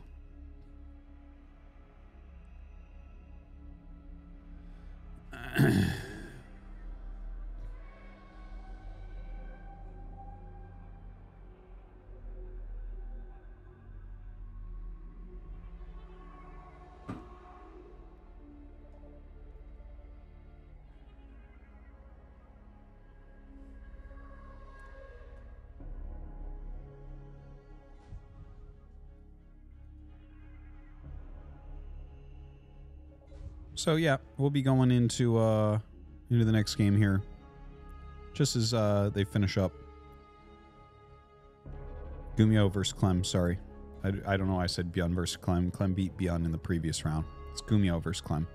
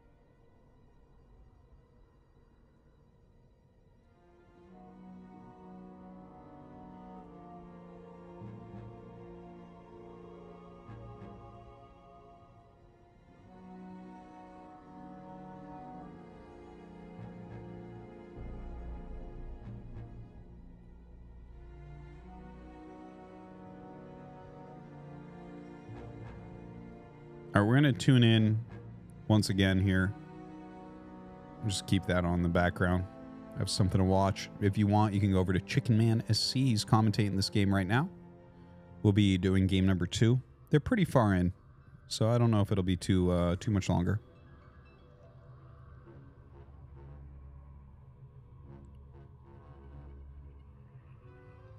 Looks like Gumi might have a bit of an edge there. Yeah.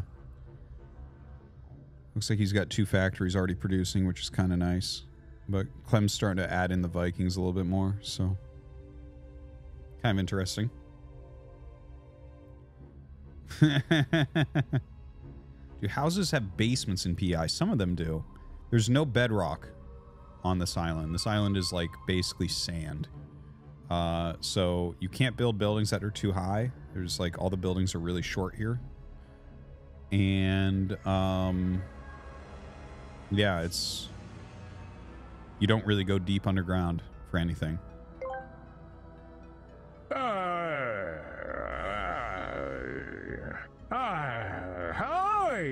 Hey. Yeah.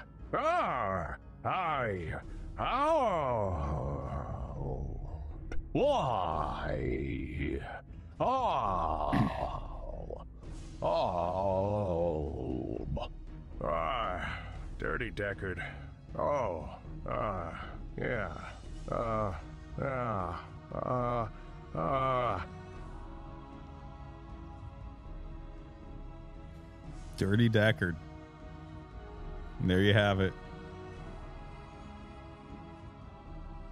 Just visited beautiful island, but how the hell do you afford to live there? Everything is expensive. What are you talking about?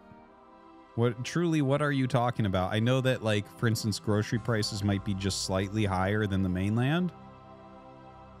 But it's not it's not like particularly expensive. I don't know, man. I lived in Seoul for the last 15 years. This is not more expensive than there. and I know like housing prices and stuff are a lot cheaper than somewhere like Toronto, so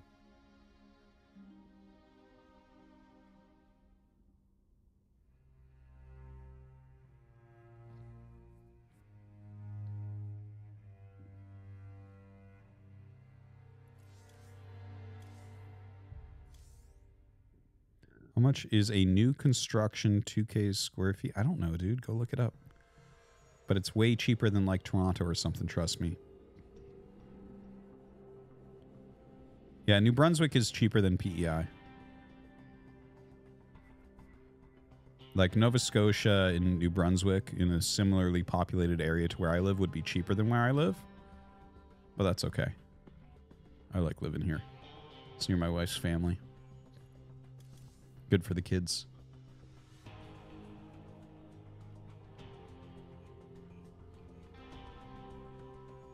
New Brunswick sucks. Well, it's kind of boring, but at least you have Costco.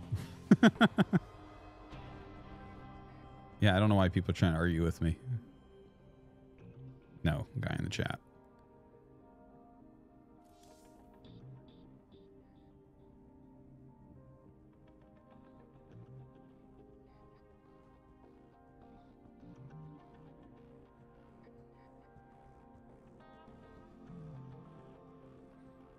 Yeah, not not that not too unlike Maine. Honestly, where I live kind of reminds me of where I grew up. It's kind of nice. Good place to raise kids, really. ST4 and Kai Hanglo cheered. X300, Artie it's mommy in law. I'm so glad you live closer now. It's nice to see your kids and my daughter on a regular basis. Hey, Oh, Archie. Somehow I don't think my this is true. It's oh, nice to moan see you less too. this time. Eat a vegetable How would you like some of these nuts? Ah, D's nuts. Got him. Aha. Oops.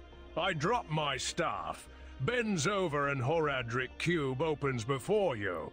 Stay a while in this position. Ah, Dirty Deckard. Ah, yeah, yeah. Oh, oh yeah. Once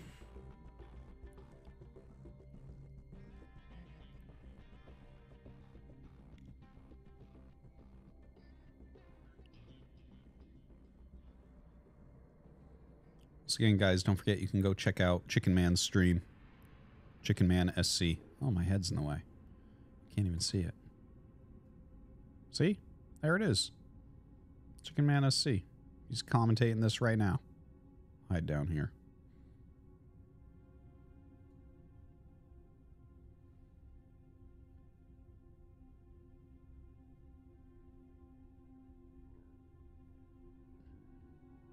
You're felling now. You can't go to Canada. Sorry, guy. Guy in the chat. My stream just got 90% better.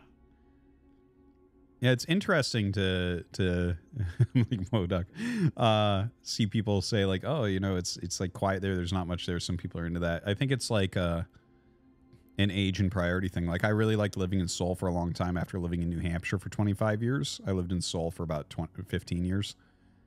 Uh and like it was it was very welcome to be somewhere where things were happening and shit. But now I'm, you know, like fucking 40 and have four kids and I'm married and I like the quietness of this. This is amazing. Raise my kids in a nice, friendly, safe environment and uh plenty of room and stuff. I was in suburban New Hampshire, not the boonies. All right. We got it. Good job, Chicken Man, keeping us apprised as to what was occurring.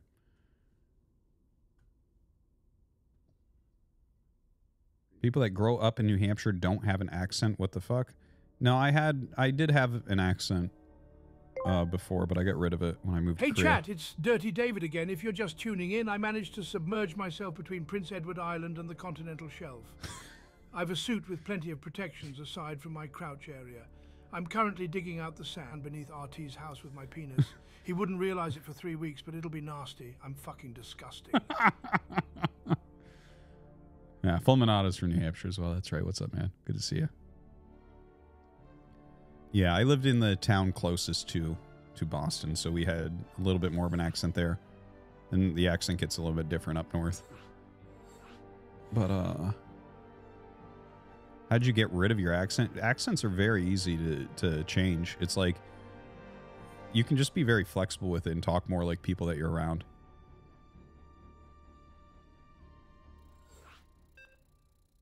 It's a pretty high tier New England state. Yeah, I guess it's top two, probably. Maybe top three. Maybe Connecticut and Vermont are better. All right, we're going to go into the next game here, guys. Dude, I can't even do an impression of my old accent. Okay.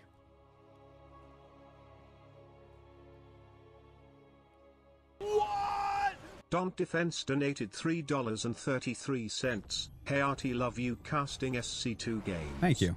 Your knowledge is really impressive for a diamond player. you know what they say if you can't make Oh. it cast it. Love the YouTube channel too. But why are you doing dumb faces again? You stopped on the Brood War 1, Uh, front facing baby chick. Thank front you, thank facing you. baby chick. Yeah, we'll we'll see. Mapu's actually running it, but that can be a really good way to jumpstart the channel, I think. And Stanky, I didn't know that you are from the New England area, but you said massholes, so clearly you are. Because that's what we called them. That's what my. it's like when they're driving on the road, fucking masshole, cutting me off. Damn those assholes. See, Fulminato knows. Yeah. it's really that's what people in New Hampshire call people from Massachusetts, especially where I live, because where I live was uh, is Salem, New Hampshire, and it's like a strip mall town. There's just malls everywhere and stuff, more than the town can support, because everyone drives over the border because it's tax free. And so, and they they're just strictly worse driver than New Hampshire people, so they'd be called massholes all the time. So yeah, all right. We are in the next game, and they're both doing one proxy racks. Gumiho's proxy racks is a little bit closer. And uh Oh, Pittsburgh. Okay, okay, okay. Close enough. All right, he's actually lifting the barracks into the main base. This is crazy, man. I can't believe Gumi's lifting his racks, and he is up 1-0 on Clem. Oh my god, he's getting an add-on. Oh my god, he's getting an add-on. But you know what? He's going to get scouted. He is going to get scouted here. That Reaper from Clem is rallied to go out of his base. I can't believe he's even trying this. I haven't seen this in so long. Gumiho's a psycho. Dude, he's trying to go concussive shells in the main base of Clem. Who does this? the Reaper didn't go down here. The way he had it rallied, I thought it was going to. Oh, can you not jump up there because of the minerals? I thought there's a spot there. Dude, I can't believe this. I cannot believe what I'm looking at right now. This is absolutely wild. Who puts a barracks in their opponent's base with a tech lab? What is this, seven years ago? Okay, the Reapers are coming up, and Clem is doing so much damage. He's probably like, what the hell is going on in this game? But hold the phone. There's a Cyclone on the way, so Gumi's going to hold it. Look at how many SCVs Gumi pulls, by the way. I think he's the best of dealing with uh, proxy Reapers of anyone. Now, here we go. Let's see what he can get done. Dude, this is serious. You're going to have to pull a lot of SCVs. But you know what? If you pull enough SCVs, I think you're okay here, right? You can just kind of surround them. Now, that's poor surface area, but you still have the surface area. Gumi killing more workers than the Reapers killed at his base so far.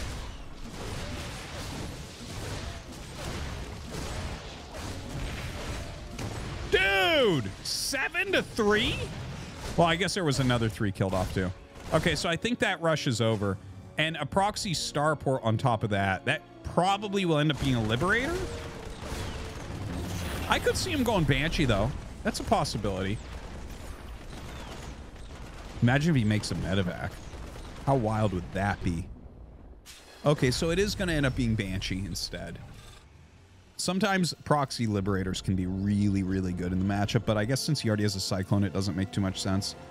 Okay, so Clem to go ahead and expand. Gumiho with his absolutely ballsy build, floating his barracks back home, making multiple Cyclones at the moment, bringing that Scout SCV back, or no, not Scout SCV, Proxy SCV. Cyclone comes out to end the barracks, so that's kind of annoying. But at least that will draw the Cyclones away from the Proxy location. And with his own Cyclones on top of the ramp, I think he's just totally fine, right?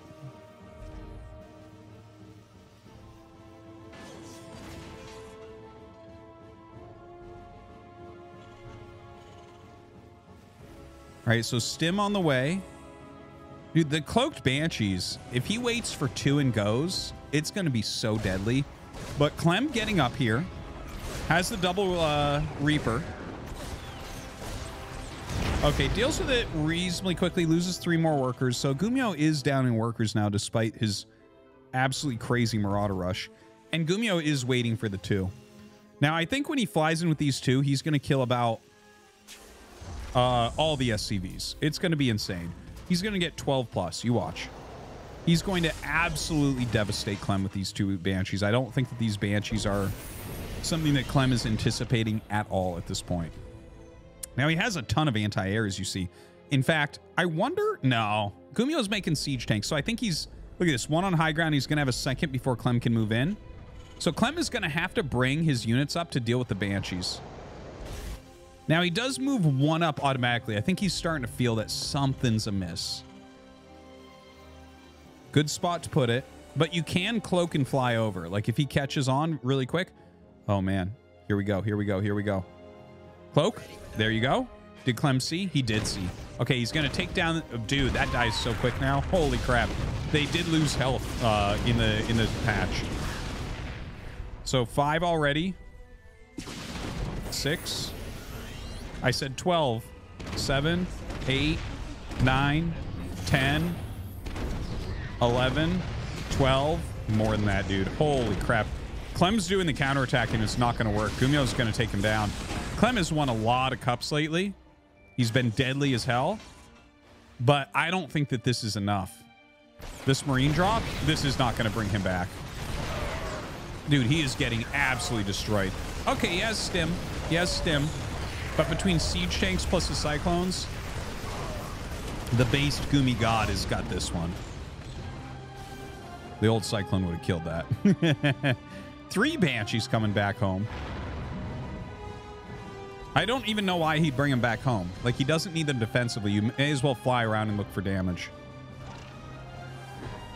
All right, third command center going up for Gumi. He is up by six workers, seven workers right now.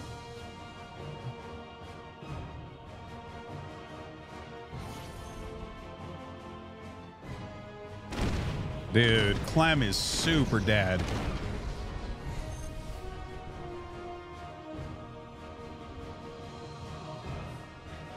Look at this. Another Banshee coming in the side. How many Banshees are we going to be making this game?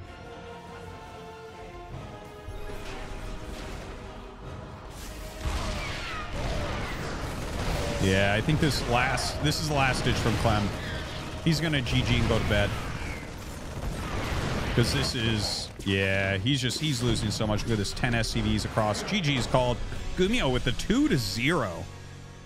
Damn, Gumi.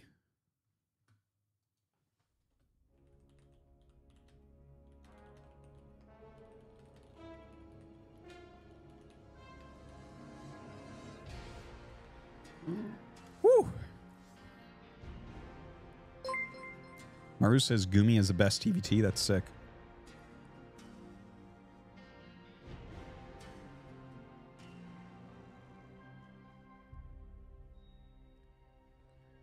So that means we're going to the finals. We're going to the finals. It's going to be a best of five between Based, Gumi, God, and Hero. Damn. What a day.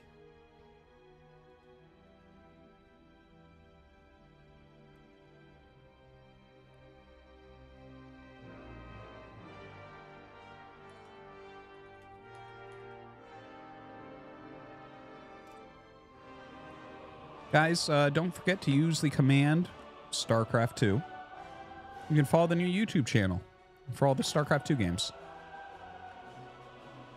RT, what is the hourly StarCraft 2 pro play?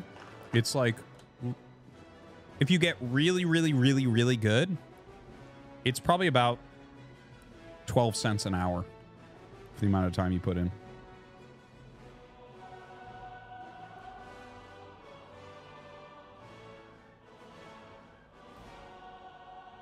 One sec, guys.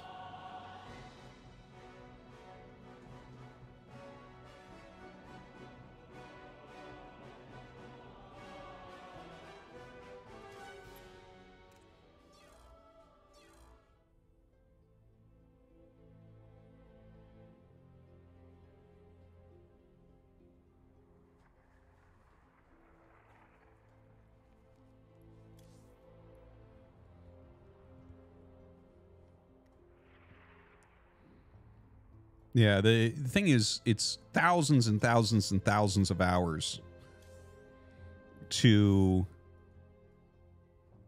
uh, you know, to to get into a place where you can actually make any money playing StarCraft. It's crazy.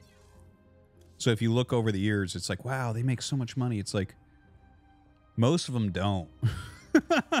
okay, Serral's won like a million dollars. Okay, that he makes a lot. But if you go down one step from him and look at the amount of time put in, holy shit.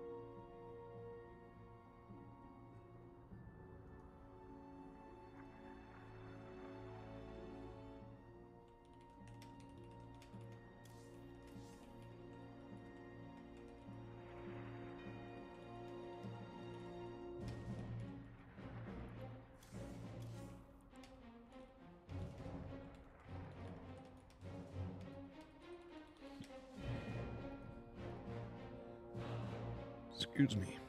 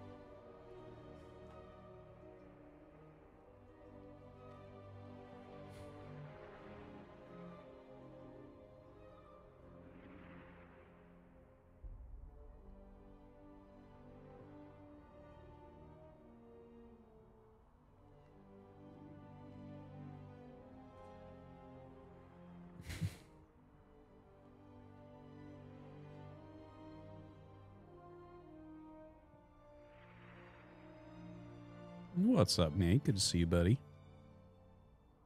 Had a little throwback. We saw a battle cruiser game from Gumiho, and I was talking about that when you started that meta for one week.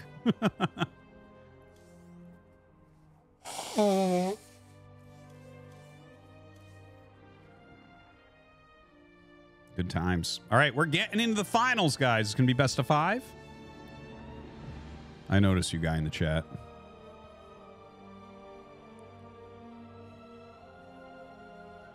Well, on um, Radhuset Station, man, Battlecruiser's the right play for, for TVP. That map is fucking impossible to attack on. What a silly, silly map that is. Oh, we're starting on it. Yes. Oh, God, yeah. All right, guys, are you ready for some Battlecruiser action? Seriously. Here we go. Oh. False start.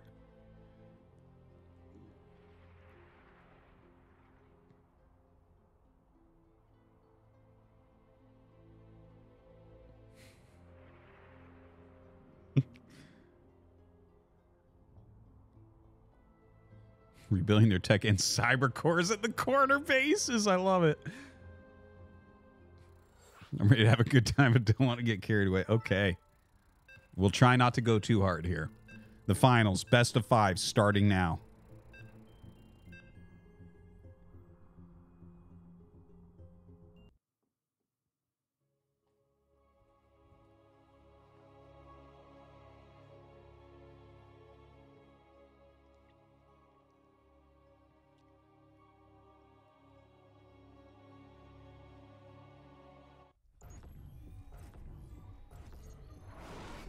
All right, here we go. In the top right, we have Hero. In the bottom right, bottom left, we have Gumiho. I can't tell my my directions apart. Okay, we're on Rad Set Station, guys. Uh, this map is the most turtly map that I've seen in years and years and years. Um, it's like basically four bases completely for free. You have one defensive location that can be walked to, right? And it's up a ramp and that'll hold your first three bases. Then you move two millimeters and you have your fourth base. So, like this map, it seems like no one can kill each other ever. Uh, you know, it, we've we've seen a couple TVPs here tonight. I think Riser had a really great idea where he actually did a Tempest Rush here with a quick mothership. It was sick. I think it was really well done. I think builds like that could actually evolve on this map to be normal. Uh, we also saw Trigger play here against Gumiho earlier. Uh, Trigger did end up beating Gumiho, but it was close, and it felt like Gumiho might have been outplaying him for a, a, big portion of the game. But it did turn into Battle Cruiser versus Carrier, which was fun. Now Gumiho, once again, just like he did against Trigger, goes for uh, you know the the command center first. So that's a very greedy opener. But again, the map is so gigantic, you can get away with things like this very oftentimes. Now, uh, last time, Gumiho went double racks with this command center first and did try to do a double drop. So it was kind of like a two on one.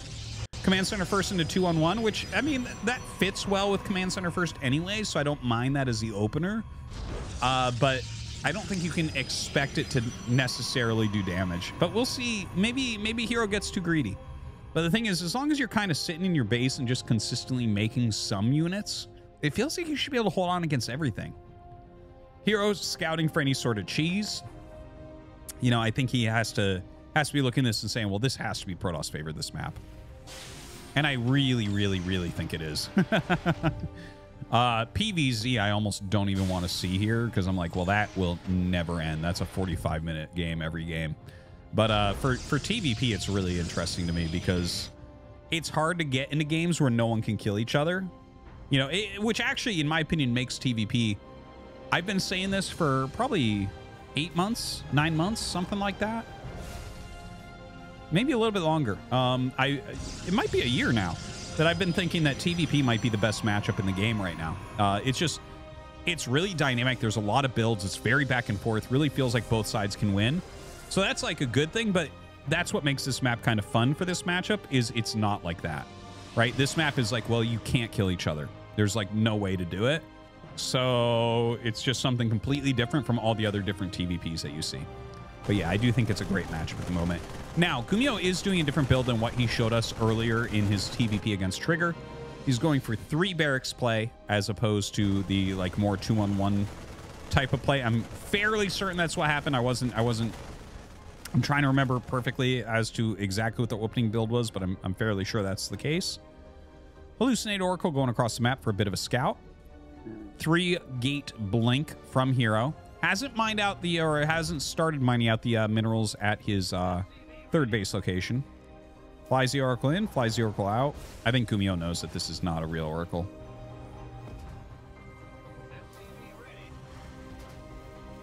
Mirrors it a little bit. It sees everything, right? The factory, it sees the eBay. You know, nothing nothing here is left unscouted. Robo coming up and throwing maybe a pylon down over here, but I feel like it's time for him to start mining those minerals slowly but surely and just produce a few units. Like, with what he just scouted, there's no way I would go attack. Right? You're playing against a command center first opener. Your opponent's going to have a lot of Marines with Stim and Medivacs. He is making the Prism because he's hero, so he'll probably just attack anyways.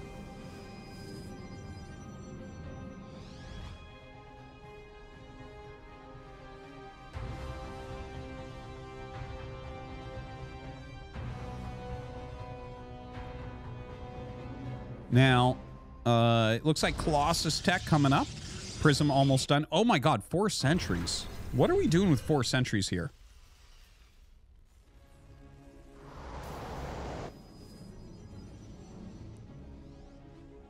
Okay, so adept in three stalkers in this prism. Interesting. Oh my god.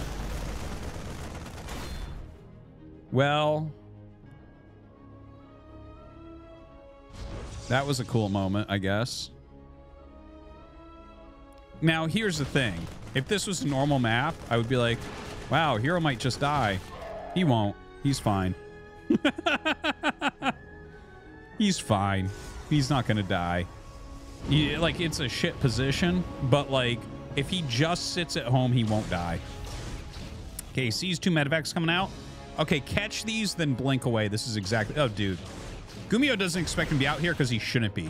Isn't that a funny thing? By playing wrong as Protoss, you can gain an edge. It's so sick. It's like you lose everything, and then you're like, well, I need to be out on the map with these stalkers. Wait, does everything take damage at the same time? What is this attack up? Holy crap. Things going wrong right now. Trying to get rid of that overcharge, does so. Guess he will end up holding it here. Hold on, if you attack a rock, does it hurt all of them? Yeah. Dude, I had no idea about this. Mapu didn't know either. Mapu, you're a professional observer. You should know this, Mapu. Um, yeah, that's that's wild. I actually had no idea about that. That's the first time I've seen anyone attack those rocks. So that's that's really interesting. Actually, I'm trying to trying to think how that that alters my view of the map. Anyways, uh, he is working on those rocks at least. You got to get through the minerals as well, though. Once those are gone. Uh, the third nexus is started, but it's at the general, what is generally the fourth base location.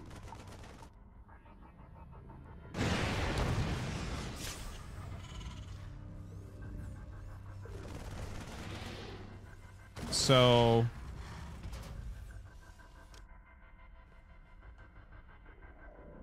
Well, I mean, a, a scan goes down.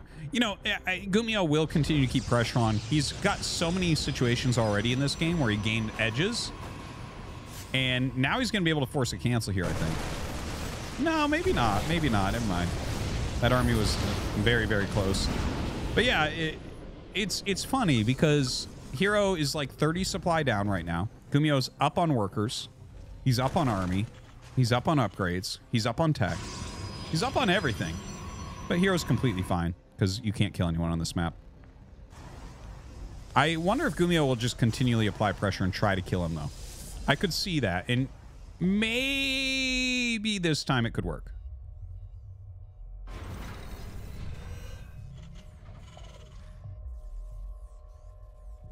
Gumiho taking his fourth. Yeah, I like it. I like it. I think this is where you really have to get your upgrades going. Right? Well, I mean, we already have 1-1, but like for for Hero, even though it feels like he's a little bit behind everything, add a Syncate Forge. Just do it. If you're going to make gateway units, get two forges going. Double Liberator being produced, maybe for some harassment.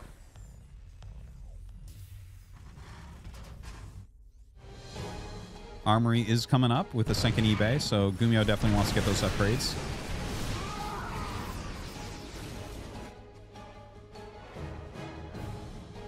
Yeah, Psystorm coming up. You know, I could see him trying to get some Psystorm drops off, makes some sense. You know, with that that natural being kind of King Sejong Station-esque, that was where Psystorm drops really kind of started being utilized in StarCraft 2 anyways. So maybe that's a great location to try that on.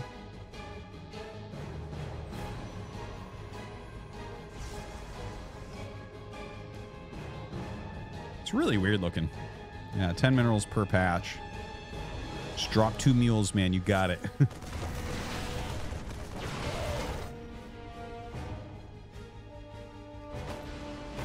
Right, Gumiho boosting out to the side and just letting some units out. So this might be like a... Wait, wait. Is he like going after that stalker? Is all this a giant... Like that was him trying to get the stalker. He stemmed everything to try to get the stalker that was on the, the watchtower. That's kind of funny, isn't it? Huh. Like that seems like you're over dedicating to that.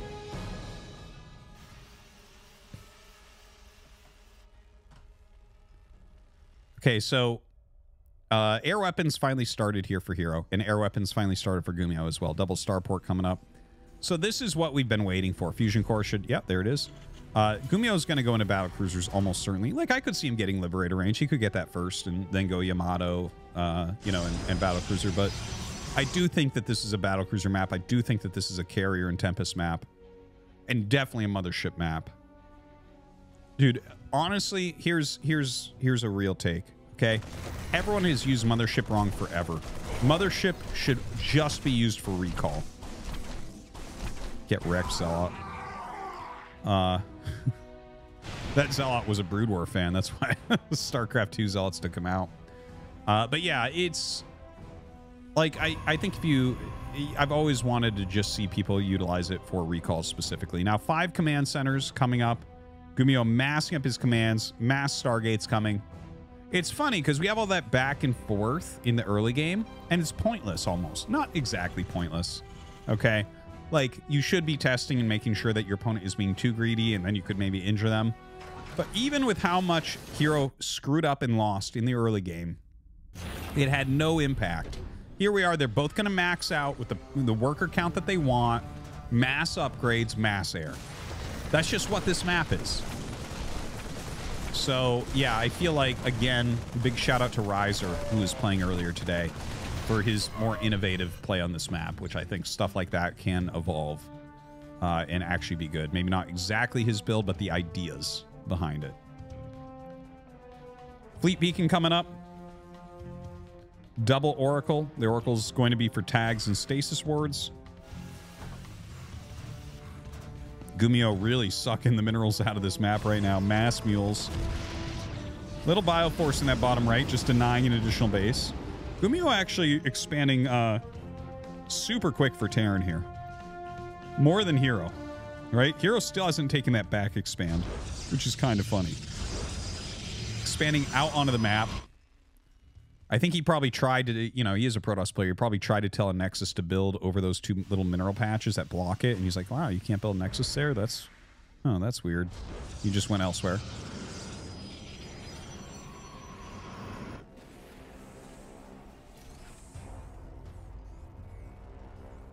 So battle cruisers starting to pop out.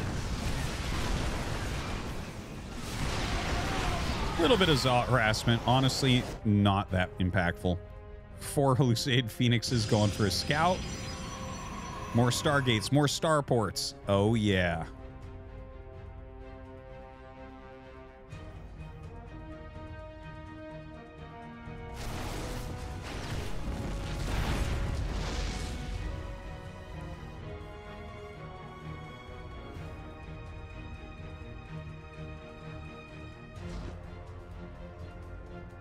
Dude, this is getting a little bit wild. You can see the arms race really beginning as far as their production and command center or versus Nexus counts go. Like all these upgrades being made as well. I like, and this is what I like about a game like this is these little skirmishes that you have at the same time. It's like you're both being greedy, but you're both poking each other too.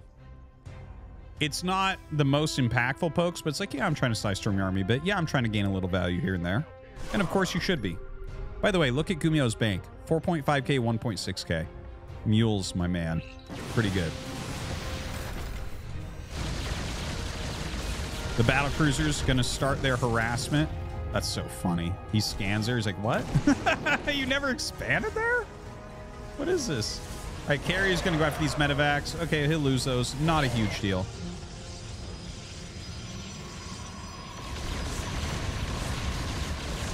Little bit of harassment here. You know, as long as you're careful, you're going to save your BCs. Just uh, Yamatos and warp out. He tried to overcharge. He knew what was coming.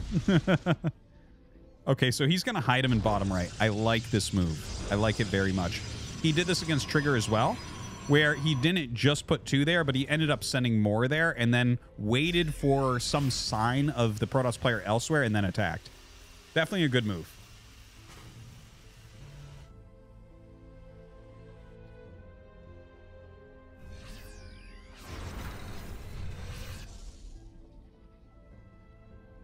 And yes, for those of you watching uh, that are Brood War fans, uh, they can teleport anywhere on the map. There is no range to it. You don't need vision. You just send where you want them. Now, this is a normal move.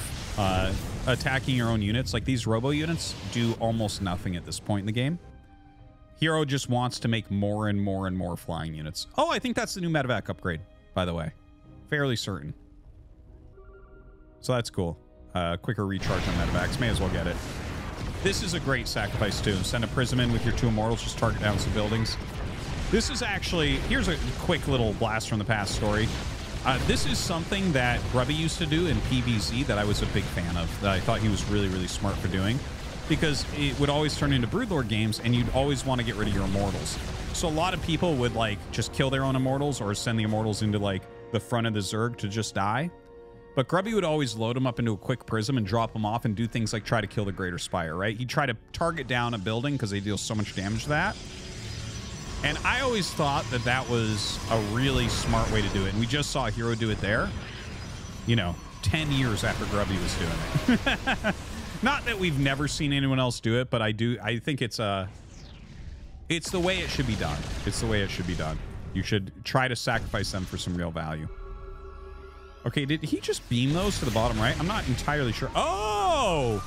Beams them into the battle. Gets a couple of, uh, a couple of nice Yamatos off. The Bioforce going to rip through this now. Two very injured Colossi. Not going to be able to guard that very well.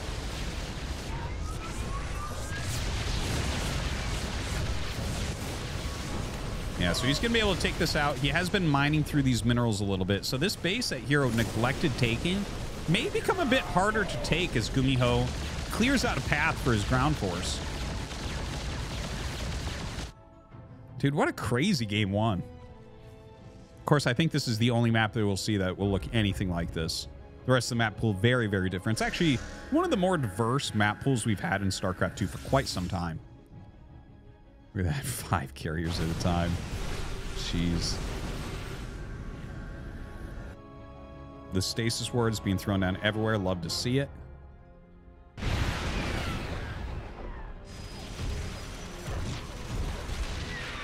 I like the landed Vikings dying to carriers. There's some sort of uh, justice in that.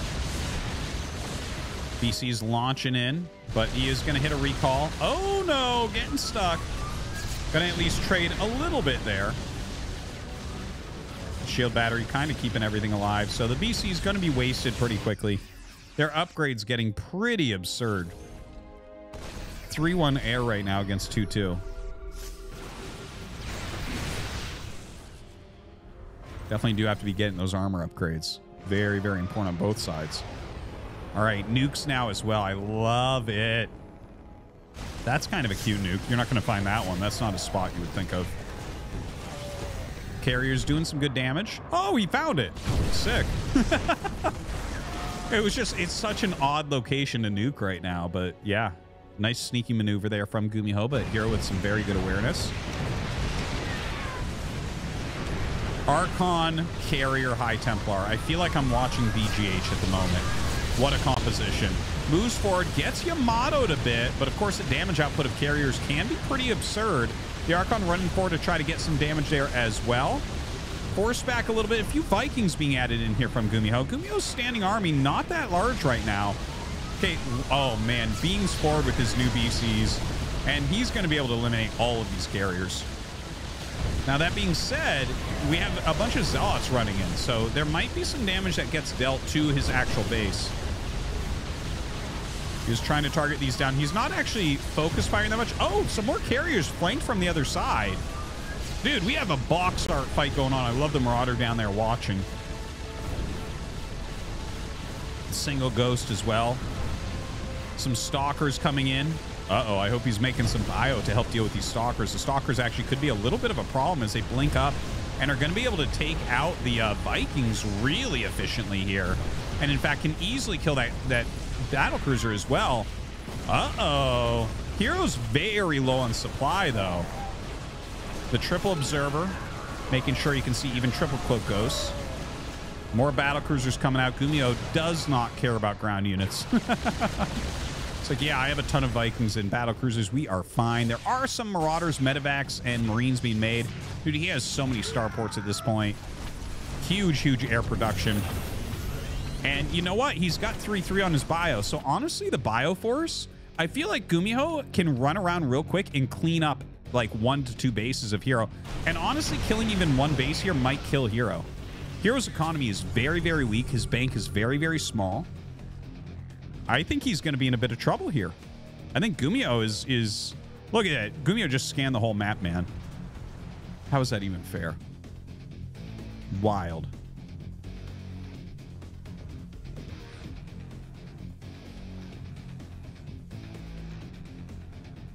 Gonna finish up this level 3 air armor. Really important for the observers still in his army. They take one more marine hit to die. Okay, DT's blinking to that main base. Gumiho just running around the map now. He's going to be able to clear out quite a bit. Definitely feel like feels like Gumiho has a better take on this map than what we've seen from Hero here. But this is the type of game that you're going to play as Hero and be like, okay, if I play this again, my play is going to look completely different.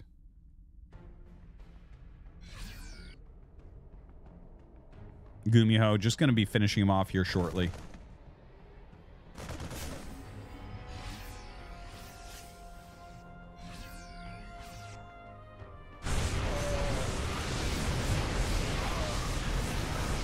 All right, the landed Vikings and Bio Army here. Storms come out, and it should not be enough still. Those are some pretty damn good storms, though. Some more Zealots charging up. Those Vikings with their 3-2 upgrades doing a pretty darn good job of fighting ground units as well. And now a serious ground army comes in. Lots of Psy Storms in here. Dude, that's... he is really storming the hell out of this, but now battle cruisers joining the fray as well. Definitely, I can notice uh, the medevacs having energy much more than they should right now, by the way. Definitely a good upgrade for the late game. But uh, quite the battle there from Hero. Some great storms and everything. Turns them into Archons. Going to try and attack.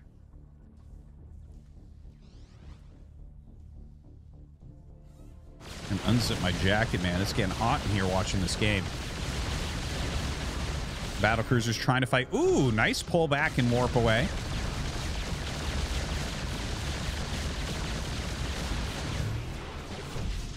Right, the stalkers do force those away as well. A lot of battle cruisers actually hitting that bottom right, but look at this. The Archon Stalker. Planetary Killer Force. SCVs all being transferred down. Dude, they're both going to get very low as far as banks go. But Gumiho just has so much more supply right now. It's just a, a pretty mobile supply here for uh, for Hero. So he is able to run around and do some damage.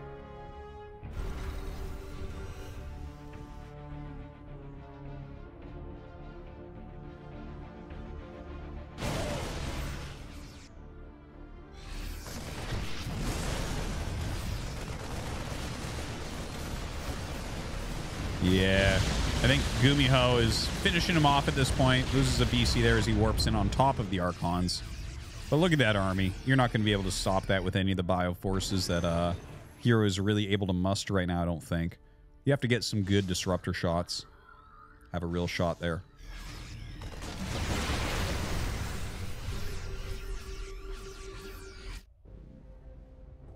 Kind of assuming that he was going to see an observer there. Nope. He's just blindly running around the map. Nice EMPs, taking out those Archons quickly.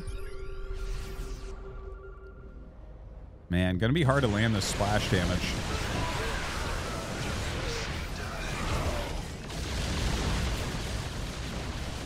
Ooh. Yeah, so we should be seeing GG. Hero literally doesn't have anything left at this point. Trying to pull it together, but we're 25 minutes in. It's lunchtime in Korea. I think it's time to pack this one in and go to game number two.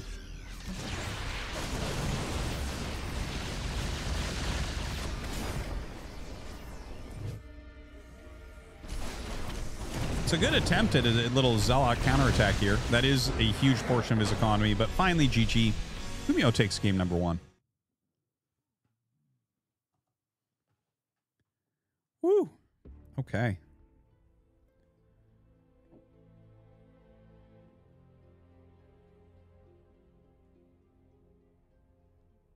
Crazy first game.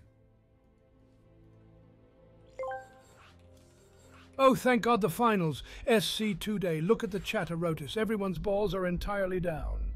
Mine were scraping the pavement as I walked today in anticipation of the SC2 stream. I was like a. Is that what you were like? My balls. but now it's almost done, Erotus, and my balls will rise like phoenixes and shine bright like the diamonds they are. Blaze bright and eternal, my diamond phoenix balls. Eh? You guys think AI will take over one day?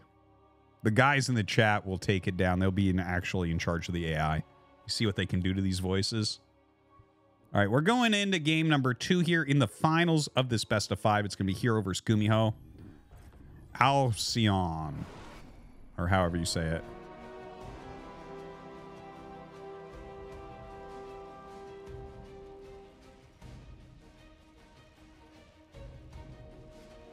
So we have Gumiho in top right. We have Hero in the bottom left.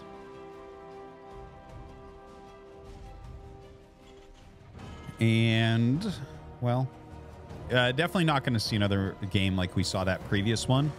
Radhuset Station just plays so, so differently. And uh, yeah, I, I'm expecting more of a normal game. But honestly, I'm excited to see what Gumiho might have planned. Uh, I want. I mean, if someone's gonna make the new Cyclone work in some sort of mech build against Protoss, it's obviously Gumiho's at the forefront of that list of players that could make that happen. I would love to see it. I would just love to see it. But his standard bio play is very strong right now too.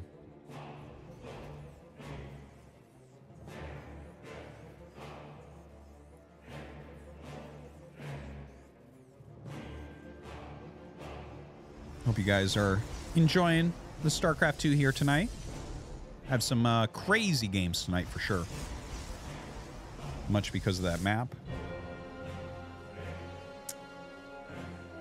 And of course, this is a best of five here in the finals. Ooh, okay. Hero to be going for the cheese. He's got double gas in his main. Cybernetics core on the way. Zealot being made. And he is to proxy something. Gateway or I think Stargate. That's my guess, is Stargate here. The Reaper going to scout that very, very quickly. Now, just because you scout it doesn't mean you're going to stop the Stargate. One thing I want to mention, I was talking about this with NoRegreT when the patch notes came out. I think Void Ray all-ins are going to be very, very strong. Uh, Tempest all-ins as well, right? And the reasoning behind that is uh, the changes on the Cyclone, they can't be locked on as far away. And without magfield accelerators, they don't power down these units that quickly. So something like a shield battery, battery of shield batteries, uh, is going to be able to heal that up very, very well.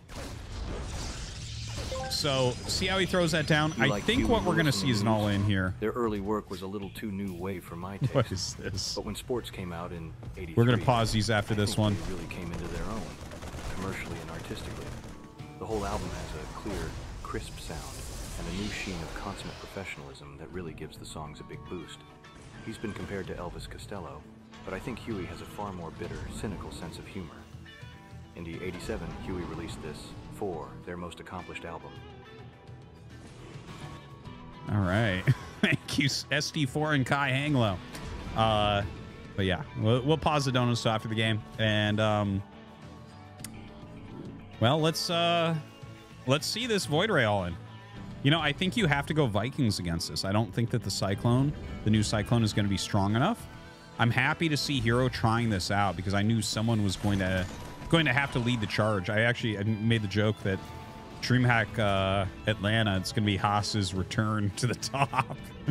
Because that Cyclone really is how you hold this type of build, right? We still see this build sometimes work against the older Cyclone, but here you are, and it's like, well, you don't really have great damage against this at all.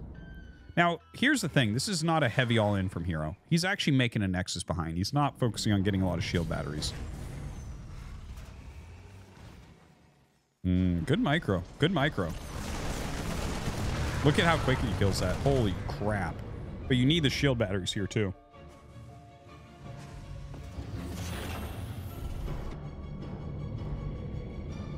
Third Void on the way.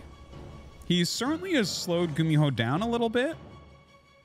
I am a little bit sad, though, that this was not a dedicated all-in with, with shield batteries and everything, and maybe warping in some gateway units, that type of thing. We've definitely seen that before. How useful yeah, he sees he's still making it, so he lifts off that command center. So Gumiho is actually a little bit more afraid than maybe he has to be. But how useful? Here's the here's the problem. How useful will those three void rays be as the game goes on? Right? If you don't use them now, void rays are a poor scaling unit in this matchup. They're strong at the very beginning, but they get very very weak as Terran supply grows. You know, it's like a roach or an adept you know those types of things. Uh, the old cyclone right? There's hellions reapers those types of things. Now he's trying to do something here but this doesn't feel like it's been that good so far. One of the voids going to die it looks like. Ooh, yep gets it. Turns on the voids. No he's just taking massive damage. Nothing's working. Targets the wrong void unfortunately. He could have killed that other one if he had targeted it correctly. Out with a little bit of a mistake but the army that Hero has right now is really garbagey. This is a pretty weak army that we're looking at. Some nice moves, right? Like this is this is good. These adepts are not going to be that useful, so buy some time, maybe a little bit of damage as well. Did they get out? They actually got all the way out. Wow, good on them. Goes down, unpowers this. Hero gets pretty heavily supply blocked, unfortunately. He is adding gates and going charge. Hero right now needs Gumi to throw an army away. Because Gumi's army is just going to be looking so much stronger. Much higher quality units, much higher quality tech.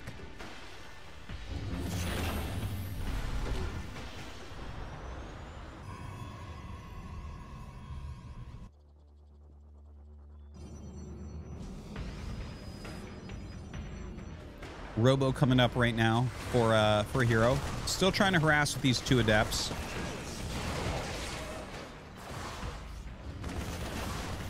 Ooh, getting some kills.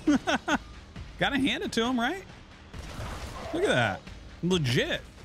These two very hurt adepts killing everything, man. But look at this push. Look how crappy that army is. I told you. He has charge, so he's going to come out with the Zealots. Maybe, maybe this was a little bit too quick of an attack from Gumi.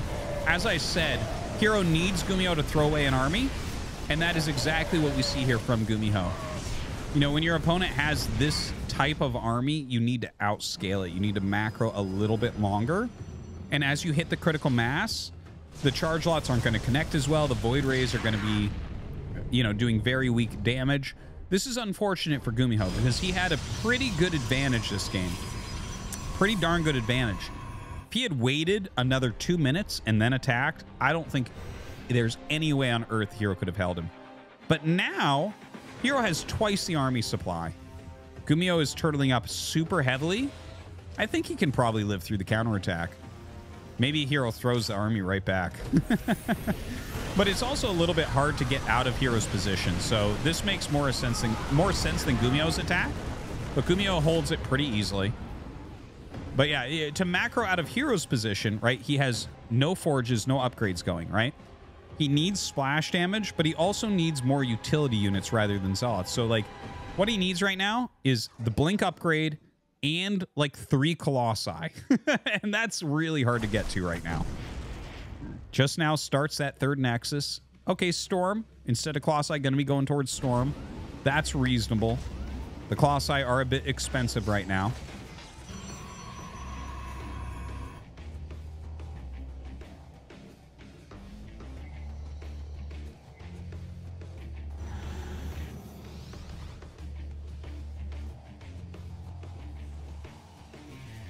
Gumiho making his third command center.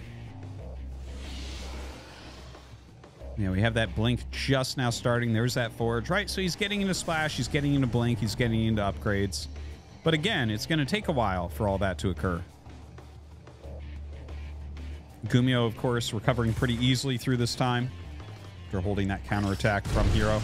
Ooh, seven probes. I actually was not even paying attention. I was kind of looking elsewhere on the minimap. I was looking at what Hero's doing over in his natural. Hero definitely doing something over there as well. Oh, no. Okay, so 10 probes against 12 SCVs dead. Ooh, another couple. Very, very nice. Oh, man. Well, F2 is a great, it's a great thing, isn't it? I tell you. Best Protoss players in the world using F2. Oh my god, 19 probes now. Dude, a lot of things have gone wrong for Hero at this point.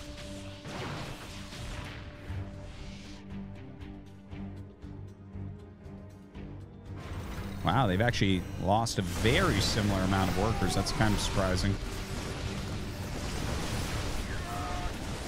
Right, mostly charge here. Throws down a storm, a reasonable storm for sure. Good kiting from Gumiho. He is starting to lose his army. Looking a bit better here. For Hero. See attacks into that. Another mind drop. Oh my god. Even more probes going down. Yeah, I'm gonna force a lift there pretty easily. Oh my god, the amount of probes going down is insane. At this point, Hero may just try to push for the kill. Kind of thinks that would make the most sense. A nice storm goes down, charging forward, pushes everything back with the other storm. No bunkers here anymore. Throws down another storm on those SCVs and Marauders, but he's losing his Zealots, which means the rallied units are going to have a great uh, time here, hitting into the Stalkers instead. Killing a lot of these SCVs. Oh, man. Only four Stalkers, two Zealots left. He is making an Archon. There's more units pop out for Gumiho. I think Gumiho's just to... Oh, man. It's actually so close right now. Is mine, but it gets picked off. And the Zealots may just overwhelm Gumiho at this point.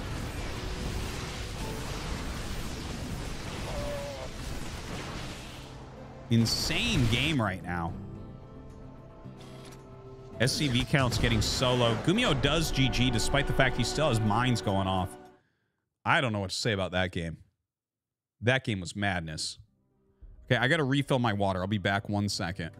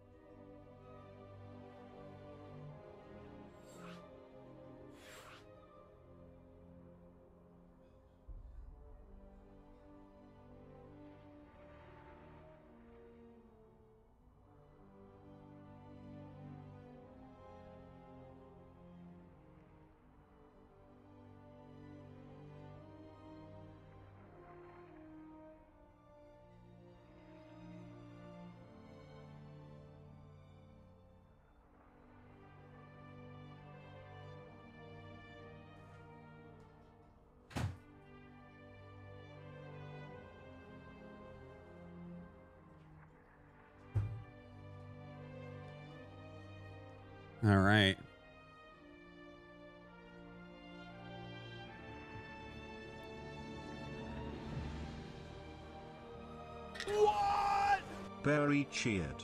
X300, Artie, what if you went to Baker's Square to get a bowl of spaghetti, but like the waitress brings your plate and it's pasta with the features and likeness of Betty White, and suddenly she, Betty White Spaghetti, looks directly at you and says shut up Artosis I'm Spaghetti White and I'm here to fuck your world up, what would you do? I'm Would you spaghetti. take a bite of spaghetti, Do you Betty? want Absolutely. Turn with mommy? Absolutely. It'd be delicious. Say, Poggies, if you want a turn with mommy, I will stay up all night if I have to. I love Poggies. Mommy loves Poggies. If you want mommy, fa, yeah, yeah, ah, yeah, ah. fuck. God, Poggies for mommy. Oh, oh, ah, ah, ah. ah, What are ah, Poggies? Ah, ah, ah, ah, ah, ah, ah, ah. Oh, Oh, ah. I see. Makes more sense now. Ah, ah, ah, ah, oh, ah, oh, ah, oh, oh, oh, oh. Does my wife think of these Ah, donos? You can you can ask her. She comes down and joins on the mic more and more often. I have additional mics set up now so she can just come down and join. She thinks you guys are fucking weird. That's for sure. But she also likes to troll me, so like I think she's actually more like you than she wants to admit.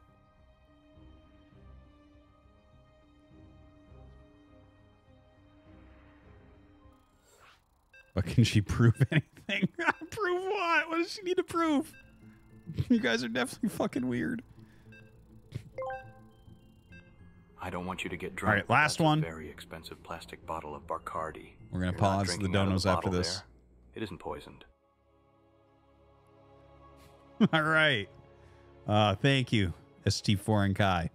All right, we're going into game number three. Tied up one right now, one to one. Oh, we have Steadfast first hero. That's sick. That's fucking sick. That was a good job right there.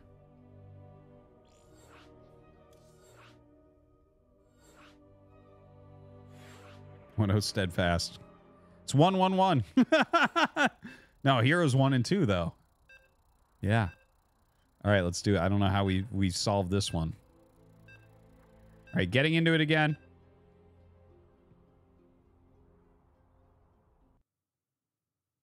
Even in a TVP final, Zerg wins.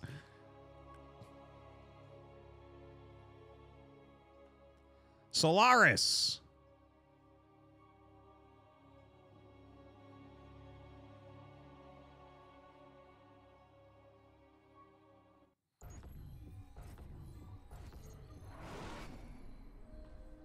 All right, bottom left, we have Hero. Insta probe out. Instaprobe. And in the top right, we have Gumiho. All right, the Insta Probe. There's two things this can be. It can be a MaxPax build, the old MaxPax build, where you go pile on your main, pile on gate out in the map. ambulance donated $3.33. Last year for Christmas I mailed soap penises with suction cups on the end to some friends. When I went to UPS they made me declare what was in the packages and I panicked and said it's just soap don't worry nothing weird and I'm sure they took a look later. Okay. What? Okay. Very cheered. X300. Every day I start my day by staring at the sun and screaming Solaris until my neighbors call the cops. All right, I'm gonna pause the donos. Thank you guys, I appreciate it. We're gonna go ahead and pause the donos, so uh, we'll we'll play them at the end. Okay, this is gonna be, I think, another cheese build here from Hero.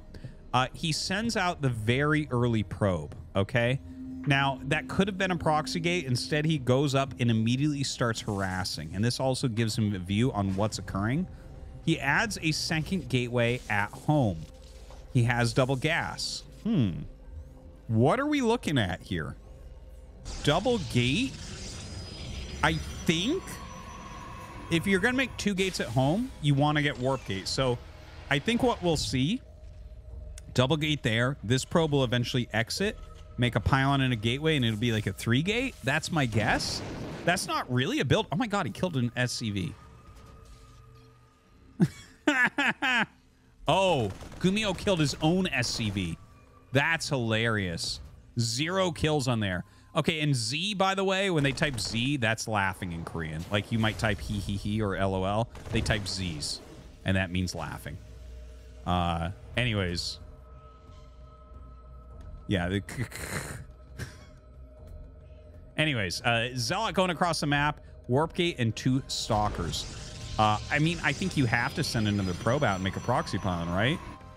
Nothing else makes much sense to me. Cyclone on the way. That's going to be helpful.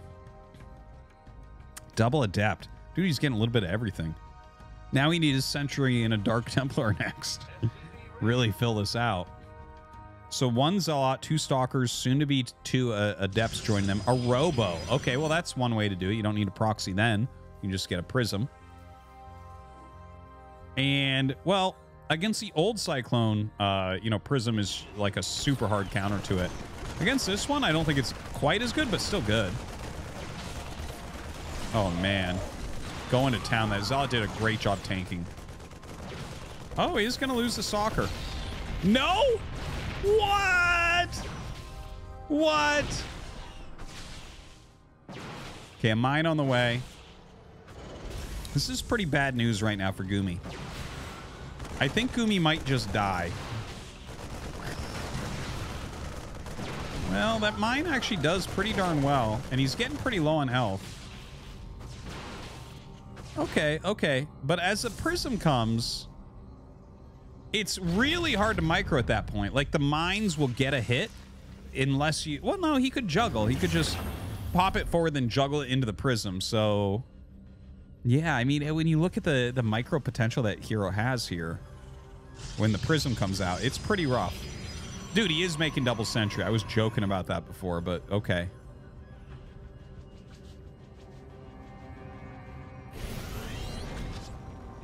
Does Hero know it's not a PvP? I know, right? This looks exactly like a PvP type game. All right, warping in three stalkers, so he did get that third gateway.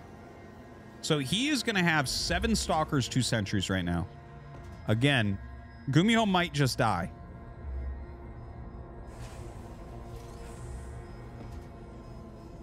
He needs an observer. That's the that's the real trick here. Oh my god. Those were actually pretty good mine hits. You got to give him those. All right, moves forward. A siege tank is on the way. Uh, you can cover these with a... Ooh, I feel like a force field would have been real good there. Okay, well, actually it ends up working out for him. He's killing a lot of SCVs right now. Gumiho with the medivac out. Good juggling here from Hero. A siege tank is coming still. More SCVs joining the fray. Oh, God. Warping in even more stalkers right now. Some nice juggling back as well. A lot of these are very badly hurt. Oh, I don't know if Siege was the right move. Maybe it was. Land that Viking. Dude, I think I'd rather land it for damage right now, but he is going after that Prism. Gets it some damage on it for sure. If you get the Prism, the rush is over. Oh, he gets it. Super sick. Vikings actually do pretty heavy damage. Very, very good damage against armored for Vikings. Okay, 22 SCVs died. So it's eight workers against 25, but two command centers against just a single Nexus. So who's winning? Don't we have better tech here for Gumiho by a, a good margin? Medivacs plus siege tanks plus Marines reactored out, like three Marines at a time, right? So I would call it better tech. A lot of adepts being made. Time to switch it up. The Stalker Sentry push didn't work. What about Mass Adepts without upgrades?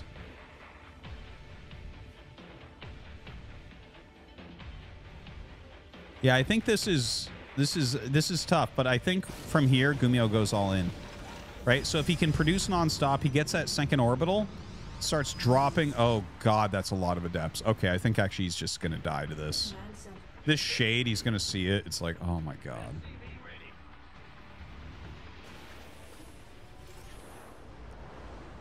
You can't be happy about that.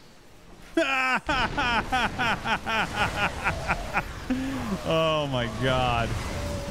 All right, that's going to be that. Hero is going to be able to take game number three and go up two to one in this series. A very weird way to go up two to one, I have to say. GG. That's crazy.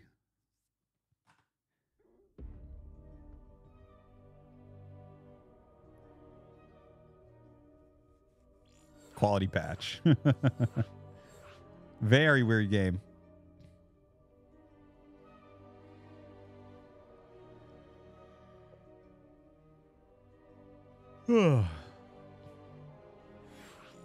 Why are Protoss like this? Yes. This is why we hate Protoss. oh, man.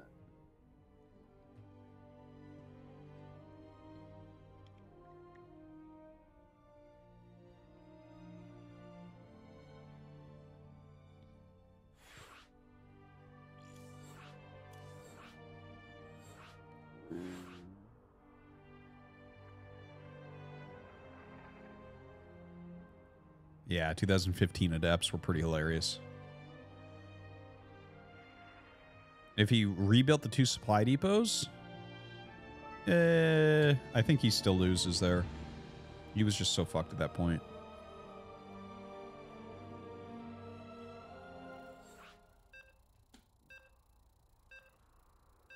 I'm sorry, I'll play uh, Donos after this. I forgot to turn it back on.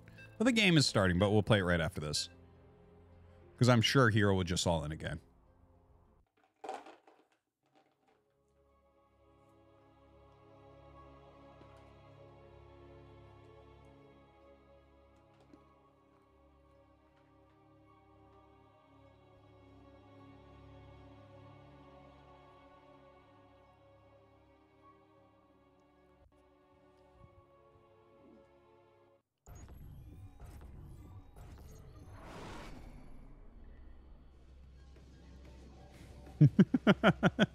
Gumiho in the bottom left. In the top right, we have Hero. All right. Uh, Hero is on match point. So, I mean, I guess I guess anything could happen here. He might be able to close out. It's weird because, yeah, well, I mean, game two was a dumpster fire on both sides, honestly. Uh, and then game three, obviously, we just had like insanity going on. Very, very heavy punishing there from Hero. Some builds you would not normally think about. So, uh, it is a gas first from Gumiho. So, headed towards that factory. And, well, let's wait and see if Hero wants to do one base or two base. How many bases does Hero want? That's a funny thing. Protoss gets to decide the amount of bases.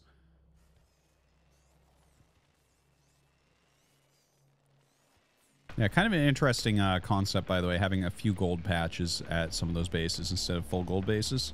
I like ideas like that. I like mixing it up, making it somewhere in between.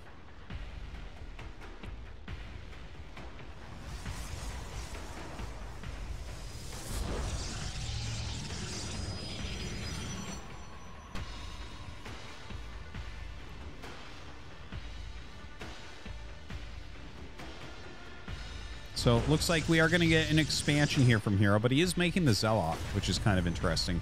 Didn't cancel it for a quicker Nexus. So definitely wants that unit.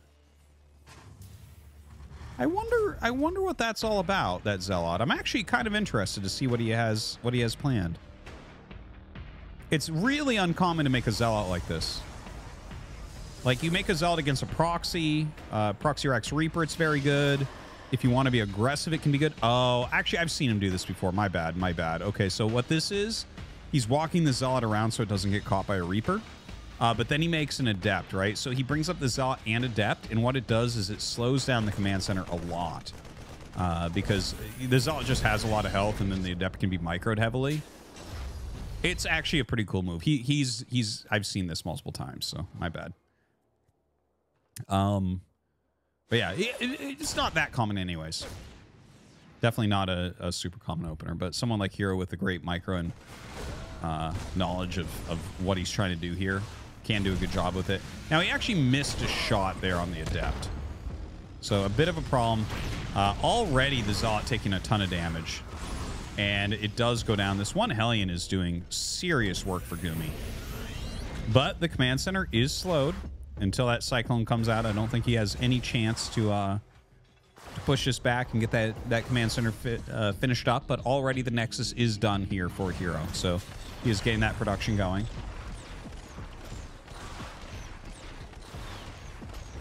Damn, just barely got out of there.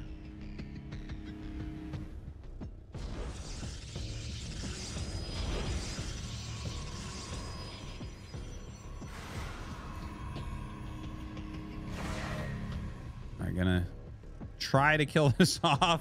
Gets up, sees the Oracle being made. Man. Gumi just just roasting him right now. Nothing Heroes trying is really working out too much. Does kill off that Hellion. Let's see what he gets done with the uh, the Oracle. Plenty of anti-air already here. Viking on the way as well. Yeah, decides to just tag and get out of there.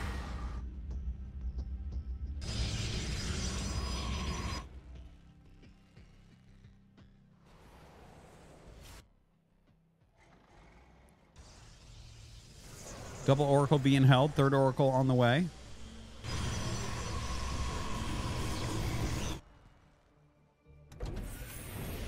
Triple Adept coming up. Does take three Adepts or three Oracle hits to uh, kill off uh, an SCV or Marine.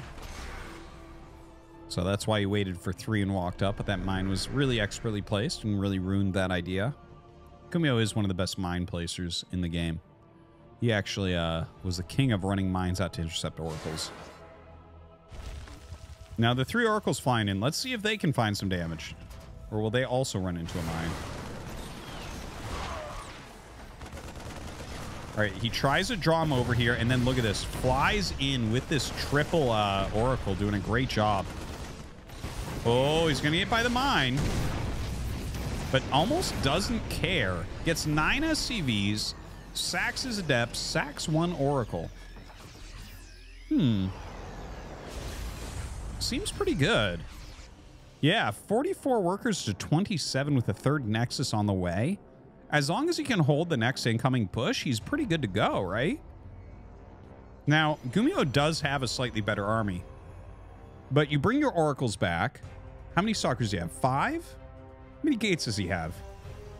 Is it three gates right now? I believe it's three gates right now. Oh, the oracles come back for more harassment. Or maybe stop units? Ah, he's diving on units. Okay, okay. So he's he might have to cancel this out. Oh, the shield battery finishing. He decides to just take the fight here. Well, he can still cancel it. Tries to pick off as many units as he can. Looks like the oracles have been eliminated, but they killed three SCVs as well as some marines there. Was that worth it? I think his main aim was to try to stop some reinforcements, and he's actually going across the map for a counterattack. This is kind of some weird play from Hero, I feel like. Let's see what those stalkers can do, if anything. All right, gonna set up a bunker, start sieging over here. Three stalkers remain. They are reducing this unit count a little bit. A little bit of damage. Not looking super hot. Well, you know what? Oh, I almost feel like it might be good to dive in there and get that SCV. The bunker could become the very difficult part to deal with there. He had double Phoenix, so if he stops the bunker and then lifts the tanks, maybe he picks off enough Marines that he's okay. Trying right now to heal up that uh, Twilight to try to get charged to finish. I don't know if that's going to work, though. All right, moves in, has those Phoenixes. Oh my god, lifting up the siege tanks. Hero right now, getting some real damage done, breaks the bunker. Phoenix is trying their best to actually kill the siege tank by themselves. Repairs going down, not going to be enough does end up losing a couple Phoenixes to kill those two Siege Tanks. And now the SCV count being reduced even further.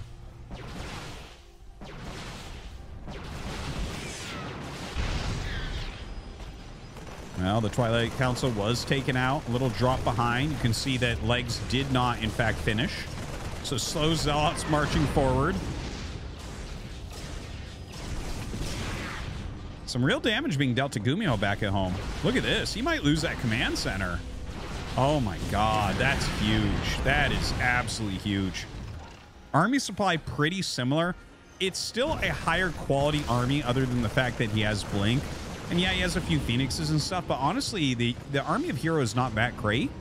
But the fact that he kills that command center, he killed so many workers as well. Gumiho's barely mining right now. Definitely looking good for our Protoss player. All right, flies in with those Phoenixes. Gumiho's going to GG. And that does it. Hero takes down the NA ESL Open Cup. That was that was a great tournament. That was one of the better Open Cups uh, that we've had. I think it's been at least two months since we've had a cup that, that was that good. A lot of legit, very good names. And yeah, Mapu typing in the chat. Big cheers to Mapu. You can use the command Mapu uh, to follow all of his stuff. And of course, click that link in there. Uh, we've started a YouTube channel of the casts, uh, and you should follow it. I think it's a good idea. If you're in here watching, you like StarCraft 2 or you're very stubborn waiting for StarCraft 1. All right, guys, hope that you enjoyed that tournament. Uh, just as a little recap, we'll take a look at the bracket.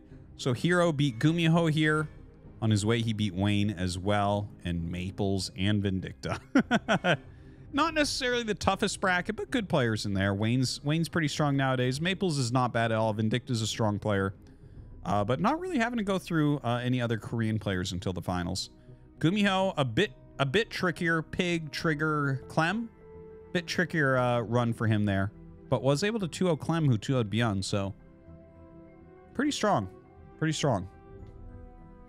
All right, and so we're going to play a little bit of Brood War Ladder. I hope that you'll stay and watch. Brood War is fantastic. Uh, I'm sure, we're having 500 people X off the window as quickly as they possibly can. Like, oh, I can't stand it. Someone once said that you fight the game, so I don't like it. Someone said that once. You're fighting the game. You shouldn't have to fight the game. It's not what's happening, guys. It's a fucking huge regret that anyone ever said that. It was an interesting way to try to describe what Brood War is, which is not accurate, that people have now used against Brood War. It's too bad.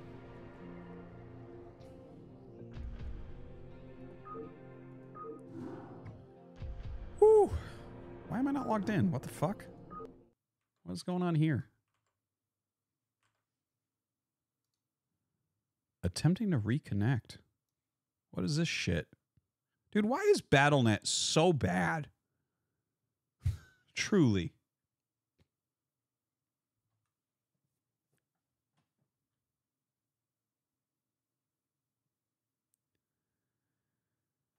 Ah.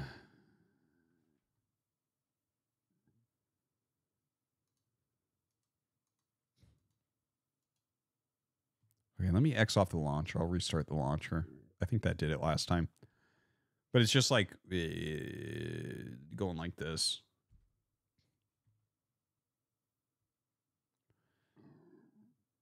Oh yeah, don't instant alert. Sorry. My bad. Sorry, chat. Lirak is here. I need a big one today. Chat is kinda small, Very boys. cheered. Especially X300. Swati and Homesmack. You guys can wanke in the corner if you want. Go ahead, chat. Wonke watching me and Lyric. Wonke in the corner Got- chat. Okay, Lyric. Go ahead. Do it. Wah! Wongi. Wongi. Wongi. Wonka. Wongi. Wong. Ah.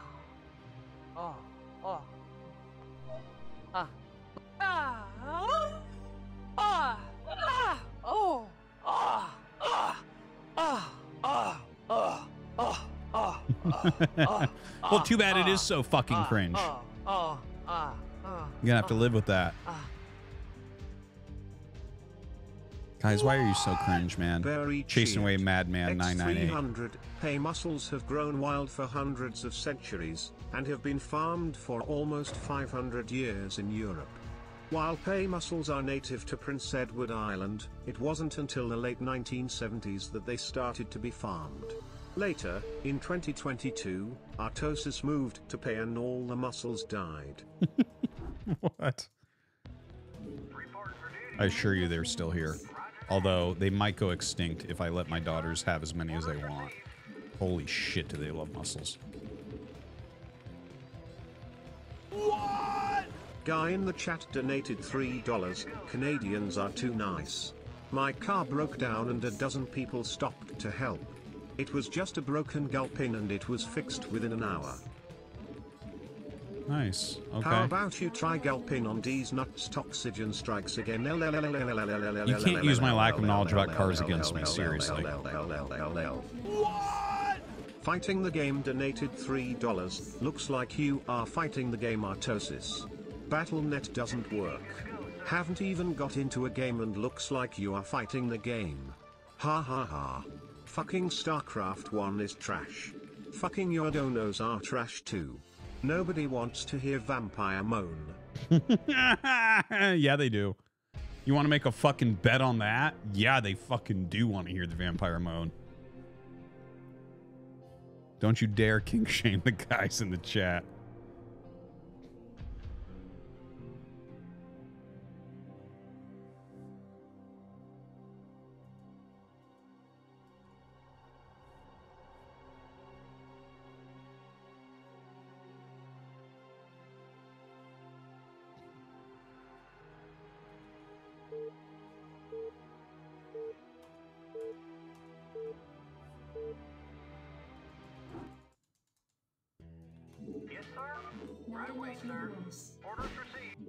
Get him again. Let's fucking farm him. Fuck this guy. He's like, "Ree, turn rate 16.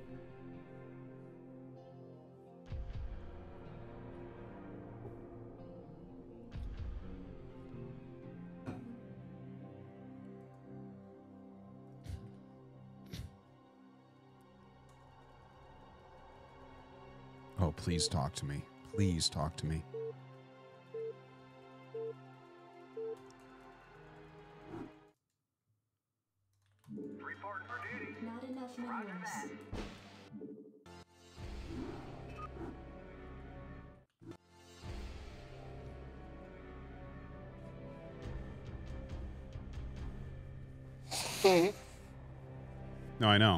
Told you. Instantly, I'm like, I'm gonna play Brood War. They're like 500 people. Peace out immediately. Like, fuck this shit. Whoa.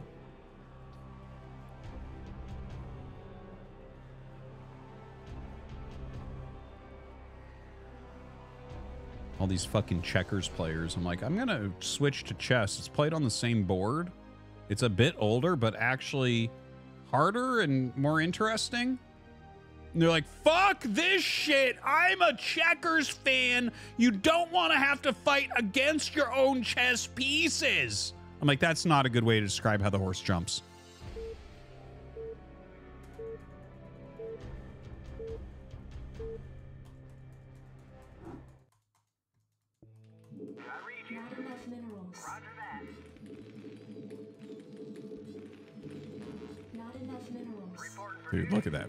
Fucking SCV. Are you fucking kidding me? Drop hack? Not enough minerals. Nice. No use. I don't get enough drop hacks. That's for sure. I only get like three or four drop hacks a week, man. Fuck.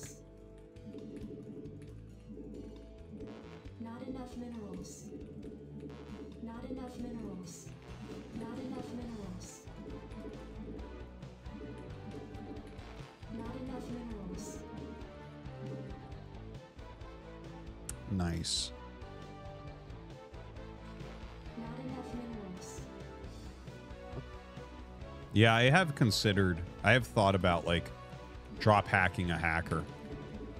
but I think probably the rules are so. First off, there's the fucking crazy guy that makes Reddit threads about me all the time that I don't want to deal with that. And then second off, some of the moderation shit going on on Twitch is so fucking crazy that they might be like, "Well, you used a hack, so now you're fucking banned." And it's like, dude, you do you see what the Brood War ladder is? Does this should I have to lose? How much do I lose every week to these people that do this? Yeah. Oh, yeah. Chat. Lady D is with Lirak right now. I'm wanky outside right now while I watch. Yeah. Yeah. Oh. Yeah. Lirak is so lucky. I wish I was huge. I'd take my Viagra, and I'm barely as big as Holmes Mac. Oh, yeah, yeah. Yeah. Lady D Bounce. Yeah. Oh, yeah. Leah. Lirak is choking Lady D. Yeah. She likes it. Yeah. Oh, yeah. Yeah. Oh, yeah. Yeah. Lirak. Did you say re-rack?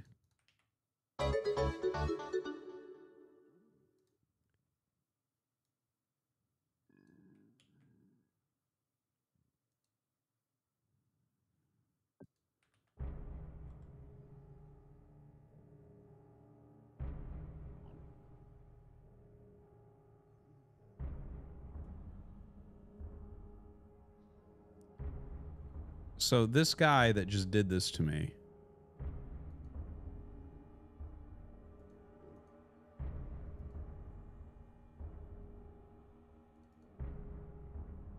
This I actually I've been suspecting something for a bit and I'm checking right now. Okay, so hold on.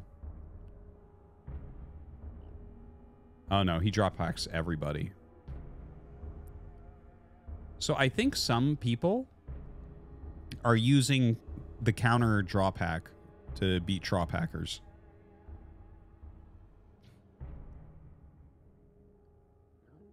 Um, because I'm looking at like this guy's CWAL profile, okay? So here, I'll show you.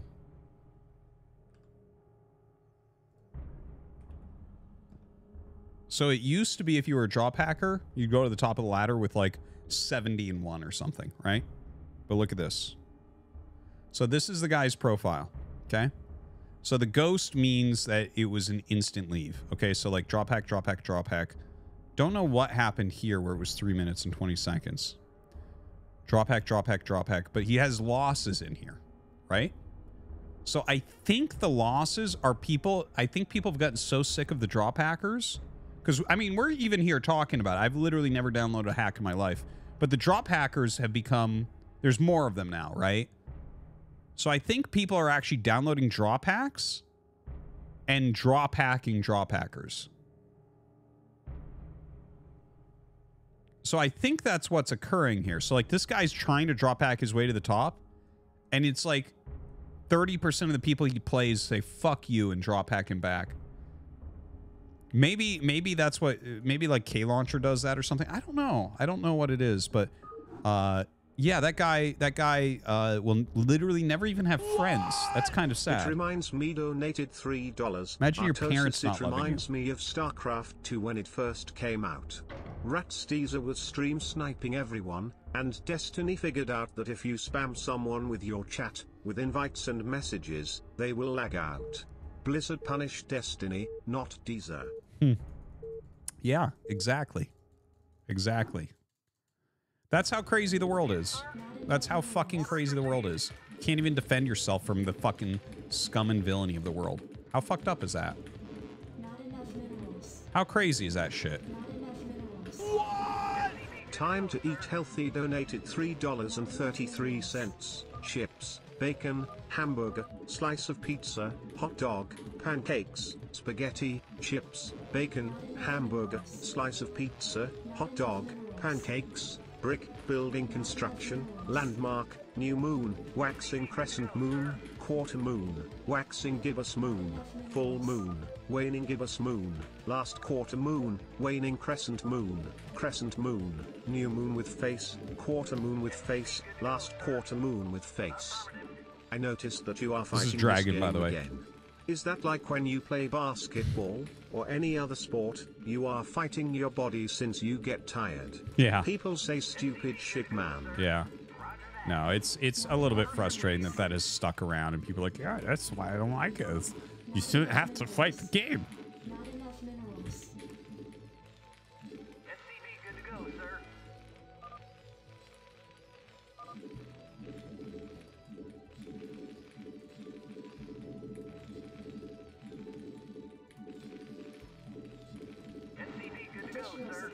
Sir. supply Right away,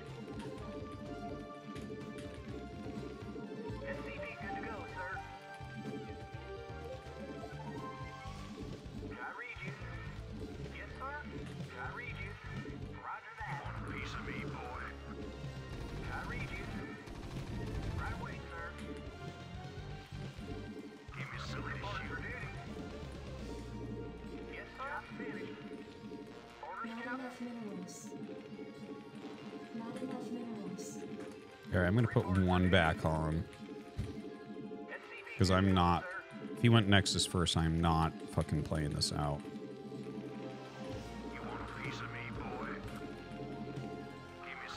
To. Hey, Amy, ready for our date? What? You're breaking up with me? You found a new boyfriend. Who is it? Dr. Eggman. What? Why? He's fucking huge. I'm a tiny small boy. I told you, when I get pregnant, my member gets small. Please, Amy, don't leave me. Oh God, why are you kissing Eggman? Oh God, why is he grabbing your butt? I'm crying, Amy. Please don't leave me. Wanka, wanky, wanky, wanky, wanky, wanky, wanky, wanka, wanka, wanky, wanky, wanky, wanka, wanky, wanky, wanky, wanky, wanky.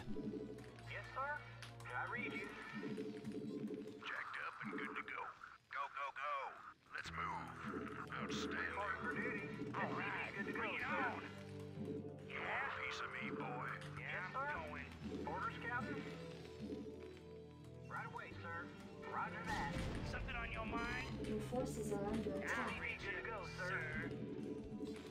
This is like, I don't know if this will work because it's up a hill, so it's like really, really difficult to break.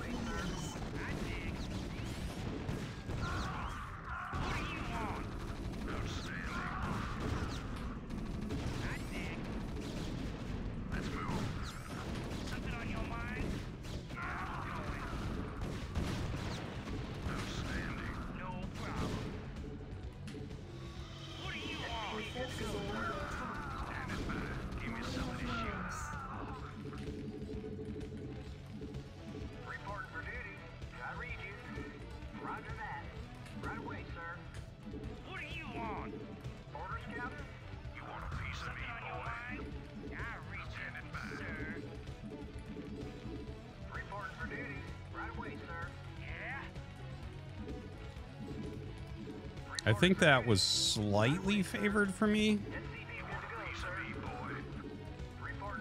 But I'm not 100% sure. I'd have to look at the replay. I actually think I fucked it up a little bit. My targeting was not superb.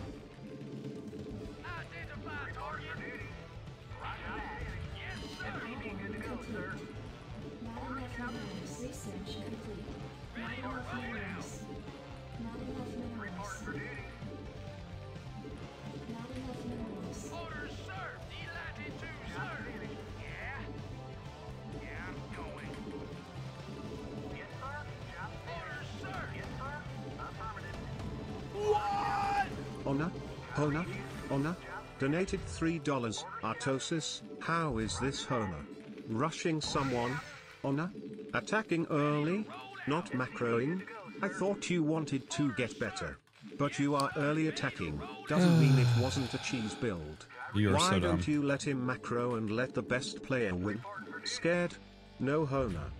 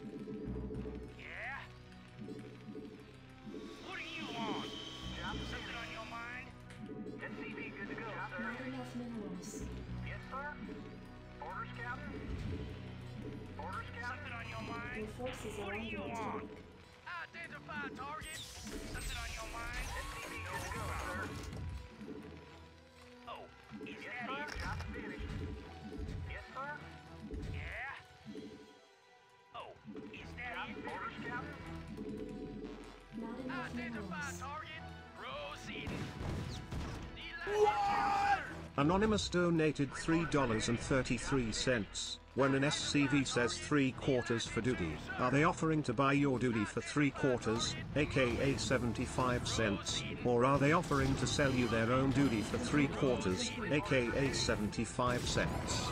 I'm confused about whose duty is being auctioned for three quarters.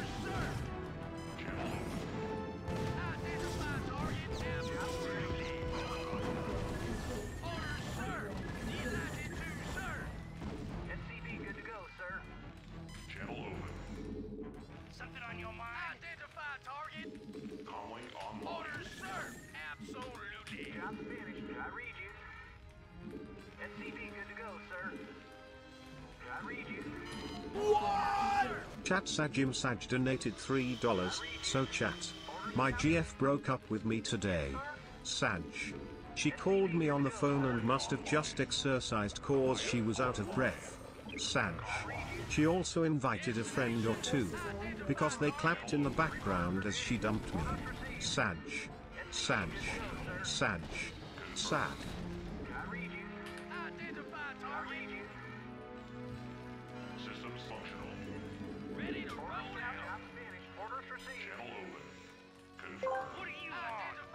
Anyone seen Dirty Decker tonight?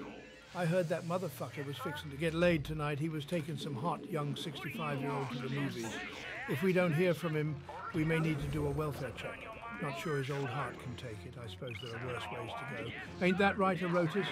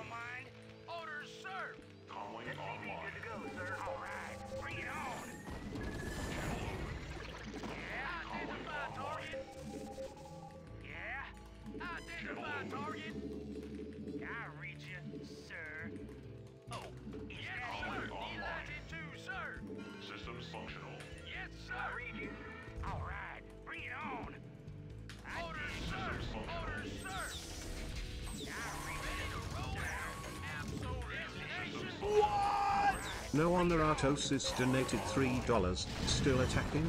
Still no third base? Still no macro game, huh? You saw it was a pro player like Dragon and you figure, let's send this early, huh? Why are you scared to play a macro game against good players, Artosis? God, you're How so you dumb, man. It's so annoying. Two? Two? Two? Two?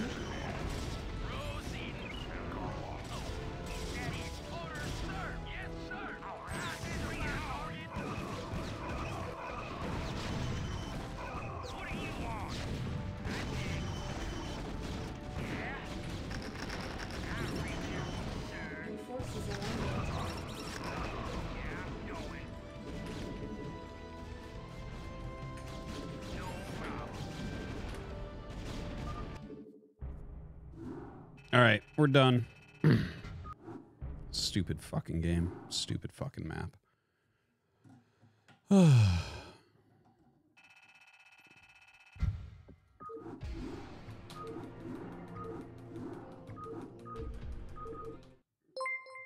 we'll be back tomorrow. It was pretty fun between the drop hack and that bullshit.